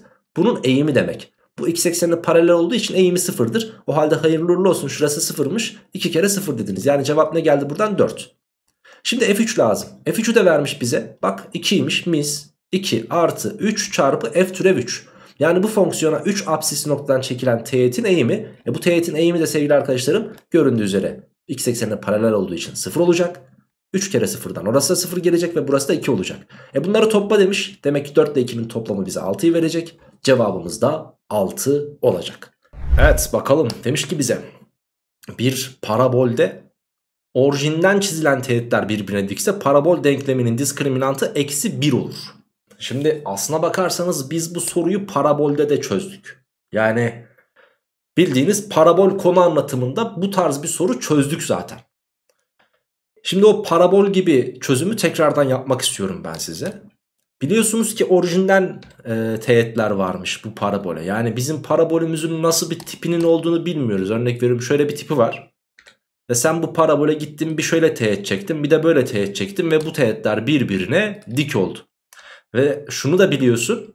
Orijinden eğer bir doğru geçiyorsa bu doğruların sevgili arkadaşlarım isimleri y eşittir mx biçiminde olmak zorundadır. Yani bunun yanında bir a'sı yoktur mesela. E niye yoktur? Çünkü orijinden geçiyor. Sıfıra sıfırı sağlamak zorunda. Yani genel itibariyle bunların formatı bu. Ve şu parabol yani x kare artı 2x artı k bölü 4 dediğimiz parabol eğer ki şuradaki mx doğrularına yani şunların genel ismi mx ya mx doğrularına dikse ben bunu bu tarafa atıp ortak çözüm yaparsam bak x kare artı x parantezinde 2 eksi m gelir burası artı bir de k bölü 4'ümüz var eşittir 0 denkleminin diskriminantı 0 olmak zorunda. Niye? Çünkü parabol buradaki doğruya teğetti. Pekala hemen deltasını sıfıra eşitleyelim şimdi. Eğer ki delta sıfıra eşitse 2 eksi m'nin karesi eksi 4 çarpı 1 çarpı k bölü 4 diyorsunuz eşittir 0. Şimdi buradan ne gelir bak m kare gelir. Eksi 4 m gelir. Artı 4 gelir. Şu 4 ile şu 4 giderse de eksi k gelir eşittir 0 dedik. Şimdi bizden istenen neydi? K kaçtır diye sorulmuştu değil mi? Doğru mu? Pekala şimdi m kare eksi 4m artı 4 e, eksi k dediğimiz e, bir denklemimiz var artık elimizde. Bu m'ye bağlı bir denklem biçiminde düşünebiliriz bunu. Ve dikkat edin buradaki dikliği nasıl kullanacağız? Eğer şu doğrunu şu doğru bu doğruya dikse eğimleri çarpımı diktir. Yani buradaki m'lerin alabileceği değerlerin çarpımları eksi 1 olmak zorunda. O halde m'ye bağlı bir denklemse m'nin köklerinin çarpımı cevabı verir. Yani 4 eksi k c bölü a'ya bakıyoruz. 4 eksi k bölü 1 eşittir. Eksi 1 olmak zorunda. Ve tabii ki buradan k eşittir. Kaç gelecek? 5 gelecek. Yani k 5'miş. Peki bunun daha kısa bir çözüm yolu var mı? Tabii ki de var. İşte bakın burada bunu vermişiz. Eğer bir parabol varsa ortada ve orijinden geçen iki tane teğet bu parabol bu bu parabole teğet olup birbirlerine de dik kesiyorlarsa işte arkadaşlarım bu parabol denkleminin diskriminantı eksi 1 olacak diyoruz. Parabol denklemi burada. Hemen diskriminantını hesaplayalım. B kare yani 4 eksi 4 çarpı 1 çarpı k bölü 4 eşittir. Ne diyeceğiz arkadaşlarım? Eksi 1. Bakınız 4'ler gidiyor. 4 eksi k eşittir. Eksi 1 geliyor. Yani Şurada bak şunu çizdik. Çizdikten sonra bunu yazdık. Bunu bu tarafa gönderdik. Deltasını bulduk. Deltayı gittik bazı işlemler yaptık. Sıfıra eşitledik. Deltasının kökler çarpımı yorumu yaptık. Kökler çarpımı yorumu yaptıktan sonra 4 eksi k eşittir. Eksi 1'i bulduk değil mi? Ama şurada verilen not sayesinde bakın arkadaşlarım aynı ifadeye sadece 2 satır sürdü ulaşmamız. Dolayısıyla bunu kullan yani anlatabiliyor muyum? Bunu kullan. Bu senin işini kısaltır. Aynı işi yaparsın da süreni kısaltır. Tamam? Süreden kazanç sağlarsın. 147. sayfamızı böylelikle bitirdik. Geçtik 148'e. 82. örnek. x kare artı 7x artı 3 parabolünün Diyor ki şu doğrusuna en yakın noktasının koordinatları toplamış. Şimdi bak güzel kardeşim. Elinde şöyle bir parabol olsa örnek veriyorum tamam mı? Sonra bir tane de doğru varmış. Şöyle bir doğru. Diyor ki bu doğrunun ismi 5x eksi 6. Bu 5x eksi 6'nın eğimi ne arkadaşlarım? Bunun eğimi m eşittir 5 olur. Doğru mu? Pekala. Şimdi bu doğrunun eğimi 5. Bunun diyor en yakın noktasının koordinatları toplamı sorulmuş. Bak en yakın noktasını ben nasıl bulurum? Şimdi en yakın nokta denildiği zaman sen der, göz kararı bulabilirsin. Bak şöyle yaparsın. Şöyle şöyle şöyle şöyle şöyle şöyle şöyle. Heh. Bura dik. Tamam eyvallah. O zaman en yakın nokta bura. İyi de bu göz kararı yani hani biliyorsunuz hani milimetreyin milimetreyi çalışmak zorundayız yani. yani sonuçta matematik bir nettir arkadaşlar. Ne yapmamız gerekiyor? Şunu şuradan alacaksın. Ee, örnek veriyorum. Şu çay bardağına şu kalemin en yakın noktası neresidir? Ne yaparsın? Kalemin konumunu hiç bozmadan çay bardağına yaklaştırırsın. İlk dokunduğu yer en yakın noktasıdır. İyi ama bunu matematiksel olarak kağıdın üzerinde nasıl göreceğiz? Görmeyeceksin de yorumlayacaksın. Yani burada şuna, şunu bahsediyoruz. Bunu aldım, taşıdım, taşıdım, taşıdım. İlk değdiği yer en yakın noktasıdır. Aa bak burasıymış. Aşağı yukarı doğru çizmişiz yani az önce. Göz kararı dedik ya. Peki bunu nasıl yorumlayacağız? Şöyle. Ben diyorum ki madem bunun eğimi 5, parabolün üzerinde bir tane teğet bulayım. O teğetin de eğimi 5 olsun isteyeceğim. Yani şuna paralel olup e, parabole değen, şurada değen bir sevgili arkadaşlarım eğimi de 5 olan bir teğet bulmam gerekiyor. O zaman şunu sormam gerekiyor. Bu parabolün hangi teğetinin eğimi 5'tir?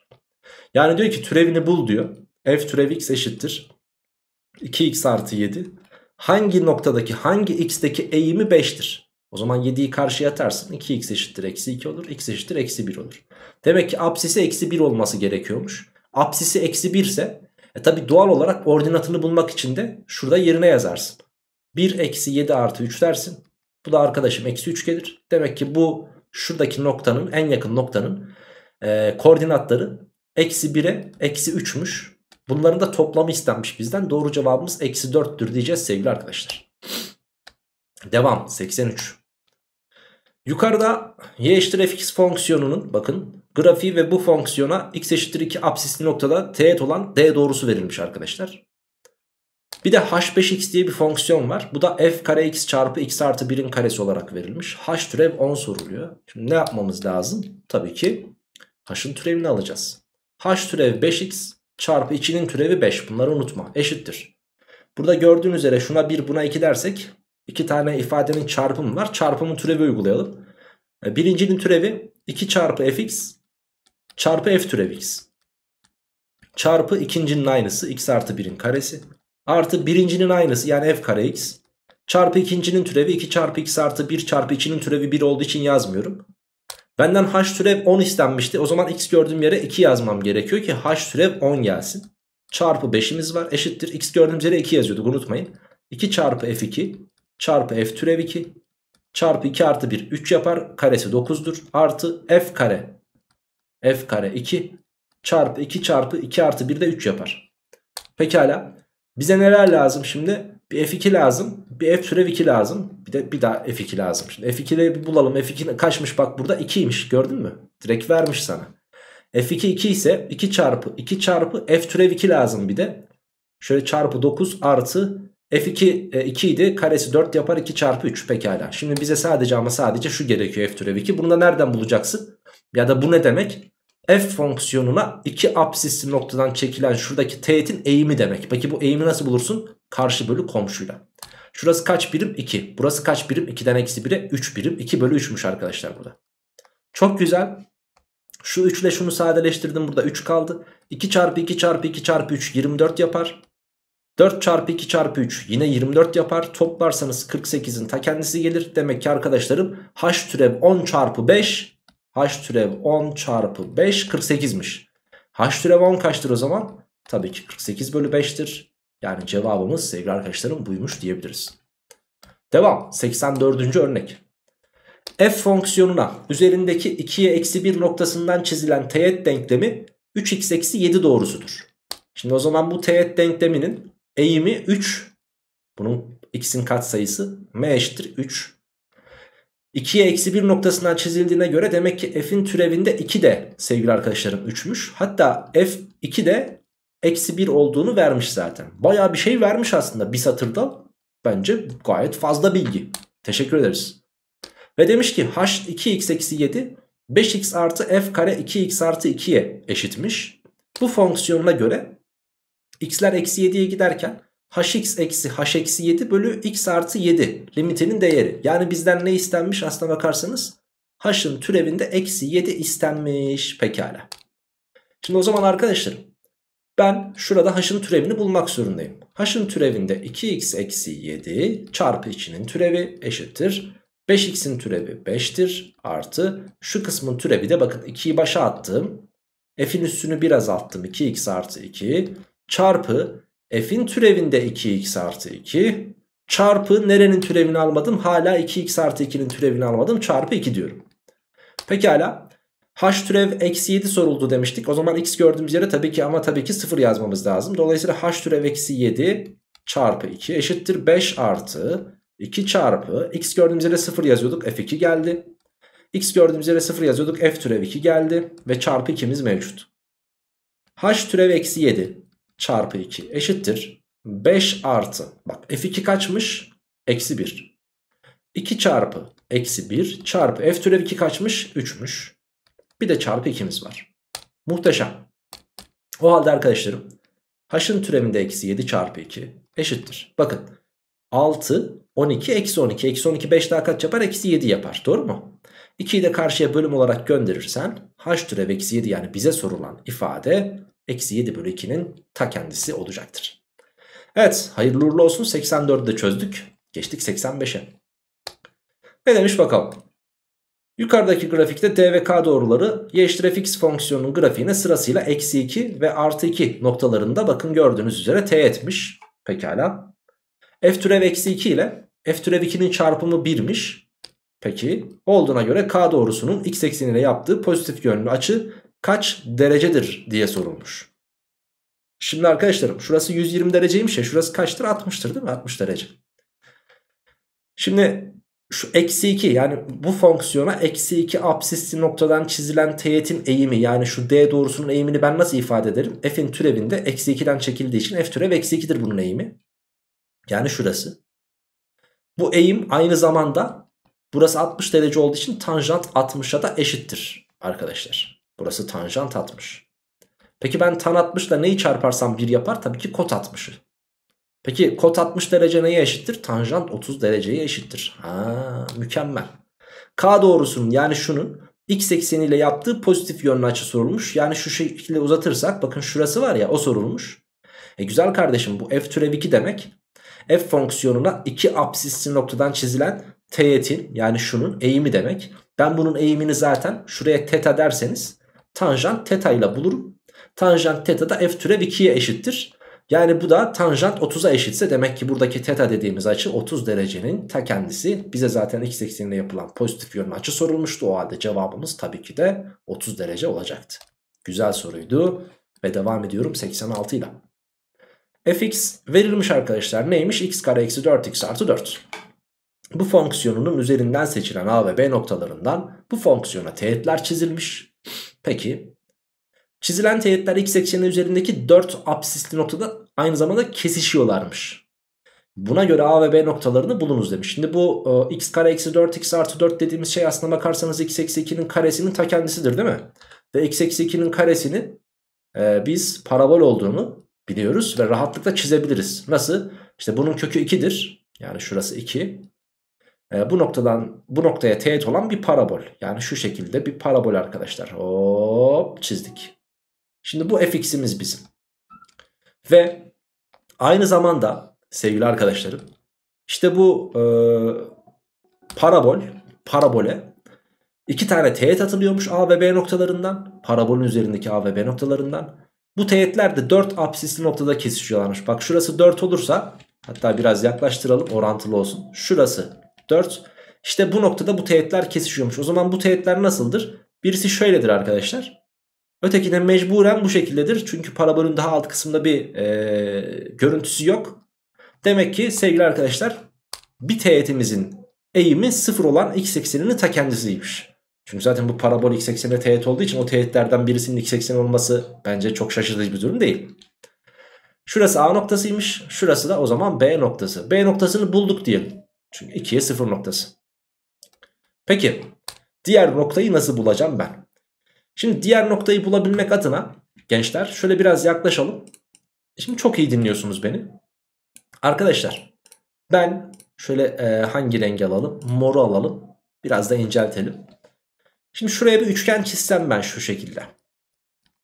Şöyle bir üçgenim olsa dik üçgenim. Ben o zaman şurada bu teğetin eğimini bulabilir miyim? Tabii ki bulurum.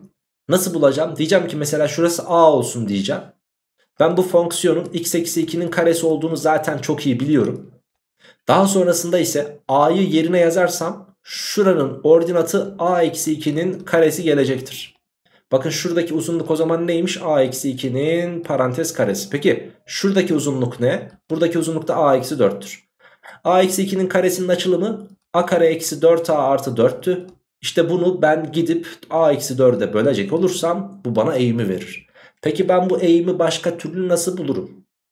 Tabii ki fonksiyonun türevini alırsın ve a noktasından atılan teğet olduğu için f türev a'ya bu buna eşittir diyeceğiz. f türev a. Peki ben f'in türevini bulsam bunun türevi nedir arkadaşlar? 2'yi başa attınız. x eksi 2 çarpı içinin türevi 1. a'yı yerine yazarsam 2 parantezinde a eksi 2 gelir. Yani arkadaşlarım 2 çarpı parantezinde a eksi 2'ye eşitmiş bu eğim. O zaman bu da eğim bu da eğimse birbirine eşittir. Hatta ve hatta şu kısım a eksi 2'nin karesiydi ya. Aynen öyle kalsın a eksi 2'nin karesi. Böylelikle her iki taraftaki a eksi 2'lerden birer tanesini götürürüm. İçler dışlar yaparsanız a eksi 2 eşittir 2a eksi 8 gelir. Buradan a'yı bu tarafa davet ettim a. Eksi 8'i diğer tarafa davet ettim 6 geldi. Bakın a kaçmış 6. Peki bu a ve b noktalarını bulunuz demişti ya. a 6 ise bunun bir de ordinatını bulmak zorundayız. Bunun ordinatı nasıl bulunur? Tabii ki fonksiyonda yani x eksi 2'nin karesine yerine yazarsın. 6 eksi 2'nin parantez karesi bu da bize 16'yı verir. Demek ki burası da 16'ymış. B noktasını 2'ye 0 bulmuştuk. O zaman A noktası da tabii ki 4'e 16'ymış sevgili arkadaşlarım. İki noktayı da böylelikle bulmuş, elde etmiş bulunduk. Evet bu sayfayı da bitirdik mi? Bitirdik. Biraz da nefes nefese kaldık. Yemeğin üstüne çekmemek gerekiyormuş videoyu. Bunu bugünlerde çok iyi anlıyorum. Biraz sıkışığım bugünlerde. Biraz bayağı yoğunum yani. Bir yandan Zeynep sıkıştırıyor. Ee, bir yandan gündelik hayat koşuşturmacaları. Bir yandan videolar. Bir yandan işte yeni kitapların yazımı. Yani bir sürü iş. Ee, bir yandan hayatın yorgunluğu tabii. O olmazsa olmaz yani hani hayatın yorgunluğu. Ee, sıkıştırıyor.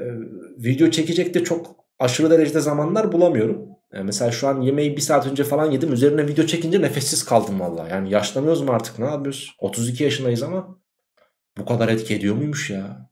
Ben yaşlandığımı gençler sizin de aklınızda bulunsun. 30'dan sonra insan hafif hafif böyle yaşlandığını hissediyor. Yani ee, arkadaşlar halı saha maçına çağırdılar. Ben o güne kadar bir de ben hani eskiden futbolculuk tecrübesi olan bir insanım. Halı saha maçına çıktım. E, diyorum ki böyle kendi kendime kafamda kuruyorum. Hani uzun zamandır da yapmamışım maç. Diyorum ki asarım, keserim, oradan ara pas veririm, koşarım, duvar pası yaparım, vururum, köşeye gider. İşte 90'dan ağları temizleriz falan. O iş öyle olmuyormuş. olmuyormuş yani. O çok farklı bir olaymış. 30'dan sonra hele o kadar da mola verince ara verince 30'dan sonra olmuyormuş gitmiyormuş arkadaşlar. Maçın 10. dakikasından sonra böyle dilimi dışarı çıkarıp böyle koşmaya başladım yani. o iş öyle olmuyormuş. Umarım arkadaşlar e, sizler de ben iyi biliyorum sınav e, sınava böyle iyi asılan arkadaşlar da genelde böyle e, kilo alımı başlıyor. Hani Leyla ile Mecnun'da hani sakız dedikleri bir mevzu var biliyorsunuz siz de onu kötü bir bağımlılıktır. E, o bağımlılıktan vazgeçen insanlar hani hemen kilo almaya başlarlar ya ismini vermek istemiyorum o bağımlılığı. Ee, aynı o şekilde arkadaşlar yani ders çalışmaya başlayan adamda tabii kilo alımı başlıyor. Çünkü gündelik hayat bağımlılığından vazgeçip derslerine adapte olmaya çalışıyor o sırada. Sürekli de bir şeyler yiyor. Hareketsiz tabii ki doğal olarak masa başında. Anne baba da eğer sürekli fındık fıstık bir şeyler getiriyorsa kilo almamak elde değil alınıyor. Ee, umarım sizler de sevgili arkadaşlarım aranızda kilo alanlar varsa hiç ama hiç mutsuz olmayın. Hiç ümitsizliğe kapılmayın. Çünkü Haziran'dan sonra o kilolar e, size geçici kilo olarak geldiklerini iyi belli ediyorlar. Çünkü anında kayıp kaybolabiliyorlar. Biraz daha istikrarla tabii ki. E, spor falan yapmana gerek kalmıyor. Kendiliğinden gidiyor kilolar. Sanki böyle oturduğun yerde su bağlıyormuşçasına. E, ciddi anlamda böyle ders çalışanlarda böyle bir olay oluyor ya. Yani e, bu AYT kitabın yani bu kitabı arkadaşlarım yazma sürecinde yaklaşık bir hani 10-11 günlük artık kitabın baskıya gitmeden önceki son 10-11 günde dikkat ettiyseniz video falan da atmadım ben o sıralar.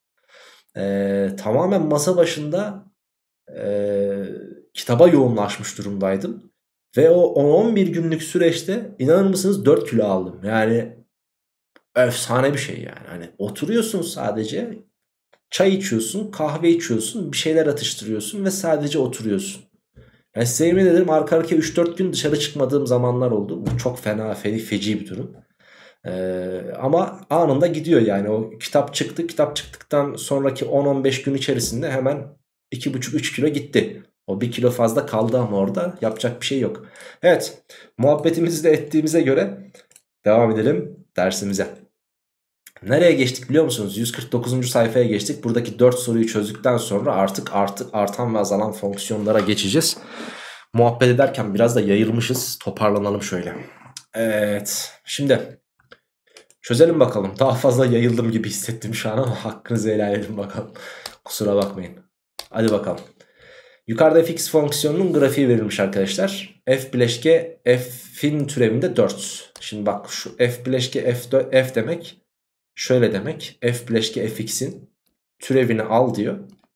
Yerine de x gördüğün yere de 4 yaz diyor. Ben bunun türevini nasıl alırım? F'in türevinde fx derim. Çarpı içinin türevinden f türev x derim. 4'ü de yerine yazarsanız f türev f4 çarpı f türev 4 çıkar karşımıza. Bu soruluyor yani açıkçası. Şunu alalım. Bize bunun sorulduğunu bilelim yani tamam mı? Şuraya koyalım. Şimdi çıkalım yukarı. Grafik zamanı. Evet. F4. F4'ün 4 olduğu aşikar. Şöyle gördünüz. Bak F4 4'müş. Yani şurası 4. Geriye ne kaldı? F'in türevinde 4 kaldı. Bir de bir tane daha F'in türevinde 4 var. Aa güzel. Uğraştırmayacak. Peki F'in türevinde 4 ne demek? Bu fonksiyona 4 absisli noktadan çekilen teğetin yani şu teğetin arkadaşlarım eğimi demek. Bu teğetin eğimini nasıl bulursunuz? Karşı bölü komşu diyerek. Burası 4 burası 3 ise demek ki 4 bölü 3'müş. Yani bu 4 bölü 3 e bu da 4 bölü 3 hocam. İkisini çarparsan cevabı yani 16 bölü 9'u bulursun. Cevap buydu ve devam ediyorum 88'de. Şimdi bunlardan birisi F. Öteki de G. F'e çekilen teğetin ismi D1. G'ye çekilen teğetin ismi de D2. Şimdi sorumuzu okuyalım. F ve G fonksiyonları birer teğetleri yukarıda aynı grafikler ayrı grafiklerde gösterilmiştir. Şu ne demekti? F'in türevinde G0 çarpı G'nin türevinde 0 demek değil mi arkadaşlarım? F bileşke G'nin türevinden.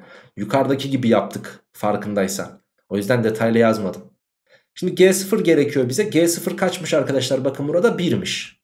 Sonra f türev 1 gerekiyor. Yani f fonksiyonuna bir apsisli noktadan çekilen teğetin eğimi. Nasıl bulacağız? Üçgene bakacaksın. Şurası 2 burası 3 ise 2 bölü 3 ama azalan olduğu için eksi 2 bölü 3 diyeceğiz tabii ki. Bak burası eksi 2 bölü 3'müş.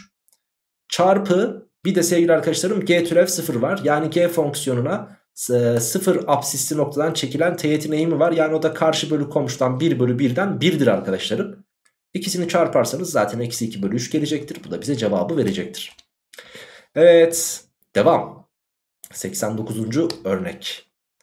Yukarıda fx fonksiyonunun grafiği ve eksi 2 apsis noktada x eksenine paralel teğetinin grafiği verilmiştir. Bakın birisi şu. Tamam teğetin grafiği. Öteki de bu eksi 2 apsis noktadan çekilmiş bu teğet ve eksi 2 için fonksiyonun yani f eksi 2'nin de eksi 4 olduğunu da görüyoruz aynı zamanda. Bir de gx fonksiyonu vermiş. gx fonksiyonu bu. g fonksiyonuna x eşittir eksi 2 apsisli noktadan çizilen teğetin eğimi sorulmuş. Bakın arkadaşlarım bu ne demektir? G'nin türevinde eksi 2'yi bul demektir. Yani biz açıkçası şunun türevini alacağız. 2, 2, 4. G'nin türevinde x eşittir. Şurada bir çarpımın türevi. Burada da bölümün türevini uygulayacağız. Maalesef. Maalesef. Şimdi uzadıkça uzayacak ama olsun. Bu güzel bir alıştırma olacak bizim için. X'in türevi birincinin türevi 1. 1'i yazmıyorum. Çarpı ikincinin aynısı yani fx. Artı birinci çarpı ikincinin türevi. Artı diyorum. Şimdi devam. Bölümün türevini uyguluyoruz. Birincinin türevi 2x çarpı ikinci. Eksi diyorum bu sefer. Birincinin aynısı ikincinin türevi. Ve daha sonrasında bölü ne diyoruz? İkincinin karesi. Yani f kare x diyoruz. Ve artık x gördüğümüz yere eksi 2 yazma zamanı geldi. Yani f eksi 2 artı değil eksi yazıyorum artık. 2 çarpı f türev eksi 2 artı 2 kere eksi 2 eksi 4 yapar. Çarpı f eksi 2 eksi eksi 2'nin karesi 4 yapar f türev eksi 2 bölü f eksi 2'nin karesi diyeceğiz. Yani f kare eksi 2. Pekala şimdi bana bir f eksi 2 lazım bir de f'in türevinde eksi 2 lazım. Dikkat ettiysen f eksi 2 zaten eksi 4'tü. Türevi de yani e, f türev eksi 2 demek ne demek? Fonksiyona eksi 2 apsis noktasından çekilen teğetin yani şunun eğimi. Arkadaşlarım bu zaten x eksenine paralel olduğu için sıfırdır bunun eğimi.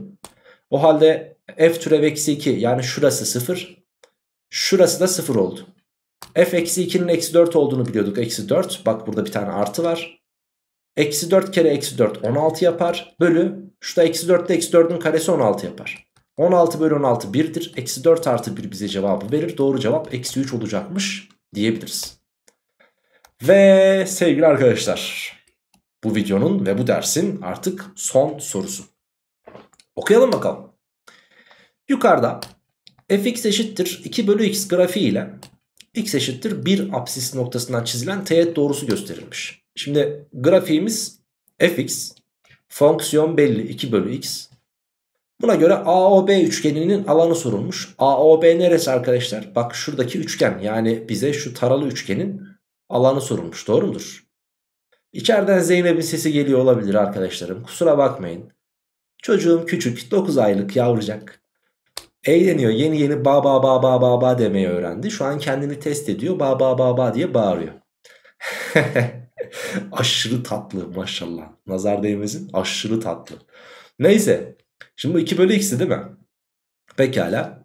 Teğet doğrusunu da vermiş. AOB üçgenin alanı soruluyor. Şimdi şöyle diyelim mi? Ee, bizim bu e, doğrumuz yani teğet doğrumuzun eğimini biz bulabilir miyiz? Şimdi bu fonksiyon aslına bakarsanız 2 çarpı x üzeri eksi 1'in ta kendisidir. Ben bunun türevini alırsam eğer eksi 2 çarpı x üzeri eksi 2 yapacaktır. Hangi noktadaki teğetin eğimini merak ediyoruz biz 1. O zaman 1'i yerine yazacaksın. Eksi 2 çarpı 1'den eksi 2 gelecek. Şimdi eğim eksi 2'ymiş arkadaşlar. Bu 1. eğim eksi 2 ise buradaki doğrunun ismi y eşittir eksi 2x artı bir şey. Onu bulacağız şimdi. Peki nasıl bulacağız? Arkadaşlarım bizim bu e, doğrumuz ve fonksiyonumuz 1 için 2'den geçtiğini biliyoruz bakın. 1'e 2'den geçiyor çünkü 2 bölü 1'den 2 yapar. Şimdi şurası kaç? 2 mi? Şurası kaç gençler? Orayı da bulabilmemiz lazım. Eğimimiz kaçtı bizim? Eksi 2 idi. 2 bölü 1 olması lazım. O zaman burasının kaç olması lazım? 2. Şimdi 2 için sıfırdan geçiyorsa yazdığın yerine 2'yi eksi 4 sıfırdan geçmesi için artı 4 gerekir. Demek ki bizim buradaki doğrumuzun ismi eksi 2x artı 4'müş. Şurası 2 idi ya. Madem öyle 0 için B'den geçer. Yaz 0 yerine cort gitti 4. Bak burası da 4'müş. Artık üçgenin alanını bir zahmet bul. Şurası taban 2 yükseklik 4. 2 çarpı 4 bölü 2'den cort cort. Cevap neymiş? 4 birim kareymiş arkadaşlar. Tamam. Artan azalan fonksiyonlar dedik. Böyle de grafikler var elimizde. Ee, Tabi şimdi yukarıdaki 3 tane grafik e, şunlar arkadaşlarım. Artan fonksiyonlara örnek olabilecek grafikler. Alttaki 3 tanesi de azalan fonksiyonlara örnek olabilecek grafikler. Yani tabi burada e, artan fonksiyon sadece yukarıdakiler gibi mi olur? Hayır olmaz. Mesela şu fonksiyon da artmıştır. Ben sana hemen göstereyim. Şöyle yapalım, şöyle yapalım ve şöyle devam edelim. Bakın arkadaşlarım şurası x eksen olsun, şurası y eksen olsun. Bakın bu fonksiyonda artan bir fonksiyondur. Bakın artmış, artmış, artmış, artmış, artmış. Buraya kadar artmış. Buradan bir sıçramış ama sonuç olarak artmış ve artmaya devam etmiş. Dolayısıyla bu da bir artan fonksiyondur ama Hani müfredatımızda sevgili arkadaşlarım bu tarz sorulara çok da yer verilmiyor. Ee, ÖSYM şimdiye kadar bu tarz bir soru sormadı. Bundan kaynaklı arkadaşlarım artan fonksiyonlarla alakalı bilmemiz gereken yukarıdakiler azalanlıkla alakalı bilmemiz gereken aşağıdakiler.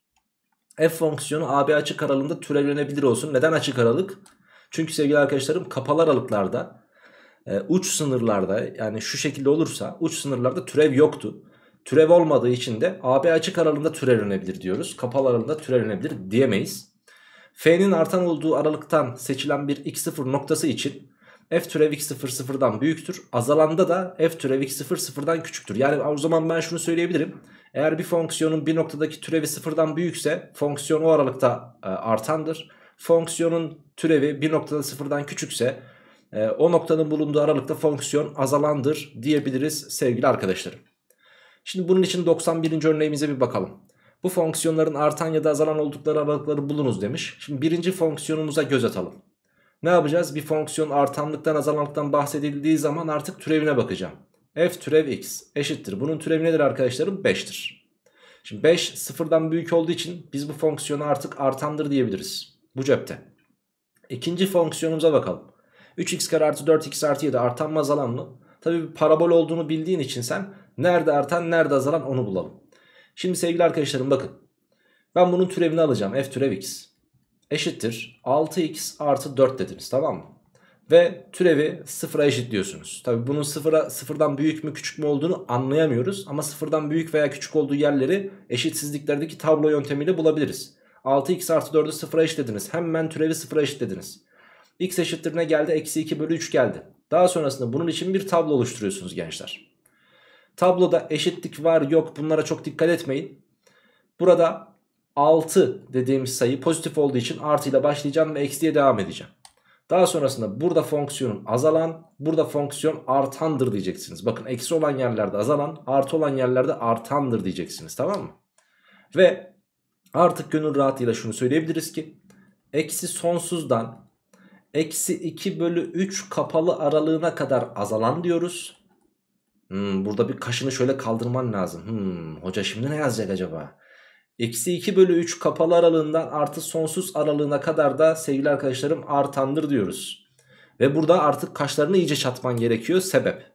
Çünkü İsmail Hoca az önce bir hata yapmış olabilir. Nasıl bir hatadan bahsediyoruz? Hocam eksi 2 bölü 3 e, kapalı aralık aldınız. Yani bu fonksiyon eksi 2 bölü 3 noktası için azalan dediniz. Eksi 2 bölü 3 noktası için aynı şekilde burada da kapalı ve dahil. Buna da artan dediniz. Burada bir hata yapılmadı mı diye aklına bir soru gelmesi lazım. Ee, ne kadar yanlış bir düşünce olsa da sevgili arkadaşlarım bu fikrin aklına gelmesi iyi yolda doğru yolda olduğunu gösterir. Şimdi öncelikle ben diyorum ki bakın arkadaşlar bu şekilde aralıklarda dahil edilir. Hem artanlığa hem azalanlığa. Çünkü noktasal olarak sadece tek bir nokta varsa elimizde ben o noktanın artıyor mu azalıyor mu olduğunu anlayamam. Bir e, nokta için artmış veya azalmış diyebilmem için ikinci bir referans noktasına ihtiyacımız vardır. Eğer bu nokta diğerinden daha yukarıdaysa artmıştır, daha aşağıdaysa azalmıştır diyeceğiz. Ama tek bir nokta varken bunu yapmak mümkün değil. Dolayısıyla sadece eksi 2 bölü 3 noktası için artandır ya da sadece eksi 2 bölü 3 noktası için azalandır veya sabittir demek tamamıyla yanlış olacaktır. Dolayısıyla azalan ve artan aralıkları gösterirken lütfen sizler de bu şekilde köşeli parantez kullanın. Eksi sonsuz ve artı sonsuz da neden köşeli parantez kullanmamız, kullanmamamız gerektiğini sen zaten gayet iyi biliyorsun. Çünkü onlar bir reel sayı değil ve sınırları yok. Pekala. Üçüncü fonksiyonumuza da bakıyoruz. Hemen ne yapacağız? Türevini alacağız. F türevi x dedim. Bunun türevi bakın 5'i başa attım. 5'ler gitti üstünde bir azalttım 4 geldi. Yani x üzeri 4 eksi 1 geldi. Şimdi ben bunun türevini tabi oraya değil buraya alacaktık. Bunun türevini ne yapacağım? Sıfıra eşitleyeceğim. Bunu sıfıra eşitlersem x bir eksi 1 gelir. x bir de artı 1 gelir. Tamam mı? Pekala ve bunlar tek katlı kökler. Eksi 1 ve artı 1 için bir tablo oluşturacağım. Ve bu tabloyu oluşturduktan sonra da diyeceğiz ki sevgili arkadaşlarım bakın x üzeri, x üzeri 4'ün katsayısı pozitif. Yani ben artıyla başlamam gerekiyor. Eksi ve artı diye devam etmem gerekiyor. Pekala. Burada fonksiyonun arttığını, burada azaldığını ve burada tekrar artmaya başladığını görebilirsiniz. O halde artan azalan olduğu aralıklar eksi sonsuzdan eksi 1'e kadar bakın yazıyorum. Eksi sonsuzdan eksi 1'e kadar tabii ki bu kapalı burası açık. Birleşim diyorum burası artan diye bak burası da artan. Birleşim birden kapalı sonsuza kadar bu aralıkta bizim fonksiyonumuz artandır. Nerede azalandır? Eksi 1 ile 1 kapalı aralığında diyoruz sevgili arkadaşlarım. Bu fonksiyon azalandır diyebilirsiniz. Notumuza bakalım. AB kapalı aralığında bakın bu not çok önemli. AB kapalı aralığında artan bir fonksiyonun bu aralıkta türevini sıfır yapan değerlerin sayısı eğer ki sonlu adet ise türevi sıfır yapan noktalar fonksiyonun artanlığını bozmaz, azalanlığını etkilemez. Hiçbir şekilde artanlığa azalanlığa bir etkisi yoktur diyoruz. Bunun için de tabi bir örnek göstermek şart. Ki bütün kitaplarda olan bir örnektir. Bütün kitaplarda bulunabilen bir örnektir. x küp fonksiyonunun artan ya da azalan olduğu aralıkları incele demiş bize. Hadi gelin beraber inceleyelim. Şimdi öncelikle ben bu fonksiyonun türevini almam gerekiyor. f türev x eşittir tabii ki 3x kare yapacaktır ve bunu sıfıra eşitleyeceğiz. 3x kare sıfırsa tabii ki x kare sıfırdır ve x buradan eşittir sıfır gelir. Ama karesi olduğu için bu x eşittir sıfır çift katlı bir köke sahiptir. O halde sıfırı yazdım tabloyu oluşturacağım ve bunun çift katlı kök olduğunu dile getirdik. Pekala şimdi ise burası artı burası eksi dedim. Doğru mu? Değil çift katlıydı artı dedik. Neden artı? Çünkü 3 ile başlamıştık pozitif. Pekala bakın fonksiyon artarken şurada bir sabit kalır gibi olmuş ama tekrardan artmaya devam etmiş. Zaten x küp fonksiyonunun grafiğini gözünüzün önüne getirirseniz eğer bakın şöyle bir grafiktir. Hop. Şöyle bir grafik. Şimdi arkadaşlar bakın artmış artmış artmış artmış artmış tam böyle sabit kalacak gibi olmuş sonra artmaya devam etmiş. Sadece bir nokta için bu geçerli.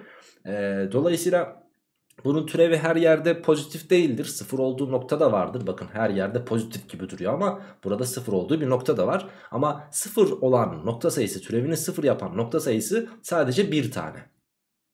İki tane olsaydı yine tamamen artandır diyecektik. 5 tane olsaydı yine artandır diyecektik. 18 tane olsa yine artandır diyecektik. Yani aşağıdaki notta da belirttiğimiz gibi diyor ki eğer diyor sıfır yapan değerlerin sayısı sonlu adet ise sonlu adetten kastımız ne peki bizim? Tabii ki şu sayılabilir çoklukta sayılabilir çoklukta. Yani 1 milyon tane olsa evet yine artandır diyeceğiz. Çünkü sen 1 milyona kadar sayabilirsin sonludur bitmiştir tamam eğer sonlu tane varsa her daim bu fonksiyon artandır veya her daim azalandır diyeceksin. Şimdi 93. örneğimize bakalım. x küp eksi ax kare artı bx artı 9 fonksiyonu veriliyor. F fonksiyonunun azalan olduğu en geniş aralık neresiymiş? Eksi 2 ile 6 kapalı aralığıymış. Buna göre a artı b toplamı soruluyor bize. Şimdi arkadaşlarım artanlıktan azalanlıktan bahsediyorsa hemen tabii ki türevine bakmamız gerekiyor. f türev x 3x kare eksi 2ax artı b diyoruz. Ve bunu sıfıra eşitleyeceğim. Şimdi buradan benim kök bulmam gerekiyor açıkçası. Ama bu kökü de bulurken tabii sevgili arkadaşlar ne yapmam gerekiyor? Ee, ikinci dereceden olduğu için şu şekilde ayıracağım ve iki tane kök bulacağım. O iki tane kökü x1'i ve x2'yi tablo oluşturup artıyla başlayıp eksi ve artı diyeceğim. Şurada artıdır, artandır, burada azalan ve burada artan diyeceğim. Artan olduğu en geniş aralık zaten şu kısım olduğu için demek ki benim azalan olan en, en geniş aralığım x1 virgül x2 kapalı aralığı olacak. Ki bu aralık zaten eksi 2 altının ta kendisidir çünkü soru bize vermiş. O halde buradaki köklerimizden bir tanesi eksi 2 öteki de 6'ymış. O halde arkadaşlarım şunları sildim. Bakın artık sen şunun e, şunun ikinci dereceden olduğunu biliyorsun. İkinci dereceden denklemin köklerini de biliyorsun artık. Eksi 2 ve 6 diye. O halde kökler toplamı. Yani eksi 2 ile 6'nın toplamı 4 yapar ya hani.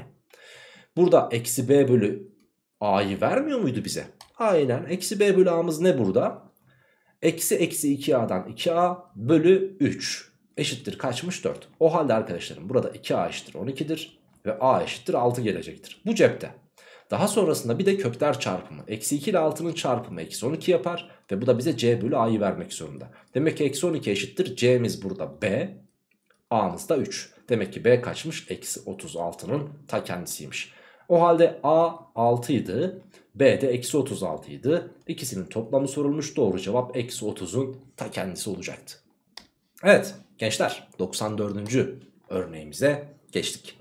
Yukarıda fx fonksiyonunun grafiği verilmiş. E buna göre f fonksiyonunun artan olduğu en geniş aralık. Hadi bir boşluk dolduralım buraya bakalım. Artan olduğu en geniş aralık soruluyor bakın. Nerelerde artan bu fonksiyon? Şuradan başlamış bakın. Yeşille gösterelim bunu. Şuraya kadar artmış. Bir de buradan başlayıp sevgili arkadaşlarım şu kısma kadar arttığını görüyoruz. Nerelerde azalan onu da kırmızıyla gösterelim. Bakın şurada azalan ve tabii ki şurada azalan. O halde sevgili arkadaşlar x ekseni üzerinden baz alıyoruz bunu. Artan olduğu en geniş aralık eksi 7 kapalı aralığından eksi 4 kapalı aralığına kadar birleşeyim. 3'ten 7'ye kadar olan kapalı aralık. Azalan olduğu aralık da ha, yanlış mı yazdım çok özür dilerim. Burası azalanmış şurası azalan. Neresi? Eksi 4'ten eksi 1'e kadar diyeceğiz değil mi? Öz, özür dilerim sizden. Eksi 4'ten eksi 1'e kadar artmış ve 3'ten 7'ye kadar artmış. Nerede azalmış? Eksi 7 ile eksi 4 aralığında azalıyor ve birleşim eksi 1'den 3'e kadar azalmış diyeceğiz sevgili arkadaşlarım. Evet 150. sayfamızı bitirdik. Sayfamıza şöyle uzaktan da bakalım her zaman olduğu gibi. Daha sonrasında devam edeceğiz sevgili arkadaşlarım 151. sayfayla. 151. sayfada 95. örneğimize bir bakalım. Demiş ki yukarıda AB kapalı aralığında fx'in grafiği gösterilmiş. Bakın mühim bir soru. Ee, sınavda çıkabilir bir tarzda bir soru mu? Ee, bence hayır. Bir kere çıktı zaten. Bir daha bu tarz bir soru sorarlar mı zannetmem ama denemelerde, soru bankalarında, fasiküllerde sıkça karşılaşırsın. Hatta yazılılarda bile karşılaşabilirsin o derece. Dolayısıyla iyi dinlemende fayda var. Çok ama çok iyi dinle. Arkadaşım bak. AB kapalarında fx'in grafiği verilmiş ya. Ben bu grafiğe bakarak neleri yorumlayabilirim bir bakalım. Bakın AB arasından seçilen x'ler. Şuradaki x'ler. Pozitif. fx fonksiyonumuzun kendisi x ekseninin altında kaldığı için negatif. f fonksiyonumuzun türevi ise azalan bir grafiğe sahip olduğu için tabii ki sıfırdan küçük yani negatif diyeceğiz. Şimdi ben bunları biliyorum. Peki neleri bulmam hedefleniyor? Buna göre demiş 5 tane fonksiyon vermiş artanlık azalanlık bakımından incele demiş. Şimdi birinciyi bir inceleyelim arkadaşlar. Şöyle 1 diyelim ve başlayalım incelemeye. Öncelikle x çarpı fx fonksiyonumuz var. x çarpı fx fonksiyonun artanlığını azalanlığını inceleyebilmem için her zaman olduğu gibi türevine bakacaksınız. Bakalım türevine burada iki tane fonksiyonda çarpımını görüyorsunuz. Şu birinci fonksiyon şu da ikinci fonksiyon. O zaman iki fonksiyonun çarpımı olduğu için çarpımı türevi uygulayacağız tabii ki. Burada x'in türevi 1 çarpı ikincinin aynısı artı x çarpı ikincinin türevi. Bakınız arkadaşlarım fx dediğimiz şey negatifti. x pozitifti. f türev x negatifti. Pozitifle negatifin çarpımı negatiftir. Negatifle negatifin toplamı yine negatiftir. Bakın bu fonksiyonun türevi negatif geldiği için sevgili arkadaşlarım türevi negatif olan fonksiyon tabii ki azalan bir fonksiyondur. Yani bu azalanmış. Hemen yazdım. Azalan. Şimdi geçtim ikinciye. Hadi bakalım. Beraber düşünelim. x kare çarpı fx demiş bu sefer. Hmm, x kare olunca eşler değişebilir. Peki türevini alacağız. x kare çarpı fx'in türevini alacağız. Birincinin türevi 2x çarpı ikinci artı birinci sabit ikincinin türevi diyoruz. Pekala şimdi yorumlayalım. Türev diye bu. Bakın x'ler pozitifti. Gördüğünüz üzere x'ler pozitif. fx'ler negatif. x kareler tabii ki pozitif olacaktır. f türev x'ler de negatifti. Hocam burası negatif. E burası da negatif. Negatifle negatifin toplamı tabii ki negatif yapar. Demek ki bu fonksiyonumuz da neymiş? Azalanmış diyeceğiz sevgili arkadaşlar. Bakın burası da azalan olmuş oldu. Şimdi devam ediyorum. Üçüncüyle. Şuraya 3'ü yazalım. 4 bölü fx. Yani ben bunu 4 çarpı fx'in eksi birinci kuvveti diye yazabilirim sonuç olarak. Bölümün türevi uygulamak istemiyorum açıkçası. Türevini alalım hadi. Eksi 1'i başa attınız eksi 4 çarpı fx'in Eksi ikinci kuvveti çarpı nerenin türevini almadım? fx'in. f türev x diyorum. Şimdi sevgili arkadaşlarım. Eksi 4 negatif bir sayı.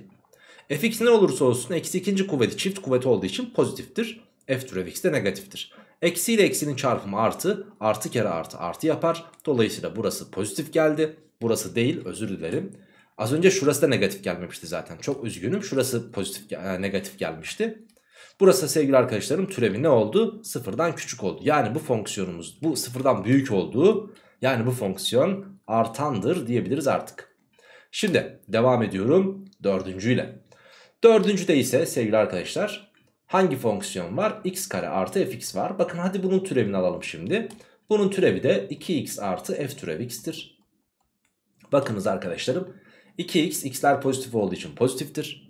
F türev x de zaten negatif olduğunu biliyorduk. Artı ile eksinin toplamı hakkında çok da yorum yapılamaz. Yani sayısal olarak hangisi büyükse sonuç onun işaretinden olacaktır ama hangisi büyük bilmiyoruz. Dolayısıyla bu fonksiyona daima artandır veya daima azalandır diyemeyiz. Yorum yapılamaz diyeceğiz. Ve beşinciye bakıyoruz. f kare x demiş. Beşinciye şurada bakalım. f kare x için sevgili arkadaşlarım türevini alıyorsunuz. 2 çarpı fx çarpı f türev x oldu. Bakınız 2 pozitifti fx negatif ve f türev x negatifti. Çarparsanız arkadaşlarım bunların hepsini pozitif gelir. Yani sıfırdan büyüktür. Yani bu fonksiyonda artanmış diyebiliriz artık. Evet böyle bir soru daha öncesinde çıkmıştı. Ee, biz de sevgili arkadaşlarım sizler görün diye buna benzer olan bir soruyu yazdık ki e, çoğu denemede, çoğu soru bankasında, çoğu fasikülde, çoğu yazılıda e, hocalar, yazarlar yazmayı seviyorlar. Size sormayı seviyorlar arkadaşlarım. E, doğaldır. Çünkü e, tek seferde bir sürü şey tekrar etmiş oluyorsun. Bu da bizi geliştiriyor açıkçası.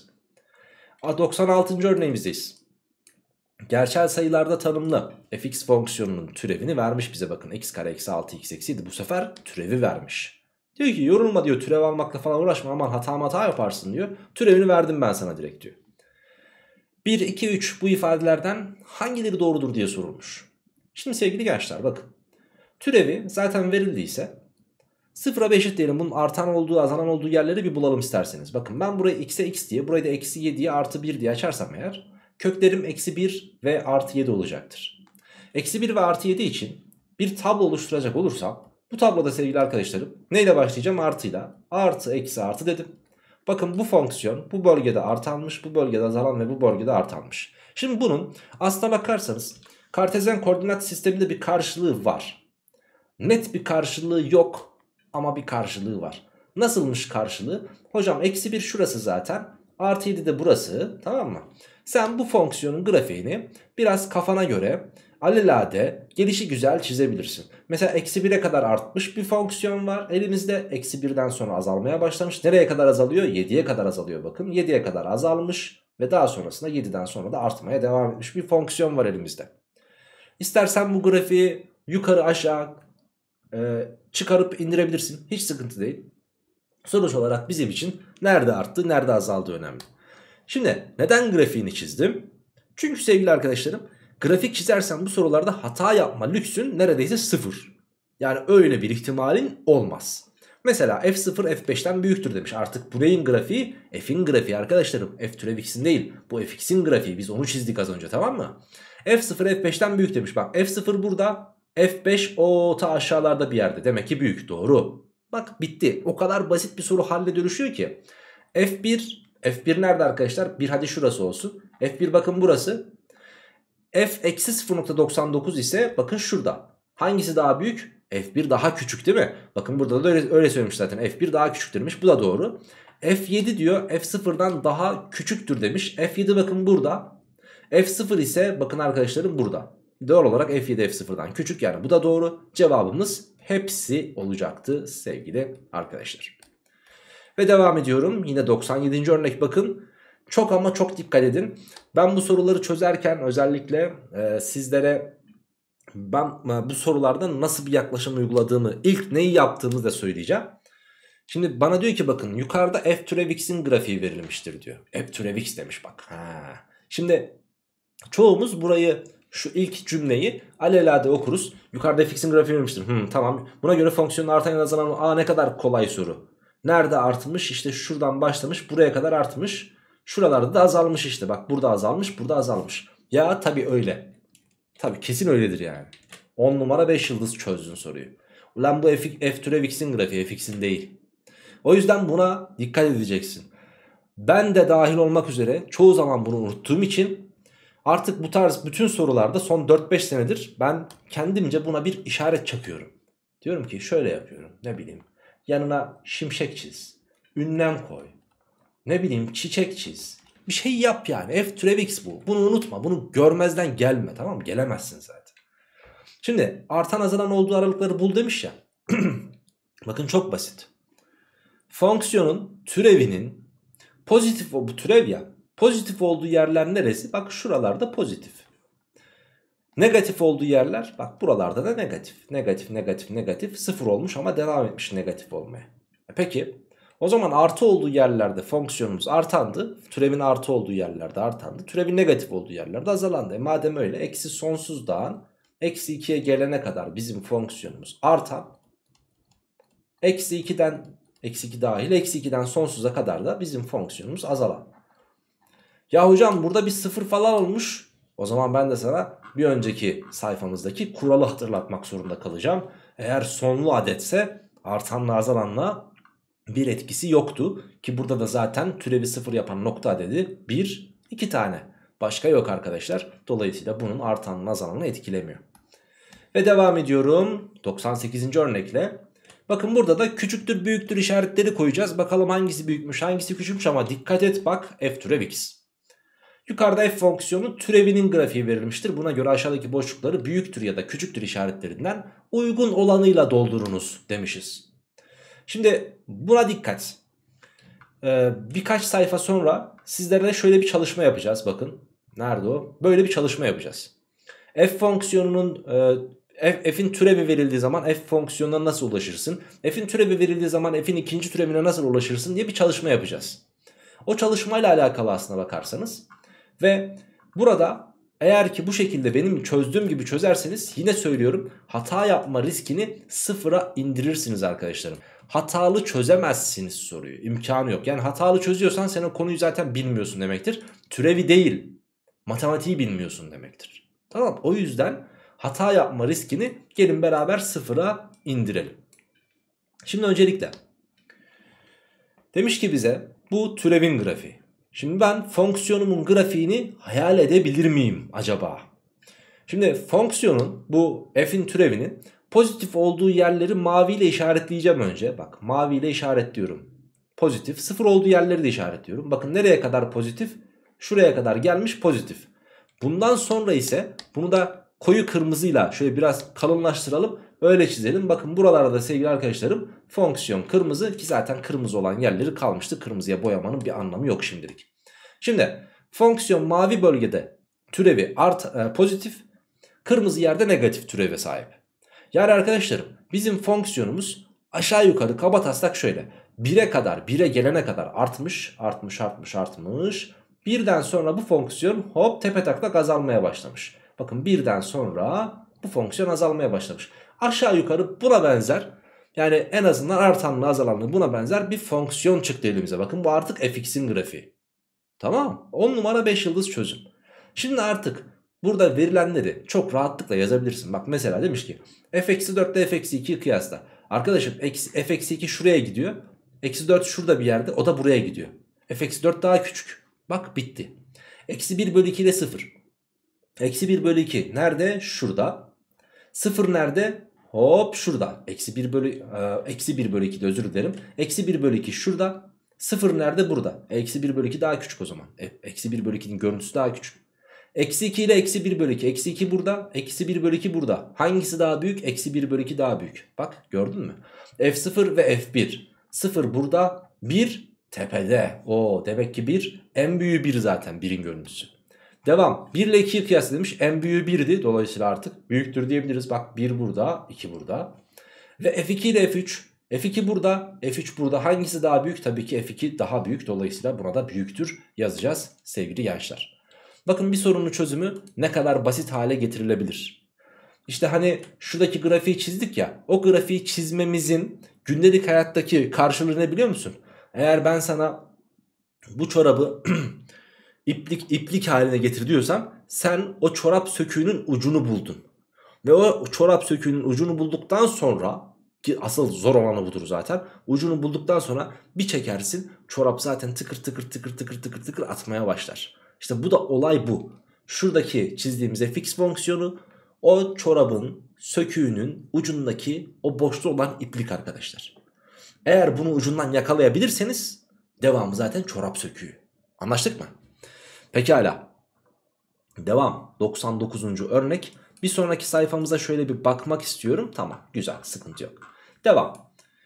99. örneğimizde bize denmiş ki yukarıda verilen f fonksiyonunun grafiğine göre aynen 3 tane öncül var. Hangileri doğrudur diye soruluyor. 1-5 kapalı aralığında artanmış. Bak bu fonksiyon f yani. Yani f'in türevi falan değil. 1'den 5'e kadar artan mı bakalım. Şimdi 1'den başlamış artmaya. Evet artmış artmış artmış artmış artmış artmış artmış artmış. Bunun dibine kadar artmış. Sonra bir sıçramış buraya gelmiş ama buradan da sonuçta buraya artmış. E buradan da şuraya sıçramış ama yine de artmış. Ve artmaya devam etmiş. E o zaman bu fonksiyon 1 ile 5 arasında artan. Öyle kopmasının falan bir önemi yok. E hocam türev yok orada. E olsun sıkıntı yok. Artmamış mı? Artmış sonuçta. Bizim için yani artanlık demek türev demek değildir. Türev artanlığı azalanlığa yardımcı yani bunları bulmamıza yardımcı olan bir argümandır sadece. Artanlık azalanlık direkt türev değildir. Tamam onu unut bir kere.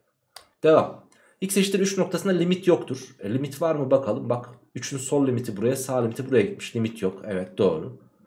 1 ile 5 kapalı aralığındaki her türev e, her x'in türevi için türevlerin hepsi pozitiftir demiş. Ya güzel kardeşim bir kere 3 noktasında türev yok ki. Dolayısıyla 3. öncül cortladı. Cevap 1 ve 2 olacaktı sevgili arkadaşlarım. Devam ediyorum. 152. sayfamda 100. örneğim artık. Bu fonksiyon gerçel sayılarda daima artan olduğuna göre a'nın en küçük tam sayı değeri kaçtır diye sorulmuş. Daima artan. Daima. Yani bunun türevi daima pozitifmiş ya da sıfıra eşitmiş. Sıfırdan büyük veya eşit diyeceğiz. Bakın bunu bazı kaynaklar bazı kaynaklar sıfırdan büyük olarak alıyor. Daima artan sıfırdan büyük. Ya bak 100 kere söylesem 1000 kere de söylüyorum 100 bin kere de söylüyorum. Türevi sıfır yapan nokta adedi eğer sonlu adetse artanla azalanla etkilemez. Dolayısıyla sen burada türevini sıfırdan büyük veyahut eşit alacaksın. Tamam. Peki devam. fx fonksiyonu buymuş. Bunun daima artan olabilmesi için türevinin sıfırdan büyük veya eşit olması gerekiyor dedik. Hadi gelin türevine bakalım o halde. Bunun türevini alalım. x küpün türevi 3x kare. Eksi 4x karenin türevi eksi 8x. 2a artı 1x'in türevi de 2a artı 1. Bunun sıfırdan daima büyük veya eşit olduğunu biliyoruz. Eğer ikinci dereceden bir fonksiyon sıfırdan daima büyük veya eşitse bu denklemin deltası tabii ki sıfırdan daha küçük olmak zorunda. O halde deltasına bakacağız. Deltamız neydi? b kare eksi 4ac. Pekala. Bunun sıfırdan küçük olması gerekiyor dedik. Ve şimdi devam ediyorum arkadaşlarım. Ee, tabii sıfırdan küçük ama bu bu ifade daima pozitifken geçerli. Sıfıra da eşit olabiliyorsa deltası sıfırda olabilir. O halde delta sıfırdan küçük veya eşittir diyeceğim. Delta sıfırdan küçük veya eşittir dedik. Pekala. Sonuçta deltanın sıfıra eşit olduğu anda fonksiyon x eksenine bir kere değiyor ve daha sonrasında devam ediyor. Değil mi? Yani deyip kaçıyor. Ve dolayısıyla türev olduğu için artı artı mesela şöyle olsun. Şöyle bir fonksiyon hayal edin. Bunun deltası sıfırdır değil mi? Şimdi bu f'in türevi. Deltası sıfırsa bak artı artı artı artı gelmiş hop artı diye devam ediyor. Bir kere sadece şurada sıfır olmuş ama türevini sıfır yapan değerlerin sonlu adet olması artan azalanını etkilemiyor diye 40 bin defa da söyleyebilirim. Pekala. B kare eksi 8'in karesi 64 eksi 4 çarpı 3 çarpı 2 a artı 1 ne dedik sıfırdan küçük veya eşittir. Peki burada arkadaşlarım 4'e ee, bölerseniz 16 eksi 16 eksi 3 parantezinde 2a artı 1 sıfırdan küçük veya eşittir dedim. Ve daha sonrasında sevgili gençler ne diyoruz artık?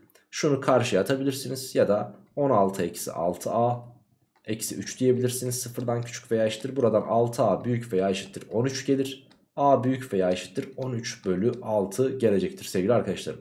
13 bölü 6 dediğimiz sayı 2 küsür bir sayıdır. Ve bu iki küsür sayının sevgili arkadaşlarım iki küsür sayıdan daha büyük olan en küçük a tam sayı değeri tabii ki minimum a eşittir 3'tür diyebiliriz sevgili arkadaşlarım. Cevabımız 3 olacaktı. Devam ediyorum 101. örneğimle. 101. örnek bu videonun son sorusu arkadaşlarım. Yaklaşık olarak 34-35 dakikadır da dersteyiz.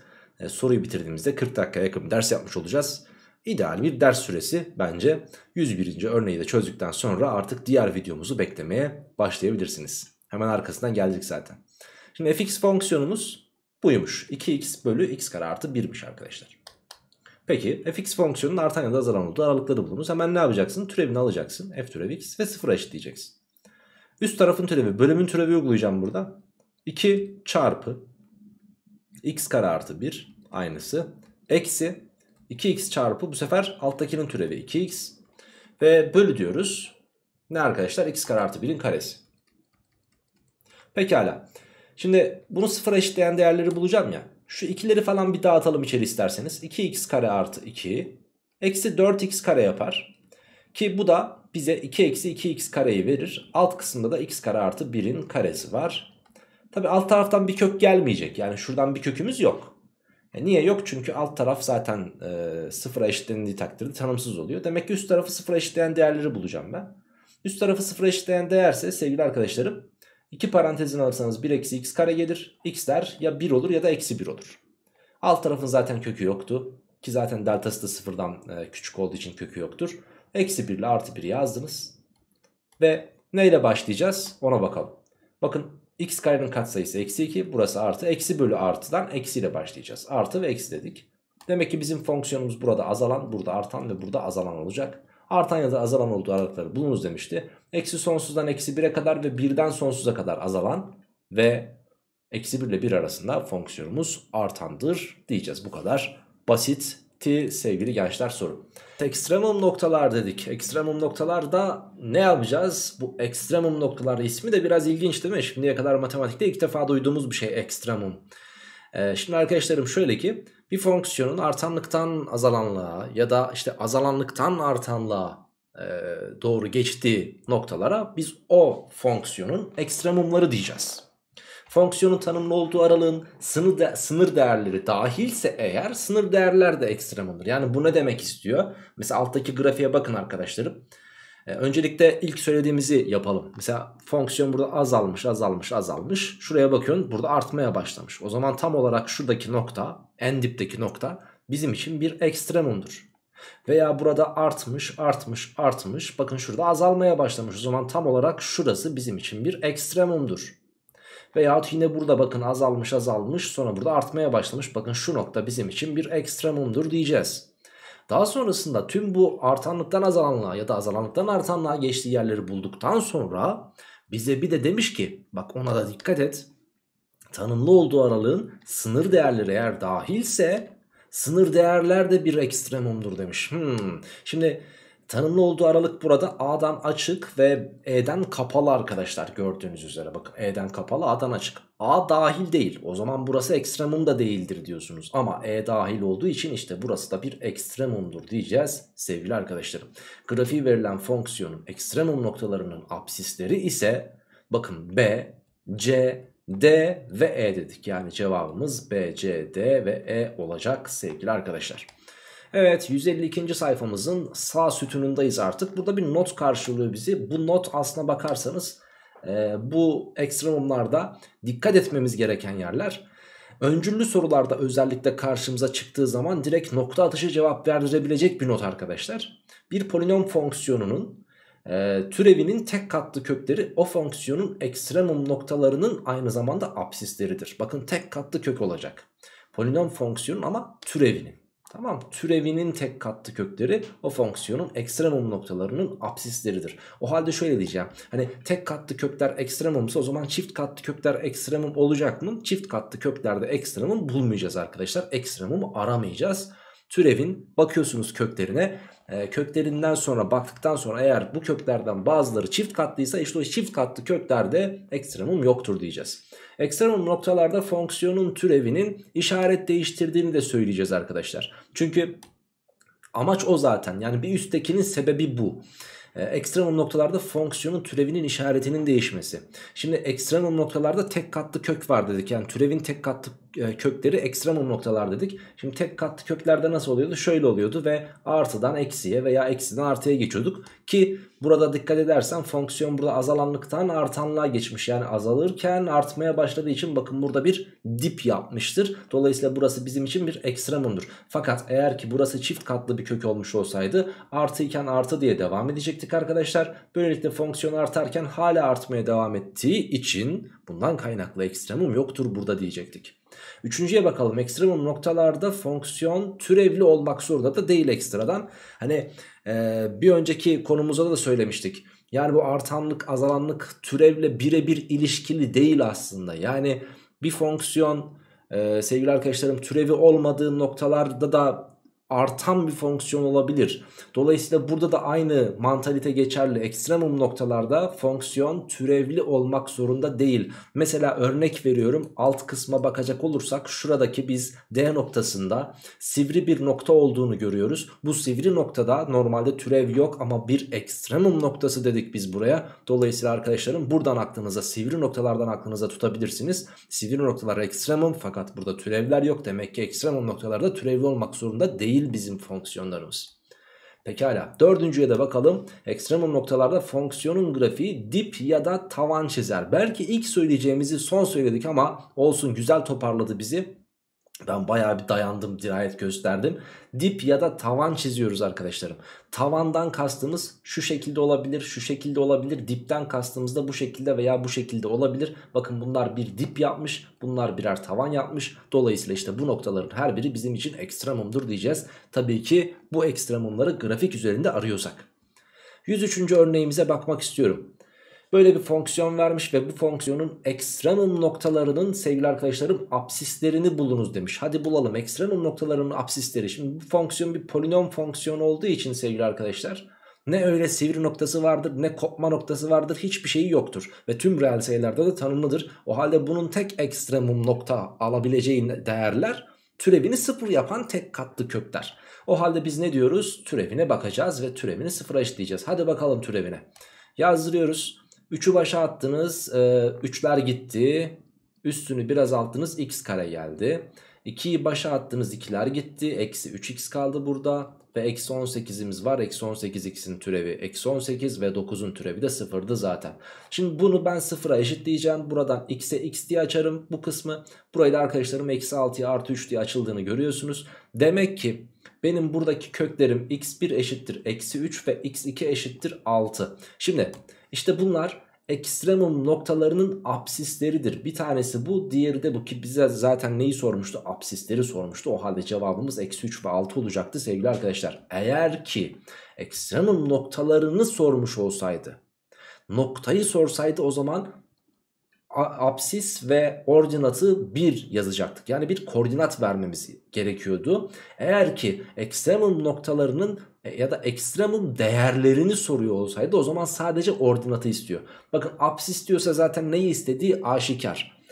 Değer diyorsa ordinatı istiyordur. Nokta diyorsa tabii ki koordinatları istiyordur. Bunu da mutlaka bir köşeye yazmanda fayda var. 104. örneğimize bakıyoruz. F türev x'i vermiş bu sefer bak türev alma türev alma demiş ben seni yormayayım demiş. Bize f'in türevini vermiş. Türev fonksiyonu verilmiş f fonksiyonunun ekstremum noktalarının apsisleri toplamı sorulmuş. Şimdi zaten türevi alındığı için ben bunu bir sıfıra eşitleyeceğim. Buradan köklerimiz bak şimdi şuranın kökü 2 gelir. Şuranın kökü 0, buranın kökü 3 ve buranın türevi de e, e kökü de 4. Pekala. Yalnız şöyle bir durum var. Bunlardan 2 ve 4 işte bunlar çift katlı köklerdir arkadaşlar. Neden? Çünkü kuvvetlerine bakın. x eksi 2'nin karesi ve x eksi 4'ün 4. kuvveti yani çift kuvvetleri. Dolayısıyla bunlar çift kuvvet olduğu için çift katlı kök olduğu için sevgili arkadaşlarım buralarda ekstremum yoktur. Türevin tek katlı kökleri olan Birisi 0 öteki de 3 işte buralarda ekstremum vardır. Bunların apsisleri toplamı sorulmuş o halde 0 ile 3'ü toplarsanız doğru cevabın 3 olması gerektiğini gönül rahatlığıyla söyleyebiliriz. Evet şimdi maksimum ve minimum noktalar hocam başka bir konuya mı geçiyoruz ya biraz örnek çözseydik 3 tane örnekle hemen geçiştirdin konuyu deme çünkü zaten bu bu konunun devamı. Ve asıl önemli olan noktalar da buralar. Şimdi biz bir grafik vermişiz bakın kırmızıyla göstermişiz fx diye bir grafik. Bu grafik üzerinde yerel maksimum nokta, yerel minimum nokta, mutlak maksimum ve mutlak minimumlar var. Arkadaşlar bu yerel, mutlak bunları nasıl bulacağız? Öncelikle bir fonksiyonda belirli bir tanım aralığında tanımlı olmuş olabilir. Yani şöyle bir grafik çizmiş. O grafikte sevgili arkadaşlarım bütün tavan yapan noktalar yani bütün e, zirvedeki tavandaki ekstremumlar işte bunların her birine biz yerel maksimum diyoruz. Ve dip yaptığı bütün ekstremumlara da yerel minimum diyoruz. Peki mutlaklar ne demek? Dedik ya birden fazla sevgili arkadaşlarım örnek veriyorum bizim e, yerel maksimumumuz var. Yani tavan yapan noktalar var. İşte bu tavanların en büyüğüne mutlak maksimum diyoruz. Tavanların en küçüğüne de mutlak minimum diyoruz. Umarım anlaşılmıştır dediklerim. Pekala o zaman bu fonksiyona bakalım. Bizim bu fonksiyonumuz bakın şurada bir maksimum yapmış. Şurada bir maksimum yapmış. Başka maksimum yaptığı bir yer yok. Hocam şurası bak onun içi boş ona dikkat et tamam mı? Şimdi bir de minimum yaptığı yerlere bakalım. Bakın şurada bir minimum var. Burada minimum var. Burada minimum var. Başka yok. Pekala. O halde yerel maksimum noktalar nedir arkadaşlarım? E, maksimum olanlar x2'ye y5 noktası. x2 y5 nokta dediği için koordinat yazacağız dedim. Daha sonrasında e, bakalım x4'e y3. x4'e y3 dedik. Pekala. Yerel minimum noktaları yazalım şimdi. x1'e y3. x1'e y3 dedik. Pekala. x3'e y2. X3'e y2 dedik arkadaşlarım. Bir de x5'e y1. x5'e y1. Pekala şimdi mutlak maksimum neresi? Maksimumlar şu siyahla işaret ettiklerim var ya şu ve şu. Bunlardan hangisi daha büyük? Tabii ki buradaki. O halde mutlak maksimum noktamız neymiş bizim? x2'ye y5'miş. Mutlak minimum noktamız da sevgili arkadaşlarım küçüklerin en küçüğü. Yani buradaki. O halde x5'e y1 noktası da bu fonksiyonun mutlak minimumudur diyebiliriz. Evet 152. sayfamızı bitirdik hayırlı uğurlu olsun. Devam ediyoruz 153. sayfamızda 105. örnekte. Bakın bir fonksiyon vermiş bize. Ve bu fonksiyon üzerine demiş ki f fonksiyonunun yerel maksimum noktasını bulunuz demiş. Hadi bakalım yerel maksimum noktalar bize dümdüz sıradan bir fonksiyon verdiği zaman nasıl bulunacak? Grafik üzerinden bulmak gerçekten basit ama e, fonksiyon verip fonksiyon denklemi verip bunun üzerinden soruyorsa işte burada da mantık devreye girecek. Şimdi sevgili gençler bakın iyi dinleyin beni. Öncelikle ben bu fonksiyonun türevini bulmak zorundayım. F türev x'i bir bulalım. Hadi 3x kare eksi 3x eksi 6 eşittir 0 diyeceğim. Türevini aldım. 0'a eşitleyeceğim. Her biri 3'e bölüneceği için ben bunu şöyle desem de olur. x kare eksi x eksi 2 eşittir 0 desem de olur. Burada çarpanlarını ayırıyorum. x'e x ve eksi 2 artı, 2, e, artı 1 biçiminde. Daha sonrasında da köklerimiz eksi 1 ve artı 2 olmuş oluyor. Şimdi ise türev e, fonksiyonunda sevgili arkadaşlarım kök tablosu oluşturacağım. Bunlar tek katlı kökler olduğu için ve artıyla başladığı için burası. Artıyla başladım eksi ve artı dedim. Demek ki benim fonksiyonum bu kısımda artmış, bu kısımda azalmış ve bu kısımda tekrar artmaya başlamış. Bakın dikkat edin. Eksi 1 absisli noktada fonksiyonumuz artarken birden azalmaya başlamış. 2 absisli noktada fonksiyonumuz azalırken birden artmaya başlamış. Yani sevgili arkadaşlarım burada tavan burada dip yapmış. Demek ki burada bir maksimum var. Burada bir minimum var diyeceğiz. Benden yerel maksimum nokta istenmişti. Ben o noktanın apsisini artık biliyorum. Tabii ki ordinatını nasıl bulacağım? Fonksiyonda eksi 1 yerine yazarak tabii ki. Eksi 1'in küpü eksi 1. Eksi 1'in karesi 1 çarpı eksi 3 bölü 2'den eksi 3 bölü 2 yapar. Eksi 6 kere eksi 1 artı 6 yapar ve sonunda 12 ekleyeceğiz. 12 6 daha 18. 18'den 1 çıktı 17.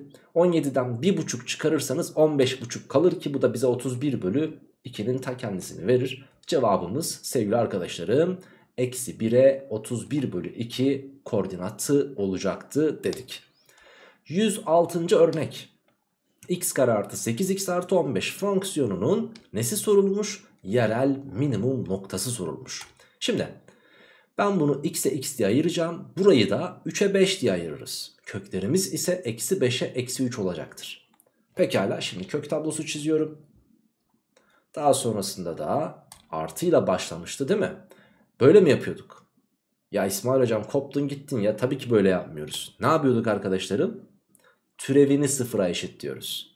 Direkt öyle ikinci dereceden falan gördüğün zaman yapıştırmıyorsun tamam mı? Şöyle yapıyorsun bak. Hocam bunun türevini sıfıra eşit diyoruz. Al türevini 2x artı 8. Eşit de sıfıra x eşittir ne gelir? Eksi 4. E bir tane kök geldi. E gelebilir olabilir sıkıntı yok. Eksi 4. Çizdin kök tablosunu.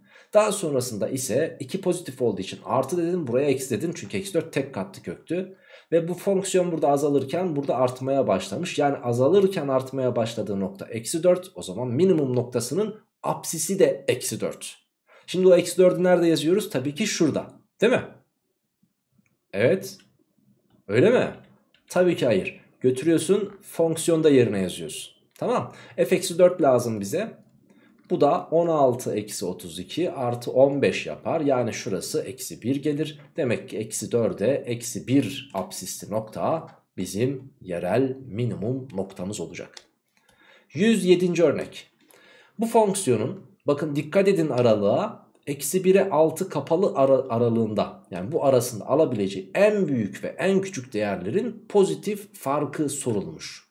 Şimdi sevgili gençler çok iyi dinliyorsunuz. Böyle ikinci dereceden verdiği zaman kolay zaten ki ikinci dereceden haricinde bir örnek soruluyorsa bu örnek veya soru 10 üzerinden 8-9 puanlık bir soru olacaktır zorluk seviyesi olarak. Genelde bu şekilde sorulur ve çoğu soru bankasında vardır. Denemelerde de çıkar karşınıza. Dolayısıyla dikkatli dinleyin ve çözelim. Şimdi öncelikle bunu türevden yapmak zorunda değilsiniz. Ee, daha kısa biçimini ben size hemen söyleyeyim. Arkadaşlarım bu ikinci dereceden olduğu için bir paraboldür ve kolları da yukarı doğru olan bir paraboldür. Kolları yukarı doğru olan parabollerin biliyorsunuz ki ekstremum noktası yani tepe noktası neresidir? Tepe noktasıdır. Eksi b bölü 2 ile bulabilirsin bunu. Eksi b bölü 2 ile bunun apsisini bulalım. Eksi b bölü 2a. Bu da ne yapar? 4 bölü 2'den 2 yapar. Şimdi 2 apsisli nokta. Ben bunu şöyle hayal etmek istiyorum. Bakınız şurası eksi 1. Şurası 6. Şurası da sevgili arkadaşlarım 2. Yani bu ne demek? Bu şu demek.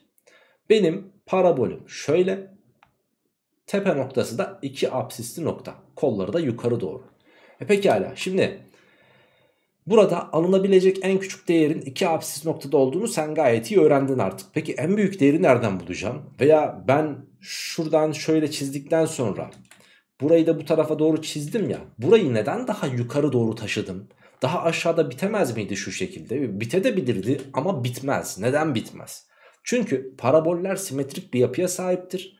Ve eksi 1 ile 2 arasındaki mesafe 3 birimken 2 ile 6 arasındaki mesafe 4 birimdir. Yani parabol 2'den daha fazla uzaklaştığı için 6'ya giderken daha da yükseğe çıkacaktır. O zaman benim maksimum değerimi alacağım e, apsis 6'dır bu parabolümün tamam mı? Demek ki en küçük değeri bulmak için 2'yi yerine yazacağım. Maksimum değeri bulmak için 6'yı yerine yazacağım. O halde sevgili arkadaşlarım yazmaya başlayalım. 2'yi yerine yazalım. 4 eksi 8 artı 7. Buradan ne gelir? 3 gelir. Bu bizim parabolümüzün alabileceği en küçük değer. Ya hocam şurada mı nasıl olur ya eksi 3 e, artı 3 burada nasıl olur? Eksi 3 desen eyvallah da falan dersen haklısın. Çünkü ben bu parabolü uydurma çizdim. Kafama göre çizdim. Ee, ama sen anladın mantaliteyi. Şu şekilde olursa da şurası 3 olur zaten. Apsis bu sefer burası olacaktır. Tamam mı? Devam edelim. 6'yı yerine yazarsak da en büyük değerini buluruz dedik. Hadi yazalım 36 eksi 24 artı 7. Bakın şundan şunu çıkarırsanız 12 7 daha kaç yapar? 19 yapacaktır. Bu da maksimum değeri. En büyük ve en küçük değerin pozitif farkı sorulmuştu. O halde sevgili arkadaşlarım 19'da 3 arasındaki fark bize cevabı verir. Doğru cevap 16 olacaktı. Ve devam 108. örnek. Fx fonksiyonu verilmiş sevgili arkadaşlar şu. Bu fonksiyonun eksi 5'e 3 kapalı aralığındaki ekstremum değerlerinin toplamı. Bakın ekstremum değerlerinin toplamı soruluyor bize. Şimdi öncelikle ekstremum değerleri bulabilmek için ben ne yapacağım? Hemen türevini alacağım. Hadi bakalım. F türev x eşittir 3x kare eksi 6 x eksi 24. Her biri 3'e bölüneceği için x kare eksi 2 x eksi 8 eşittir 0 dedim. Buradan x'e x ve eksi 4'e artı 2 diye açılır. Köklerimiz ise eksi 2 ile 4 gelir. Şimdi sevgili arkadaşlar bir tablo oluşturacağım ve bu tabloyu oluştururken bana çok dikkat edin. Normalde tabloyu böyle oluşturuyoruz değil mi? Bunda bir sıkıntımız yok. Neyle başlayacağım? İşte artıyla başlayacağım hocam. Artıyla devam ettik. Kök gördük eksi ve kök gördük artı diye devam edeceğiz. Buraya kadar herhangi bir sıkıntımız yok değil mi? Pekala. Ben diyorum ki bu soru için şöyle bir şey yapacağız. Bakın bize bir aralık vermiş. Bu aralıkta incele bu kökleri diyor. Şimdi eksi 5 nerede? Bakın eksi 5 burada bir yerde. 3 de şurada bir yerde. Şurada bir yerde. Pekala o zaman ben yazıyorum eksi 5 burası 3 burası. İşte sadece ama sadece bu aralığa bak demiş. Şimdi bu aralıktayken bizim fonksiyonumuzun şurada artarken azalmaya başladığı için bir tepe noktası var. Şu şekilde. Tavan yaptığı bir yer var. Ekstremum, yerel maksimum. O halde bunları da bu şekilde uzatacağız artık. Peki hangisi daha küçük nereden bileceğiz? Çünkü ee, yani Eksi 5 ve 3'ün neden küçük olup olmadığına bakıyoruz. Çünkü bir önceki sayfamızda size ben ne demiştim? Bakın şuraya çıkalım.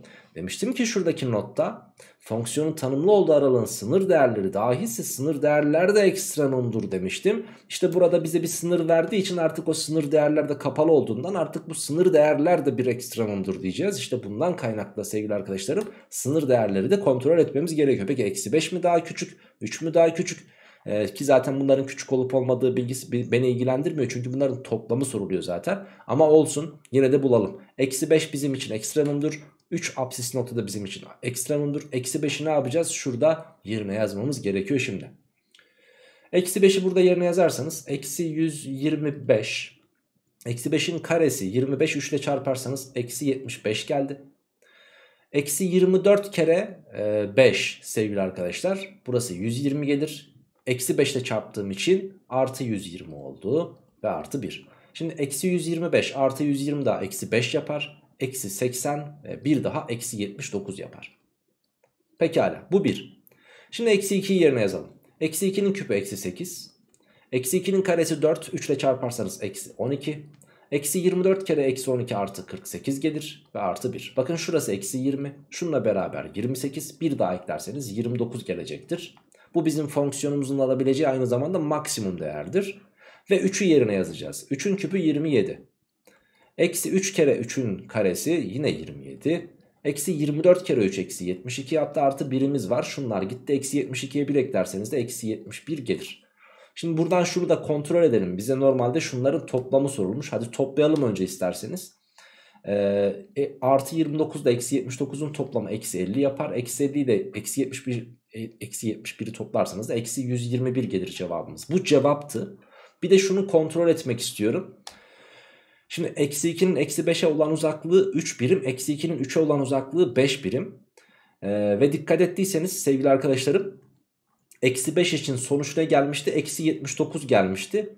3 için sonuç eksi 71 gelmişti. Ya şimdi hocam bak söylediklerimle çelişiyorsun. Bana kızabilirsiniz. Söylediklerimde çelişiyorum çünkü. Ama aslında çelişmedim. Sen öyle algıladın. Şöyle ki burası 3 birim eksi 79'a düşmüş. Evet daha aşağıda. Burası 4 birimken hocam daha 5 birimken daha da aşağı düşmesi gerekmiyor mu? Yani eksi 79'dan daha küçük bir değer bulmamız gerekmiyor mu diye sorabilirsin. Yalnız şöyle bir durum var. Güzel kardeşim. Ben şurada bu cümleyi kurarken demiştim ki parabol simetrik bir yapıya sahip olduğu için demiştim. Bu bir parabol değil bu bir üçüncü dereceden e, fonksiyon. Dolayısıyla paraboller gibi simetrik falan olmak zorunda değil. Dolayısıyla da burası 3 birimken daha aşağı düşmüş ve burası 5 birimken daha yukarıda kalmış olabilir. Tamam. Pekala 109. örneğimizi çözeceğiz ama şurayı biraz temizlemek gerekiyor öncesinde. Evet hazırız. Px baş katsayısı pozitif olan bir polinommuş arkadaşım. Tamam mı? Bak baş katsayısı pozitif olan bir polinom. P kare x ile Px'i toplamış ve 9x kare eksi 3x bulmuş. Şimdi biraz polinom bilgisi kullanalım seninle. Hadi bakalım. Öncelikle polinomlarda biliyorsun derecesi büyük olanın sözü geçiyordu toplar, toplanırken ve çıkarılırken. Burada derecesi büyük olan tabii ki P kare x polinomudur. Niye? Karesi alınmış çünkü. E peki ben bunları topladığım zaman karşı taraf ne olmuş? İkinci dereceden. Demek ki bunun karesi ikinci dereceden olan bir polinom. Pekala o zaman kendisi kaçtır? Tabii ki birinci dereceden. Pekala şimdi ben bu birinci dereceden polinomu px eşittir. ax artı b. Daha kolay bulurduk ama şimdilik böyle yazalım. ax artı b diyelim. O zaman p kare x ne olur? Hemen onu da yazalım. a kare x kare artı 2abx artı b'nin karesi olur. Şimdi bunları toplamış. Tamam bunları toplayınca da şunu bulmuş.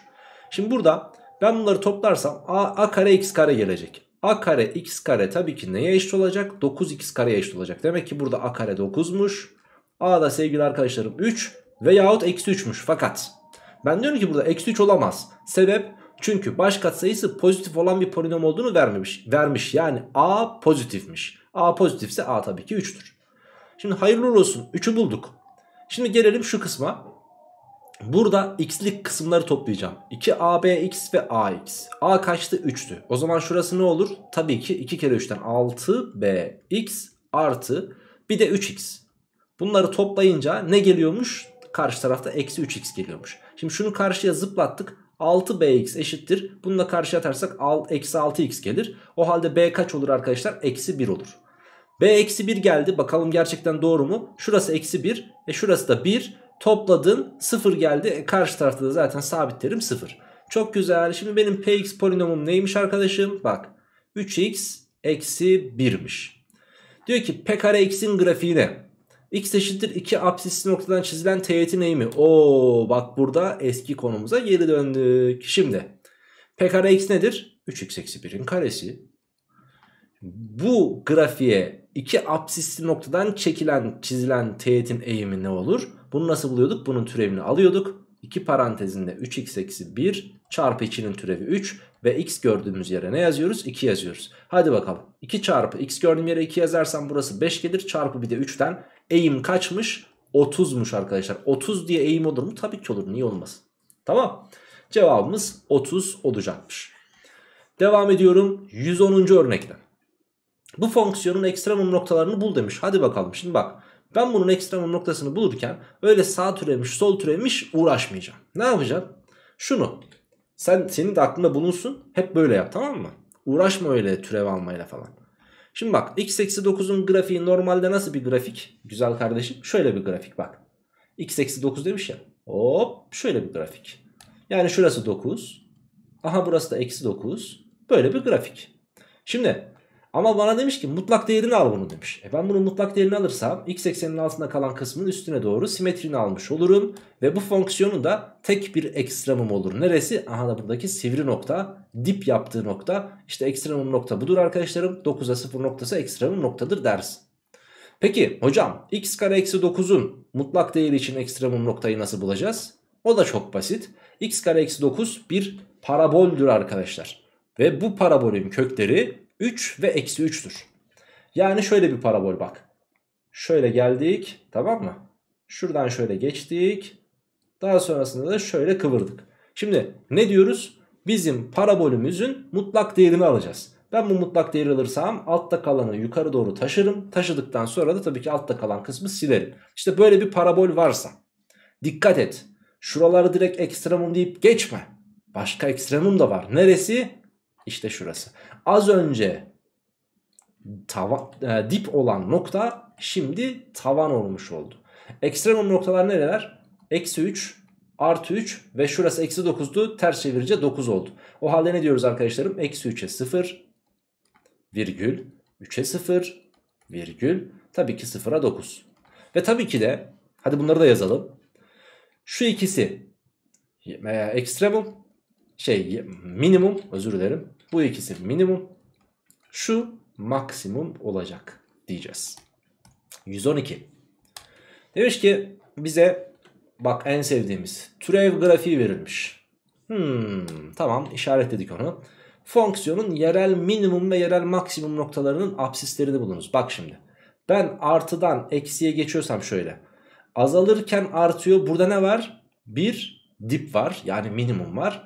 Artıdan eksiye şöyle geçiyorsak artarken azaldığı için burada bir maksimum var. Pekala o zaman ben diyorum ki bu türev grafiği. Türeve bakıyorsun artı gelmiş gelmiş hop eksiye düşmüş. Artıdan eksiye geçiyorsa işte burada bir maksimum vardır. Eksi gelmiş gelmiş gelmiş hop artıya geçmiş. Eksiden artıya geçiyorsa bir minimum vardır burada. Ve yine aynı şekilde artıdan eksiye geçtiği için burada da bir maksimum vardır diyeceğiz sevgili arkadaşlarım.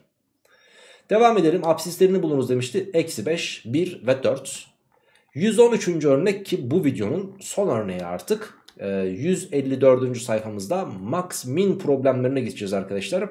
Ve gündelik hayatta türev nasıl kullanılır bunları göreceğiz. Ama şimdi 113. örneğimizi çözelim ve dersimizi bitirelim.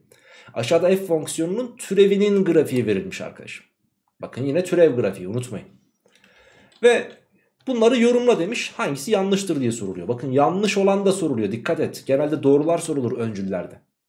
fx'in sadece bir adet yerel maksimum noktası vardır bak. Artıdan eksiye geçmiş. Burası bir maksimumdur. Artıdan eksiye geçmiş. Burası bir maksimumdur. E bir adet yerel maksimumu var demişti ama ben iki tane buldum. O halde bu cortladı. fx'in yerel minimum noktalarının apsisleri toplamı 1'dir.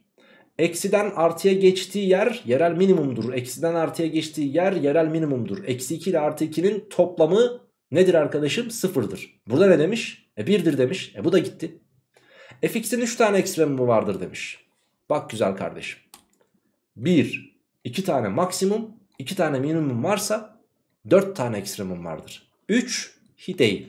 O halde bu da gitti. Cevabımız neymiş? Cevabımız hiçbiri değil.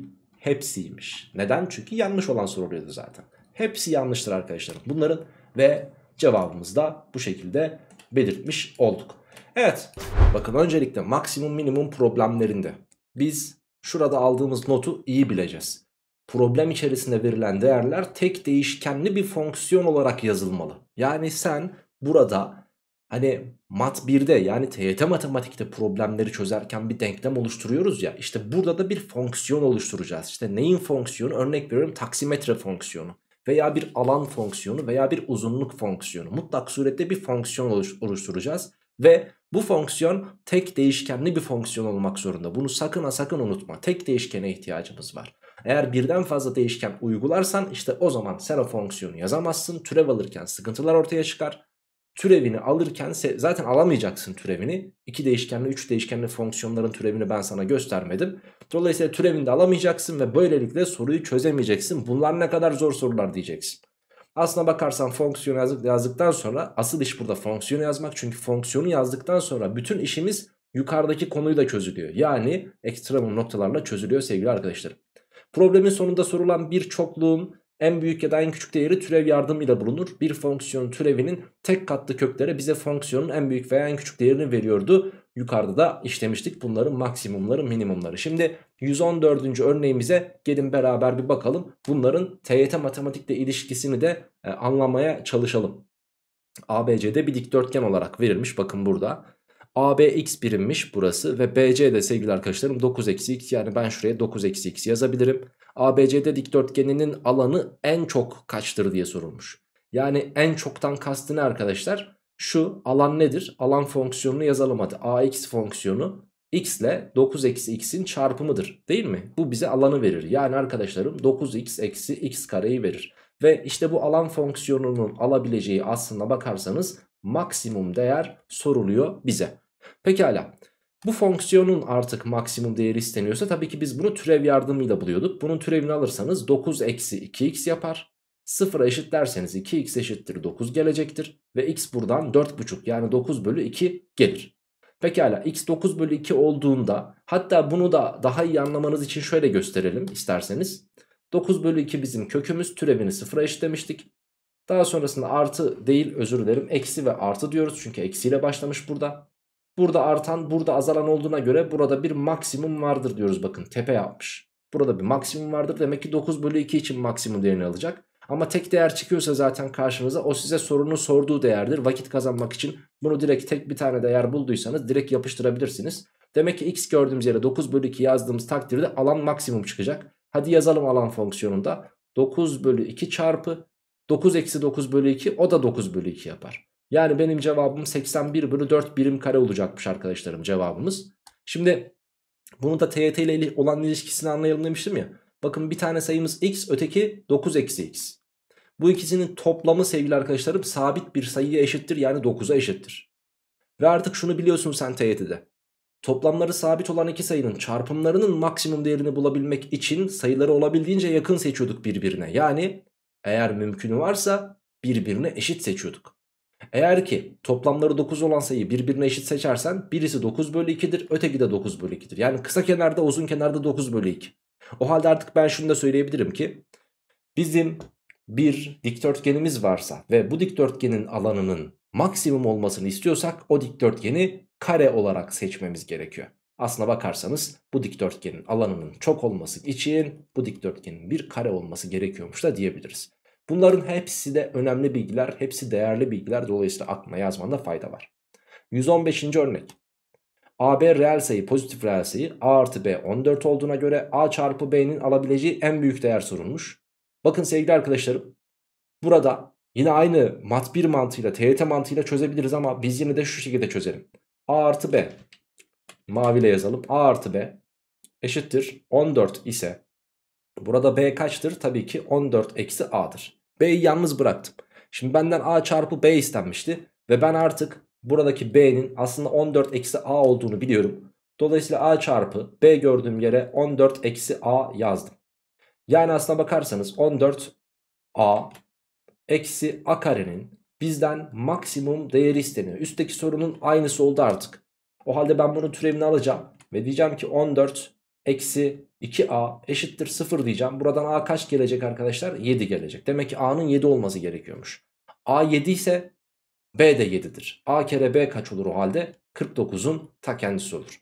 Yine TYT mantalitesiyle toplamları sabit olan iki sayının maksimum çarpımlarının çok olması için, maksimum olabilmesi için iki sayıyı da birbirine yakın yani ikisini de birbirine eşit seçmek gerekiyor. Direkt 7 kere 7'den de 49 cevabını verebilirdiniz hiç türeve bakmadan. Ama tabi bu durum bu sorular için geçerli. 116. örneğimize bakalım mesela. 4x eksi 16 doğrusu üzerindeki hangi noktanın koordinatları çarpımı en küçük olur diye sorulmuş. Mesela ben bu noktanın apsisine a ve ordinatına b dersem aslına bakarsanız apsisini a seçtik ya a'ya karşı gelen nokta ne olacaktır? 4a eksi 16 olacaktır çünkü yerine yazmamız gerekiyor. Ve ne demişti bizden? Koordinatları çarpımı en küçük olur. Şimdi koordinatları yani apsisi ile ordinatının çarpımından bahsediyor. a ile 4a eksi 16'yı çarp demiş ve bunun en küçük değeri isteniyor. Şimdi öncelikle a'yı içeri bir dağıtalım isterseniz. 4a kare eksi 16a yapar. Bunun en küçük değeri isteniyorsa tabii ki türevini alacağız. Yani 8a eksi 16 diyeceğiz ve 0'a eşitleyeceğiz. a buradan kaç gelecek? 2. Demek ki a 2 olunca bu fonksiyonun e, koordinatları çarpımı en küçük oluyormuş. E bu fonksiyonun koordinatları a'ya 4a eksi 16 idi. Yani burası 2 olacak. Burası da 8'den 16'yı çıkarırsanız eksi 8 olacak. Bu ikisini çarparsanız eksi 16 bize cevabı verecek diyebiliriz sevgili arkadaşlar. Devam ediyorum. Bu arada zaten hangi noktanın diye sorulmuştu. Bu noktamız 2'ye eksi 8 noktası da diyebiliriz tabii ki. Yani cevap olarak 2'ye eksi 8. Koordinatları en az çarpımı en az kaç olur diye sorulmuş olsaydı da o zaman eksi 16 diyecektik. Ama burada cevabımız 2'ye eksi 8 sevgili arkadaşlar. 117. sayfa e, sorumuza doğru geçtik. x kare eksi m kare eksi 4x artı 8m artı 4 eşit 0 denkleminin kökleri neymiş? x1 ve x2. Şimdi buna göre diyor kökler toplamı yani x1 artı x2 ile kökler çarpımının toplamı bunun alabileceği en küçük değer. Şimdi arkadaşlarım kökler toplamı dediğimiz şey eksi b bölü a'ydı. Buradaki eksi b bölü a'mız ise m kare eksi 4 bölü a kaç 1. Dolayısıyla bunu yazmıyorum. Artı kökler çarpımımız da 8m artı 4 bölü 1. E 1'i yazmayıp yine 8m artı 4 olacak. Burayı biraz düzenlerseniz m kare artı 8m eksi 4 artı 4 birbirini götürecektir. İşte bu ifadenin sevgili arkadaşlarım bizden neyi sorulmuş? En küçük değeri sorulmuş. O halde ben bunun türevini alacağım. Alalım 2m artı 8 yapar. Eşittir 0 derseniz türevi 0'a eşitlediniz. m kaç geldi? Eksi 4'ün ta kendisi geldi. Pekala. m sayısı eksi 4 ise demek ki m'nin eksi 4 olması gerekiyormuş ki biz şu toplamın en küçük değerini bulalım. O, o zaman ben bu m değerini alacağım ve şurada yerine yazacağım. m kare yani eksi 4'ün karesi 16. 8 kere eksi 4 de eksi 32 yapar. 16 eksi 32 kaç yapar? Eksi 16 yapar. Bu da bize cevabı verir. 118. sorumuz. ABCD bir dikdörtgen ve HG CG'ye dikmiş arkadaşlar.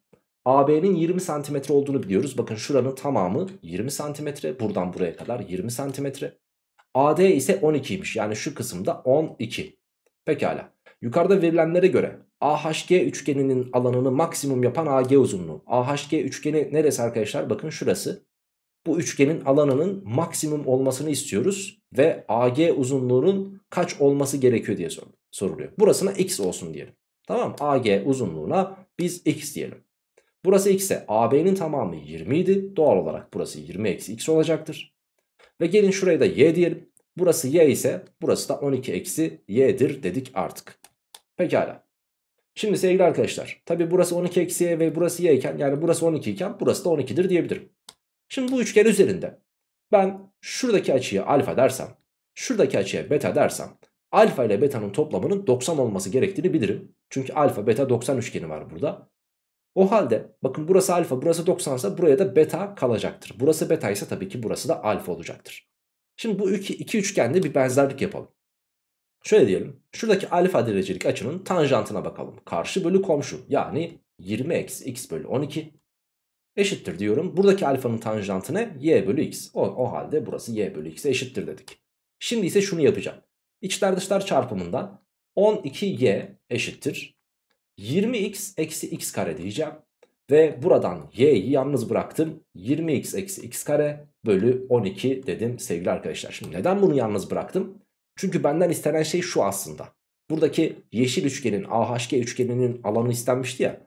AX nedir arkadaşlarım? X çarpı Y'dir. Yalnız bir dakika ne demiştik konunun başında? Tek değişken kullanacağız. Ama burada X'e bağlı bir fonksiyon içerisinde hala Y var. O halde artık bu Y'den kurtulma zamanı nasıl kurtulacağım? Çünkü burada Y'yi bulmuştum. Y'yi gördüğüm yere 20x eksi x kare bölü 12 yazacağım. Yani sevgili arkadaşlar x çarpı 20x eksi x kare bölü 12 dedim.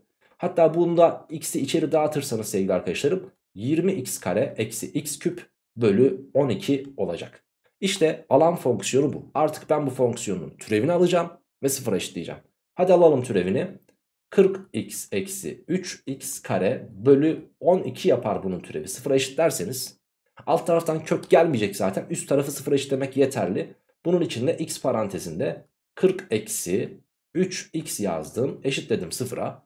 X sıfır olamaz arkadaşlar. Bir uzunlukta o zaman üçgen oluşmaz. Demek ki x kaçmış? 40 eksi 3x'in köküymüş. Buranın kökü kaçtır? Tabii ki 40 bölü 3'tür arkadaşlar. Yani x'in 40 bölü 3 olması gerekiyor. AG uzunluğu kaç santimetredir demiş. İşte zaten karşımıza çıktı. X sorulmuştu. Biz de x'i 40 bölü 3 bulduk sevgili gençler. Evet gayet hoş bir soruydu. Devam ediyorum 119. sorumuzda.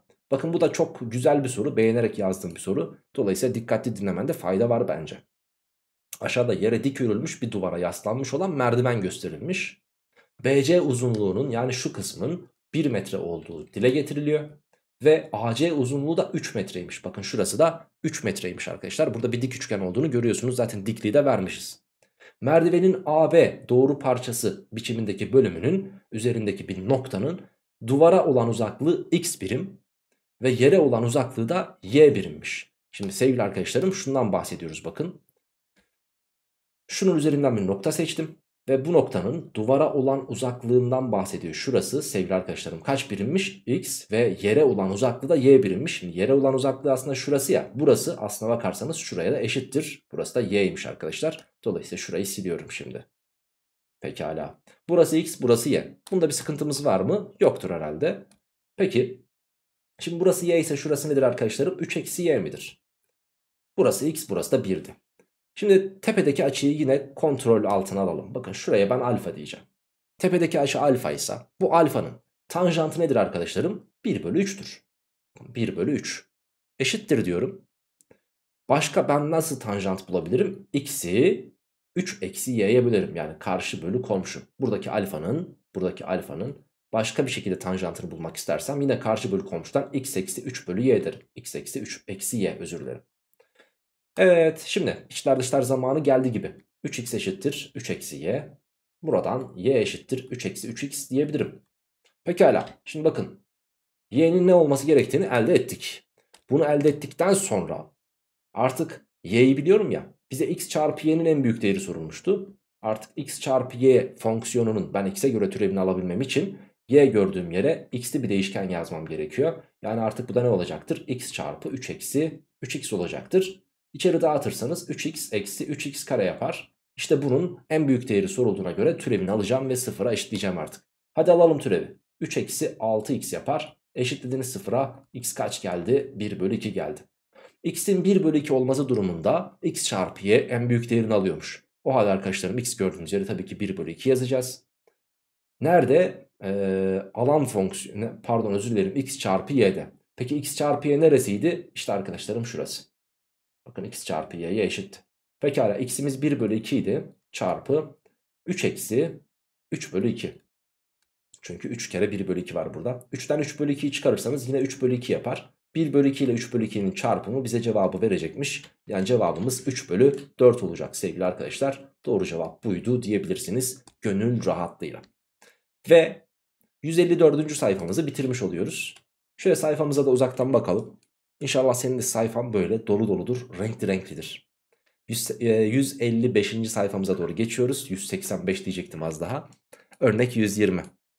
x liraya bir ürün aldığınızı düşünün ve bu ürünü eksi x kare artı 21 x liraya sattınız. Buna göre bu ürünün satışından elde edilen kar en çok kaç liradır? Şimdi gelin sizle beraber bir kar fonksiyonu bulalım ve buna kar x diyelim. Karı nasıl bulursunuz? Ürünü sattığınız fiyattan aldığınız fiyatı çıkarırsınız. Yani şundan x'i çıkaracağız. Hadi çıkaralım. Eksi x kare bakın 21x'ten x'i çıkarırsanız artı 20x yapacaktır. İşte size kar fonksiyonu. Şimdi ben bunun maksimum değerini bulabilmek için ne yapacağım? Karın türevini alacağım. Kar türev x eşittir. Ne olur? Eksi 2x artı 20 olur. Eşit dedim sıfıra x kaç gelir? Tabii ki 10. Yani karın maksimum olabilmesi için ben ürünü 10 liraya almam gerekiyormuş. Pekala. Kar ne kadardır diye soruluyor. Karı nasıl bulacağız? Kar fonksiyonu da yerine yazacağız. Pekala yazalım hadi. Eksi 10 bunun karesi artı 20 kere 10 dediniz. Şurası eksi 100 geldi. Ya hocam eksi 10'un karesi yok mu? Yok. Çünkü onun karesinin eksilisi var parantez içerisinde değil. Artı 20 kere 10'da 200 yapar. Toplarsanız karın maksimum olanını bulursunuz. Maksimum kar burada 100 liradır sevgili gençler. 121. örnek. 2x artı 6'nın karekökü fonksiyonunun 1'e 0 noktasına en yakın uzaklığı kaç birimdir diye sorulmuş. Şimdi şöyle diyeceğiz. 2x artı 6'nın karekökü fonksiyonunu kökü nedir? Bunu sıfıra eşitleyen değer. Tabii ki arkadaşlarım. Tabii görsel için önemli bu. Yoksa e, görsel olmadan da yapabiliriz ama görseli çizerseniz hata yapma riskiniz çok çok azalır. Bunun kökü eksi 3 olduğu için eksi 3'ü gösterdiniz. Şimdi kareköklü bir ifade hiçbir zaman negatif olamayacağı için x ekseninin altında herhangi bir görüntüye ulaşamayacağız maalesef. Maalesef neyse ulaşamayacağız ve sevgili arkadaşlarım bizim fonksiyonumuz artan bir fonksiyon olduğu için de şöyle bir yani parabolün yana yatırılmış ama x ekseninin altındaki parçası silinmiş gibi bir grafik çıkacak karşımıza. Şimdi 1'e 0 noktası da sevgili arkadaşlarım 1'e 0 noktası şurası A ve burası bir birim unutmayın. En yakın uzaklığı. Şimdi yaklaşık olarak en yakın nokta demiş ya. Yani şuralarda bir yerde falan desek biz. En yakın noktasına. Tamam hadi şöyle gösterelim. Şöyle şuralarda bir yerde falan diyelim. Ve ben buradaki noktanın apsisini bilmediğim için hani göz kararı karar veriyorsunuz buna. Şöyle bir teğet attınız örnek veriyorum. Bu teğete en yakın nokta neresidir? Aş aşağı yukarı buralardır. Pekala bu noktanın apsisine de ne diyelim? Küçük a diyelim. Şimdi şurası 1'di ya. Şuradaki uzunluk nedir 1'den a'ya kadar? 1 eksi a'dır. Bakın burası 1 eksi a. Pekala. Peki ben a'yı yerine yazarsam nereyi bulurum? Şuradaki uzunluğu bulurum değil mi? Nerede yerine yazarsam? Fonksiyonda. O halde fonksiyonda yerine yazarsanız buradaki uzunlukta ne gelecektir? Karekök içerisinde 2a artı 6 gelecektir. Peki. Şimdi en yakın uzaklığı kaç birimlermiş ya? En yakın uzaklığı neresi olmuş olur? Şurası. Ben bunu nasıl bulurum? Tabii ki Pisagor'dan. O halde 1 eksi a'nın karesini alacaksınız. 1 eksi 2a artı a kare biçiminde. Artı şunun da karesini alacaksınız. 2a artı 6 dik kenarların karesini aldığım e, topladığım topladıktan sonra karekök içerisine alırsam bu bize nereyi verir? En yakın uzaklığı yani şurayı hipotenüsü verir. İçeride eksi 2a ve artı 2a var. Yani içerisi aslına bakarsanız a kare artı 7'ymiş. Bunun karekökü. İşte bu fonksiyonun sevgili arkadaşlarım en yakın noktası de, demişti ya bize. Bunun ben türevini alacağım. Sıfıra eşitleyeceğim ki yakın olsun. Pekala. Bunun türevini nasıl alıyorduk? İçinin türevi 2a bölü 2 çarpı fonksiyonun kendisi a kare artı 7'nin karekökü. Bunu sıfıra eşitliyoruz. İkiler gitti. E bunun sıfıra eşitlenmesi demek sadece ama sadece üst taraftan kök geldiği için a'nın sıfır olması demek. Yani arkadaşlarım şurada a dediğimiz nokta aslına bakarsanız sıfır noktasıymış, orijinmiş. O halde sevgili arkadaşlarım a'nın sıfır olması gerekiyor dedik. A sıfır olacaksa en yakın uzaklık ne olacaktır? Sıfırı şurada yerine yazarsanız kök 7'nin ta kendisi gelecektir diyebiliriz. Örnek 122. Yukarıda fx eşittir 4 bölü x fonksiyonunun grafiği verilmiş bize. Bakın 4 bölü x'in grafiği bu. Buna göre fx'in orijine en yakın olan noktasının orijine olan uzaklığı kaç birimdir? Şimdi fx'in orijine en yakın olan noktası aşağı yukarı şuralarda bir yerdedir desek. Orijinde burası. İşte en yakın mesafe bu. Ve diyor ki orijine olan uzaklığı kaç birimdir diye sormuş. Yani bu uzunluk soruluyor bize. Yukarıdaki sorunun aynı mantığıyla diyeceğim ki ben şuranın apsisi kardeşim a olsun diyeceğim. Peki burası da orijin olduğu için artık buranın mesafesi kaçtır? A birimdir. A'yı yerine yazarsam da şu kısımdaki uzunluğu bulurum. Bu da 4 bölü A'yı verir bana. Hipotenüsü bulabilmek için yani şurayı yine Pisagor yapacağım. Peki yapalım Pisagor'u. A'nın karesi A kare. Daha sonrasında 4 bölü a'nın karesi 16 bölü a kare. Karelerini topladık. Kare kökünü alırsanız buradaki mesafeyi bulursunuz. Pekala. Bunu da şunu da şunu çarpıp üzerine 16 ekleyerek yazalım isterseniz. a üzeri 4 artı 16 bölü ne diyoruz? a kare diyoruz. Bunda kare kökü var. Daha sonrasında bunun türevini almak için ne yapıyorum arkadaşlarım? İçinin türevi. İçinin türevi alınırken de dikkat edin. Bölümün türevini alacağız. Bölüm türevi alacağız. Ee, aslına bakarsanız şöyle bir düşünmek istiyorum. Şöyle yapsanız daha kolay olabilir. Şunu hiç yazmayalım. Yani bileşik kesir gibi dönüştürerek yazmayalım arkadaşlar. Direkt bunun türevini alalım. İçinin türevi 2a. Bakın şuradaki 16 bölü a kare var ya. Bunu 16 çarpı a üzeri eksi 2 biçimde yazarsanız türevini daha kolay alırsınız. 2a artı şunun türevi nedir artık? Eksi 32 eksi 32a üzeri eksi 3. Doğru mu? Bölü 2 çarpı fonksiyonun kendisi bla bla. Eşittir 0 dedik. Şimdi neden burayı bla bla dedim? Çünkü alt kısımdan kök gelmeyecek. Benim köküm sadece üst taraftan gelecek. O halde yazıyorum 2a eksi 32 bölü a küp yazdım. Eşittir 0 dedim. Sadece üst tarafı 0 eşitliyorum. Artık bununla bunu çarpıp üzerine eksi 32 ekleyebiliriz. 2 çarpı a üzeri 4 eksi 32 bölü a küp eşittir 0 derseniz yine kök sadece üst taraftan geleceği için a üzeri 4'ün 16 olması gerekiyor. Yani burada a'nın demek ki 2 olması şartmış. a 2 olmalıymış. Ne demiş bize? En yakın uzaklığı kaç birimdir? Kardeşim bak burası 2 ise şurası 2 ise şöyle siyahla yazalım. E demek ki 4 bölü 2'den burası da 2. E 2'ye 2 ise burası nedir? 2 kök 2'nin ta kendisidir. Çünkü burası dik üçgendi. Cevabımız 2 kök 2'ymiş sevgili gençler. Böylelikle 155. sayfamızın sol sütununu bitirdik. Ve geçiyoruz sağ sütundaki 123. soruya. Aşağıda projesi çizilen ofisin çevresi 60 metreymiş arkadaşlar. Pekala. Çalışma alanının e, e, çalışma alanının alanı en çok olabilmesi için A kaç metre olmalıdır diye soruluyor. Şimdi ben çevrenin 60 metre olduğunu biliyorum ve şu kısımda bu kısmın 5A olduğunu biliyorsam demek ki buranın karşı tarafı da sevgili arkadaşlarım 5A olacak. Pekala burası 5A burası 5A. Şurası A ise tabii ki bunun tam karşısı yani sevgili arkadaşlarım bunu buradan böldüm ve tam olarak karşısı ne olmuş oldu? Yine A olmuş oldu. E gelin şu kısma Y diyelim bu kısımda Y olsun. Şimdi gençler Burada 5A 5A daha 10A yapar. AA daha 2A yapar. Topladığınız 12A artı 2 tane Y eşittir 60 gelir. Çevresi 60'tı. 2'ye bölerseniz bunu. 6A artı Y'nin 30 olması gerektiğini ve buradan Y'nin 30 eksi 6A olması gerektiğini anlayabiliriz. Böylelikle artık buradaki Y gördüğümüz yeri silip ben buraya 30 eksi 6A diye rahatlıkla yazabilirim. Ve tabii ki şuradaki Y dediğimiz yerde ne olacak arkadaşlar? Yine 30 eksi 6A olacak. Bakın bizden istenen çalışma alanının en çok olabilmesi. Çalışma alanı dediğimiz yer şu kısım. Ve bu kısmın alanının maksimum olabilmesi için kenarlarını çarpacağız ve alan fonksiyonunu yazacağız. Böylelikle alan fonksiyonumuz ax eşittir. Bakın şu kenar 3a'ydı. Hatta e, fonksiyonumuz a'ya bağlı olacağı için buraya ax değil aa yazmamız gerekiyor bizim. Alanımız ise alan fonksiyonumuz ise 3a çarpı 30 eksi 6a'dır. İçeri dağıtırsanız bunu 90a eksi 18a kare yapacaktır. İşte bu alan fonksiyonumuz. Alan fonksiyonunun maksimum olanını bulabilmek için türevini alacağım ve sıfıra eşitleyeceğim. Böylelikle 90 eksi 36a eşittir 0 deriz. Türevini aldım sıfıra eşitledim. Buradan 36a eşittir 90 yapar.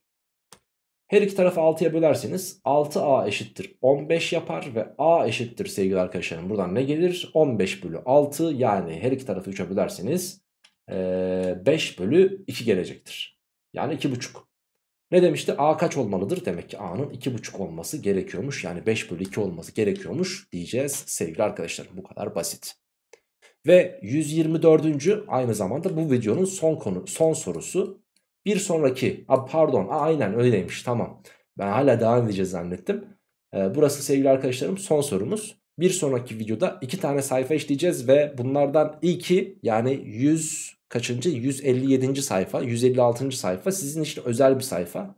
Burada türevden fonksiyona ve türevden ikinci türeve geçişlerin kolaylığını göreceğiz. Nasıl kolay geçirebilir bunları anlatacağız ve sizle beraber 4 tane grafik çizeceğiz. İlk kısımda aklınızda bulunsun o videoyu kesinlikle kaçırmayın. 124. örnek. Yukarıda OABC dikdörtgeninin B köşesi D doğrusunun üzerindeymiş. Yani şurada. Buna göre OABC dikdörtgeninin alanı en çok kaç birim karedir diye sorulmuş bize. Şimdi ben biliyorum ki şurası alfa, burası alfa ise burası da alfa. İkisi de alfa arkadaşlar. Peki şuradaki alttaki alfa için tanjant alfa kaçtır? Hemen bulalım. Tanjant alfa karşı bölü komşu yani 6 bölü 8'dir yani 3 bölü 4'tür arkadaşlar. Şimdi tanjant alfanın 3 bölü 4 olduğunu biliyorsak eğer buradaki tanjant alfa da 3 bölü 4 olmak zorunda. Peki şimdi ben şu A'nın apsisine A dersem doğal olarak burası A birim olacaktır ve doğal olarak BC de A birim olacaktır. Ve sevgili arkadaşlar şuraya da B derseniz eğer şuradaki e, şu noktadan C'ye kadar olan kısmın uzunluğuna da B derseniz bakın tanjant alfa aslına bakarsanız B bölü A'ya eşit oluyor.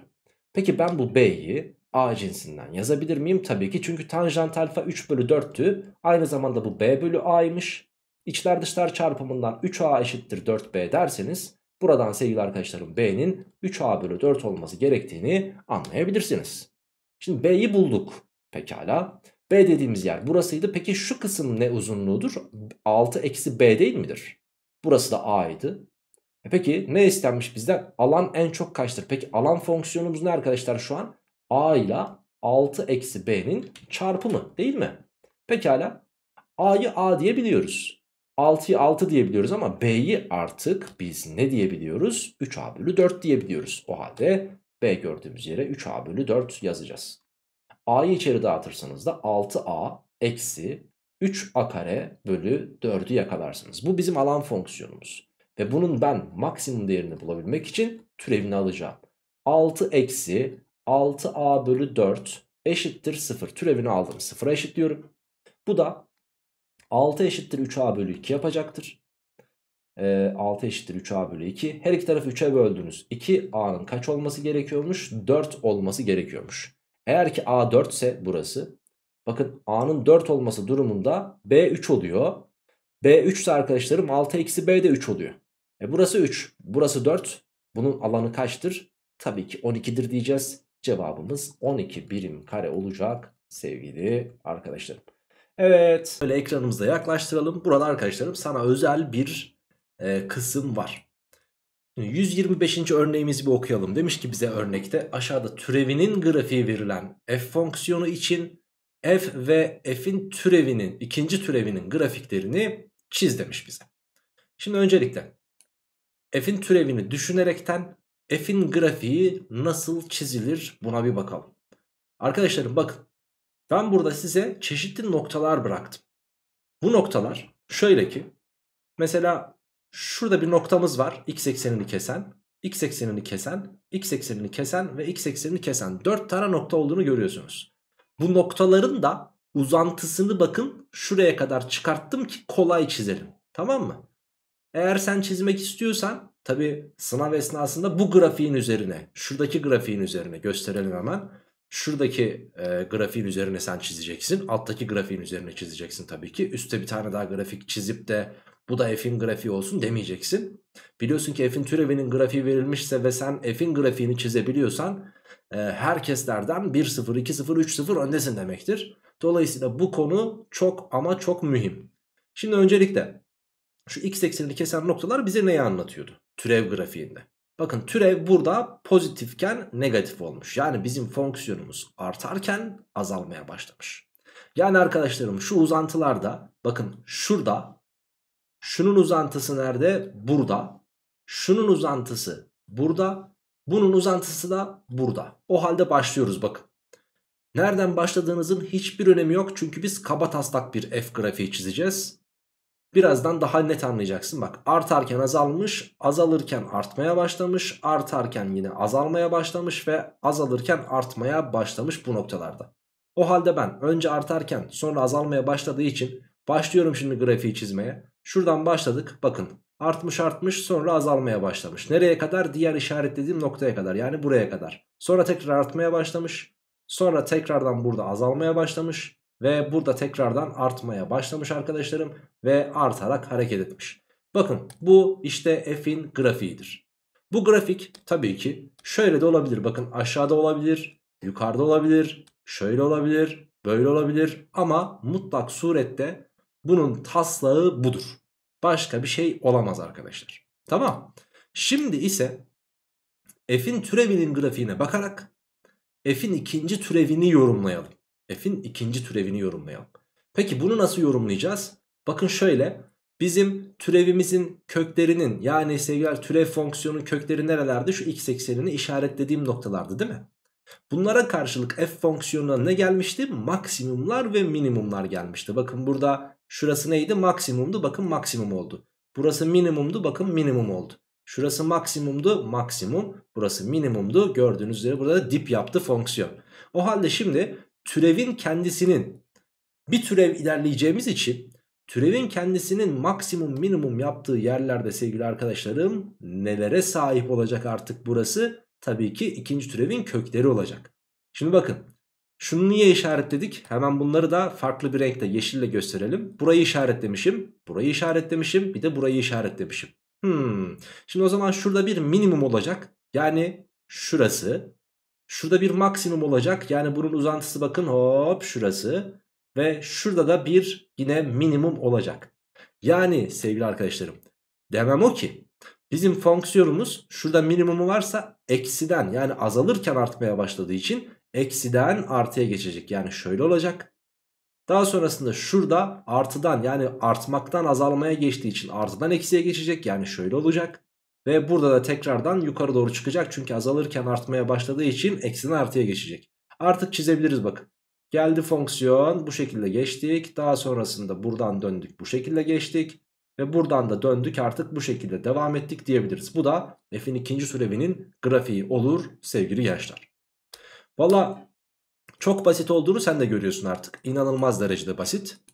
Ne dedik tekrar ediyorum. Şimdi bir tane daha uygulamasını yapacağız. Orada çok daha net anlayacaksın. İyi dinliyorsun. Türev fonksiyonun grafiği varsa elinde. Bilerek ortadakini verdim ki hem öncesine hem de sonradakine gidebil diye. Tamam mı? Gidebilesin diye. Gidebil ne? Gidebilesin diye. Hem e, ortadakini verdim ki hem ileri hem de geri götürüyoruz bakın. Hem fonksiyona götürüyorum hem de türeve götürüyorum. Tamam mı? Şimdi fonksiyona çıkarken yani bir önceki fonksiyona giderken ne yapıyormuşuz? Köklerine bakıyoruz. Şuradaki mavilere bakıyoruz. Bu mavilerin uzantısına göre bakın şu şekilde uzantılarında ne, neler oluyordu? Artıdan eksiye geçtiği için maksimum oluyor. Burada eksiden artıya geçmiş minimum oldu. Artıdan eksiye maksimum. Eksiden artıya minimum oldu. Ve daha sonrasında da bir sonraki türeve hareket edebilmek için maksimumlarını minimumlarını belirledik. Burada minimum olduğu için fonksiyonumuz eksiden artıya geçecek. İkinci türev eksiden artıya geçti. Burada maksimum olduğu için artıdan eksiye. Burada bir minimuma sahip olduğu için de eksiden artıya geçmiş oldu. Şimdi gelin şuna bakalım. Yine f'in türevinin grafiği belli burada. Şimdi burada biz önce hangisini çizeceğiz? Yukarıdakini çizelim. Yukarıdakini çizebilmek için nelere bakıyorum? Önce köklere bakıyorum. Burası, burası ve burası. Şimdi burada artıdan eksiye geçmiş. Demek ki bir maksimum hareketi olacak. Burada e, maksimum hareketi dedik. Tamam. Şurada arkadaşlarım hemen şunları şöyle çizeyim ben. Şöyle yapalım. Heh. Bak bunun uzantısı neresi? Şurası. Bunun uzantısı neresi? Hop burası. Bunun uzantısı da şurası arkadaşlar. Şimdi burada artıdan eksiye geçtiği için fonksiyon buraya kadar artmış. Arttıktan sonra hop azalmaya başlamış. Nereye kadar? İşte buraya kadar. Daha sonrasında artmaya başlayacak ve buraya kadar arttırdık sonra geri düşüreceğiz. İşte fonksiyonumuzun grafiği bu. Peki şimdi gelin ikinci türeve geçelim. İkinci türeve geçmek için ne yapıyorduk? Maksimumları ve minimumları işaretliyoruz. Bunlara karşılık gelen yerlerinde kök olarak işaretliyoruz arkadaşlarım. Yani burada orijinde ve şurada arkadaşlar. Pekala bakın burada artanlıktan azalanlığa geçmiş. Yani nereden nereye geçecek? Artıdan eksiye geçecek. Sıfır noktasında azalanlıktan artanlığa geçtiği için eksiden artıya geçecek. Ve şu noktada da yine artıştan azalışa geçtiği için artıdan eksiye geçecek dedik. Artık çiziyorum. Bakın çizmeye başladık. Buradan geçtik. Buradan geçtik ve buradan geçtik. Bu da bizim fonksiyonumuzun ikinci türevinin grafiği olmuş oldu sevgili arkadaşlar. İşte bu kadar basitti. Bu kadar uygulaması basit olan şeyleri lütfen özellikle öncüllü sorularda lütfen arkadaşlarım yapmaya gayret gösterin. Türevin grafiği verilmişse size hiç merak etmeyin. Fonksiyonun grafiğini çizebilirsiniz. Fonksiyonun grafiği verildiyse artık türevinin grafiğini çizebilirsiniz. Yine bakın ben e, bu sadece şey için geçerli değil bak yanlış anlaşılmasın. F'in türevinden F'in ikinci türevine nasıl geçilir e, bunu anladınız buradan buraya geçerken. Bu sadece F'in türevinden ikinci türevine geçiş değil. Bir türev ilerlemekle alakalı. Yani sana F'in grafiğini verdiyse şunun grafiğini verdiyse ve sen şuna geçmek istiyorsan neyi uyguluyorsun? Şuradan nasıl geçiş yaptıysak onu uyguluyorsun. Tamam bu kadar basit. Şimdi bir sonraki sayfamıza bakıyoruz. 157. sayfamızda polinom fonksiyonların grafikleri var. Yine bu kısım bizim için çok değerli. Çünkü herhangi bir polinom verdiği takdirde sen bunun grafiğini çizebilirsin ya da herhangi bir grafik verip bu bir polinomdur derse işte o zaman sen o grafiğin denklemini yazabilirsin. Bu çok hoş bir şey. Bu çok olay bir şey aslına bakarsanız. Hem olay hem de kolay arkadaşlar. Dolayısıyla dikkatli dinlemenizde çok büyük fayda var. x küp eksi 16x fonksiyonunun grafiği nasıl çizilir? Hemen bunu çarpanlarına ayırıyorsunuz. x parantezini aldınız x kare eksi 16 geldi. x kare eksi 16 da 2 kare farkı yardımıyla x çarpı x eksi 4 çarpı x artı 4 biçiminde yazılabilir. Daha sonrasında ise buranın kökü 0, buranın kökü 4 ve buranın kökü eksi 4'tür diyerek eksi 4'ü, 0'ı ve 4'ü yani köklerimizi işaretledik arkadaşlar. Pekala. Burada ise grafiği mutlak surette bakın grafiği mutlak surette sağdan sola doğru çizmeye gayret gösterin. Öncelikle bunun katsayısına bakıyorsunuz. Nedir? Pozitiftir. O halde sağ taraftan başlıyoruz. Şuradan başladınız. Tek katlı köklerde x ekseninin karşısına geçeceksiniz. Çift katlı köklerde x eksenine teğet olacaksınız. O halde artan olduğu için bizim fonksiyonumuz sonsuzda artacak. Dolayısıyla sevgili arkadaşlarım buradan geleceğim. Geldim tek katlı kök olduğu için 4'ten geçirdim. Şimdi nereden geçmem gerekiyor? Sıfırdan o halde döneceğiz. Döndük. Daha sonrasında şimdi nereden geçmem gerekiyor? Eksi 4'ten eksi 4'ten geçtik. Ve işte aşağı yukarı f fonksiyonumuzun grafiği işte budur diyebiliriz. Umarım anlaşılmıştır. 128'e bakalım. Bakın çift katlı kök de var burada. O yüzden ona dikkat. Bakın buranın kökü 2. Buranın kökü 3 ama çift katlı. Buranın kökü 5. 2'yi 3'ü ve 5'i gösteriyoruz. 2 burada. 3 burada. 5 de burada olsun. Şimdi gelin katsayımıza bakalım baş katsayımıza. Burası artı. Burası artı ama buraya bakıyorsunuz eksi. Demek ki arkadaşlarım eksi çarpı artı çarpı artıdan eksi gelecek ve bizim fonksiyonumuz azalarak ilerleyecekmiş. Yani şu şekilde ilerleyecekmiş. O halde ben buradan geleceğim. 5 tek katlı kök olduğu için 5'te karşıya geçtik. Ama 3 çift katlı olduğu için 3'e döndük. Tam karşıya geçecekken teğet olduk ve tekrardan sektik. Şimdi nereden geçeceğim? 2'den geçeceğim. Tek katlı kök olduğu için de bu şekilde geçtim ve devam ettim. İşte arkadaşlarım fx fonksiyonumuzun grafiği aşağı yukarı budur. Yani bu değilse de şöyle bir grafiktir. Şöyle bir grafiktir. Ne bileyim daha şöyle gelebilir. Tamam ama her türlü bizim fonksiyonumuzun grafiği buna benzer ve geçtiği yerlerde kesinlikle ama kesinlikle doğrudur. Devam ediyorum 129. örnekle. x artı 3'ün kökü nedir? Eksi 3. Buranın kökü de 2. Yalnız karesi olduğu için çift katlıdır. Karesi olduğu için ikisi de çift katlıymış. Bakın bir tanesi eksi 3. Öteki de 2. Daha sonrasında ise ikisi de karesi olduğu için baş katsayısının pozitif olduğunu artık gönül rahatlığıyla söyleyebiliriz. Pozitif olduğu için sonsuzda artarak gidecektir. Ve sevgili arkadaşlarım şöyle bir hareket çizecek. Peki nereden geçeceğiz şimdi? 2'den. Hadi gelin 2'den geçelim. Yalnız 2'den karşıya geçmiyoruz. Ne yapıyoruz? Çift katlı olduğu için sekiyoruz. Şu şekilde teğet olduk ve geçtik. Şimdi ise eksi 3'e teğet olmamız lazım. Çünkü o da çift katlı kök. O zaman eksi 3'e de teğet olalım ve kaçalım. İşte f fonksiyonumuzun grafiği aşağı yukarı budur diyebiliriz. Bakın aşağı yukarı budur diyorum. Çünkü dediğim gibi kollar daha yayvan olabilir. Şurası daha şu şekilde sekiyor olabilir. Ama dediğim gibi hani bunları nereden bulacaksınız? Mesela 0 yazarsan bulursun. Yaz 0'ı 9, yaz 0'ı 4, 4 kere 9 36. Artık şurası da 36'dır diyebiliriz. Demek ki bu artık şöyle bir bir şey oluyormuş aslına bakarsanız. Şu şekilde devam ediyormuş. Ama dediğim gibi nereden geçtiğini, nasıl geçtiğini bulursanız daha net grafikler çizersiniz. Ama fonksiyonun şekli kesinlikle budur. Ve devam ediyorum sağ üst tarafla. 130. örnek doğru değil mi? Bakalım aynen. 130. örneğimiz. Eksi x kare çarpı x eksi 4'ün karesi çarpı x artı 6 bu fonksiyonun grafiği. Şimdi şuranın kökü eksi 6. Buranın kökü 4 ama çift katlı. Buranın kökü 0 ama çift katlı. Şimdi çizelim. 0, 4 ve eksi 6. Bakın eksi 6 burada. 0 burada 4 de burada. Şimdi baş katsayısı negatif olduğu için sevgili arkadaşlarım azalarak gidecek. Yani şu şekilde sonsuza doğru azalarak gidecek. O zaman ben yine sağ taraftan başlıyorum. 4 çift katlı olduğu için bu sefer bu taraftan teğet olduk 4'e. Devam ettik. 0 da çift katlıydı. Dolayısıyla şimdi 0'a teğet olacağım. 0'a da teğet oldum. Eksi 6 tek katlı olduğu için eksi 6'dan geçecek. Yani nasıl geçecek arkadaşlarım? İşte şu şekilde geçtik. Ve fonksiyonumuzun grafiği ortaya çıkmış oldu. Tamam. Devam ediyorum. 131. yani son örnekle artık türevin son örneği arkadaşlarım. Eksi x küp artı 7x eksi 6 fonksiyonunun grafiğini çiz demiş bize. Şimdi bu çarpanlarına ilk bakışta ayrılamıyor. Fakat x gördüğünüz yere 1 yazdığınız takdirde yani bunun bu polinomun sevgili arkadaşlarım katsayılar toplamını bulduğunuz zaman eğer ki 0 geliyorsa tabii ki f1'e bakıyoruz hemen şimdi. Eksi 1 artı 7 eksi 6 bakın 0 geldi. O zaman kesinlikle x eksi 1 diye bir çarpanımızın olduğunu söylemekte fayda var. O halde bu fonksiyon yani eksi x küp artı 7x eksi 6 dediğimiz fonksiyon kesinlikle ama kesinlikle x eksi 1'e tam bölünüyormuş. O halde polinom bölmesi yapalım ve diğer çarpanlar ortaya çıksın. Bakın ben burayı eksi x kare ile çarparım. X ile eksi x kareyi çarparsanız eksi x küp yapar. Ve eksi x kare ile eksi 1'i çarparsanız artı x kare gelir. Şimdi bunları çıkarıyorum. Çıkarınca şunlar birbirini götürecektir. Daha sonrasında 7x bakın burada artı x kare var ya eksi x kareyi yazdım çünkü çıkarıyorduk. Üst tarafta sadece 7x ve eksi 6 kaldı. Şimdi ise eksi x ile çarpıyorum ki çarptığım zaman eksi x kare gelsin. Tabi artı bir de x'imiz oluştu. Bunları çıkarıyorum. Bunları çıkardığımız takdirde şunlar gider. 7x'ten x'i çıkardınız 6x ve eksi 6 oldu. Demek ki şimdi artı 6 ile çarpacağım ki 6x eksi 6 gelsin ve çıkardığım zaman 0 olsun.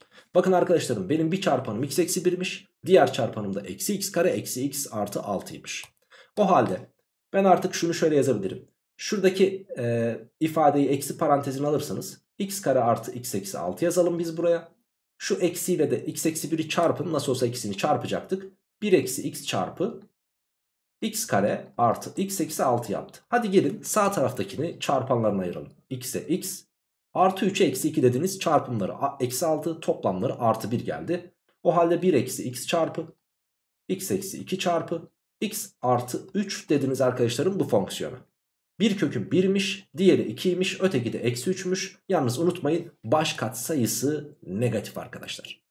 O halde köklerimizi yazalım. Eksi 3 1 ve 2 idi. Bakın eksi 3 şurada. 1 burada 2 de burada olsun. Bizim fonksiyonumuzun baş katsayısı negatif olduğu için bu fonksiyon sonsuzda azalarak hareket edecektir. Yani şu şekilde azalacak. Hepsi tek katlı olduğu için önce 2'den geçireceğim karşıya. Sonra 1'den karşıya geçireceğim. Ve eksi 3'ten karşıya geçireceğim. Yoluna devam et diyeceğim.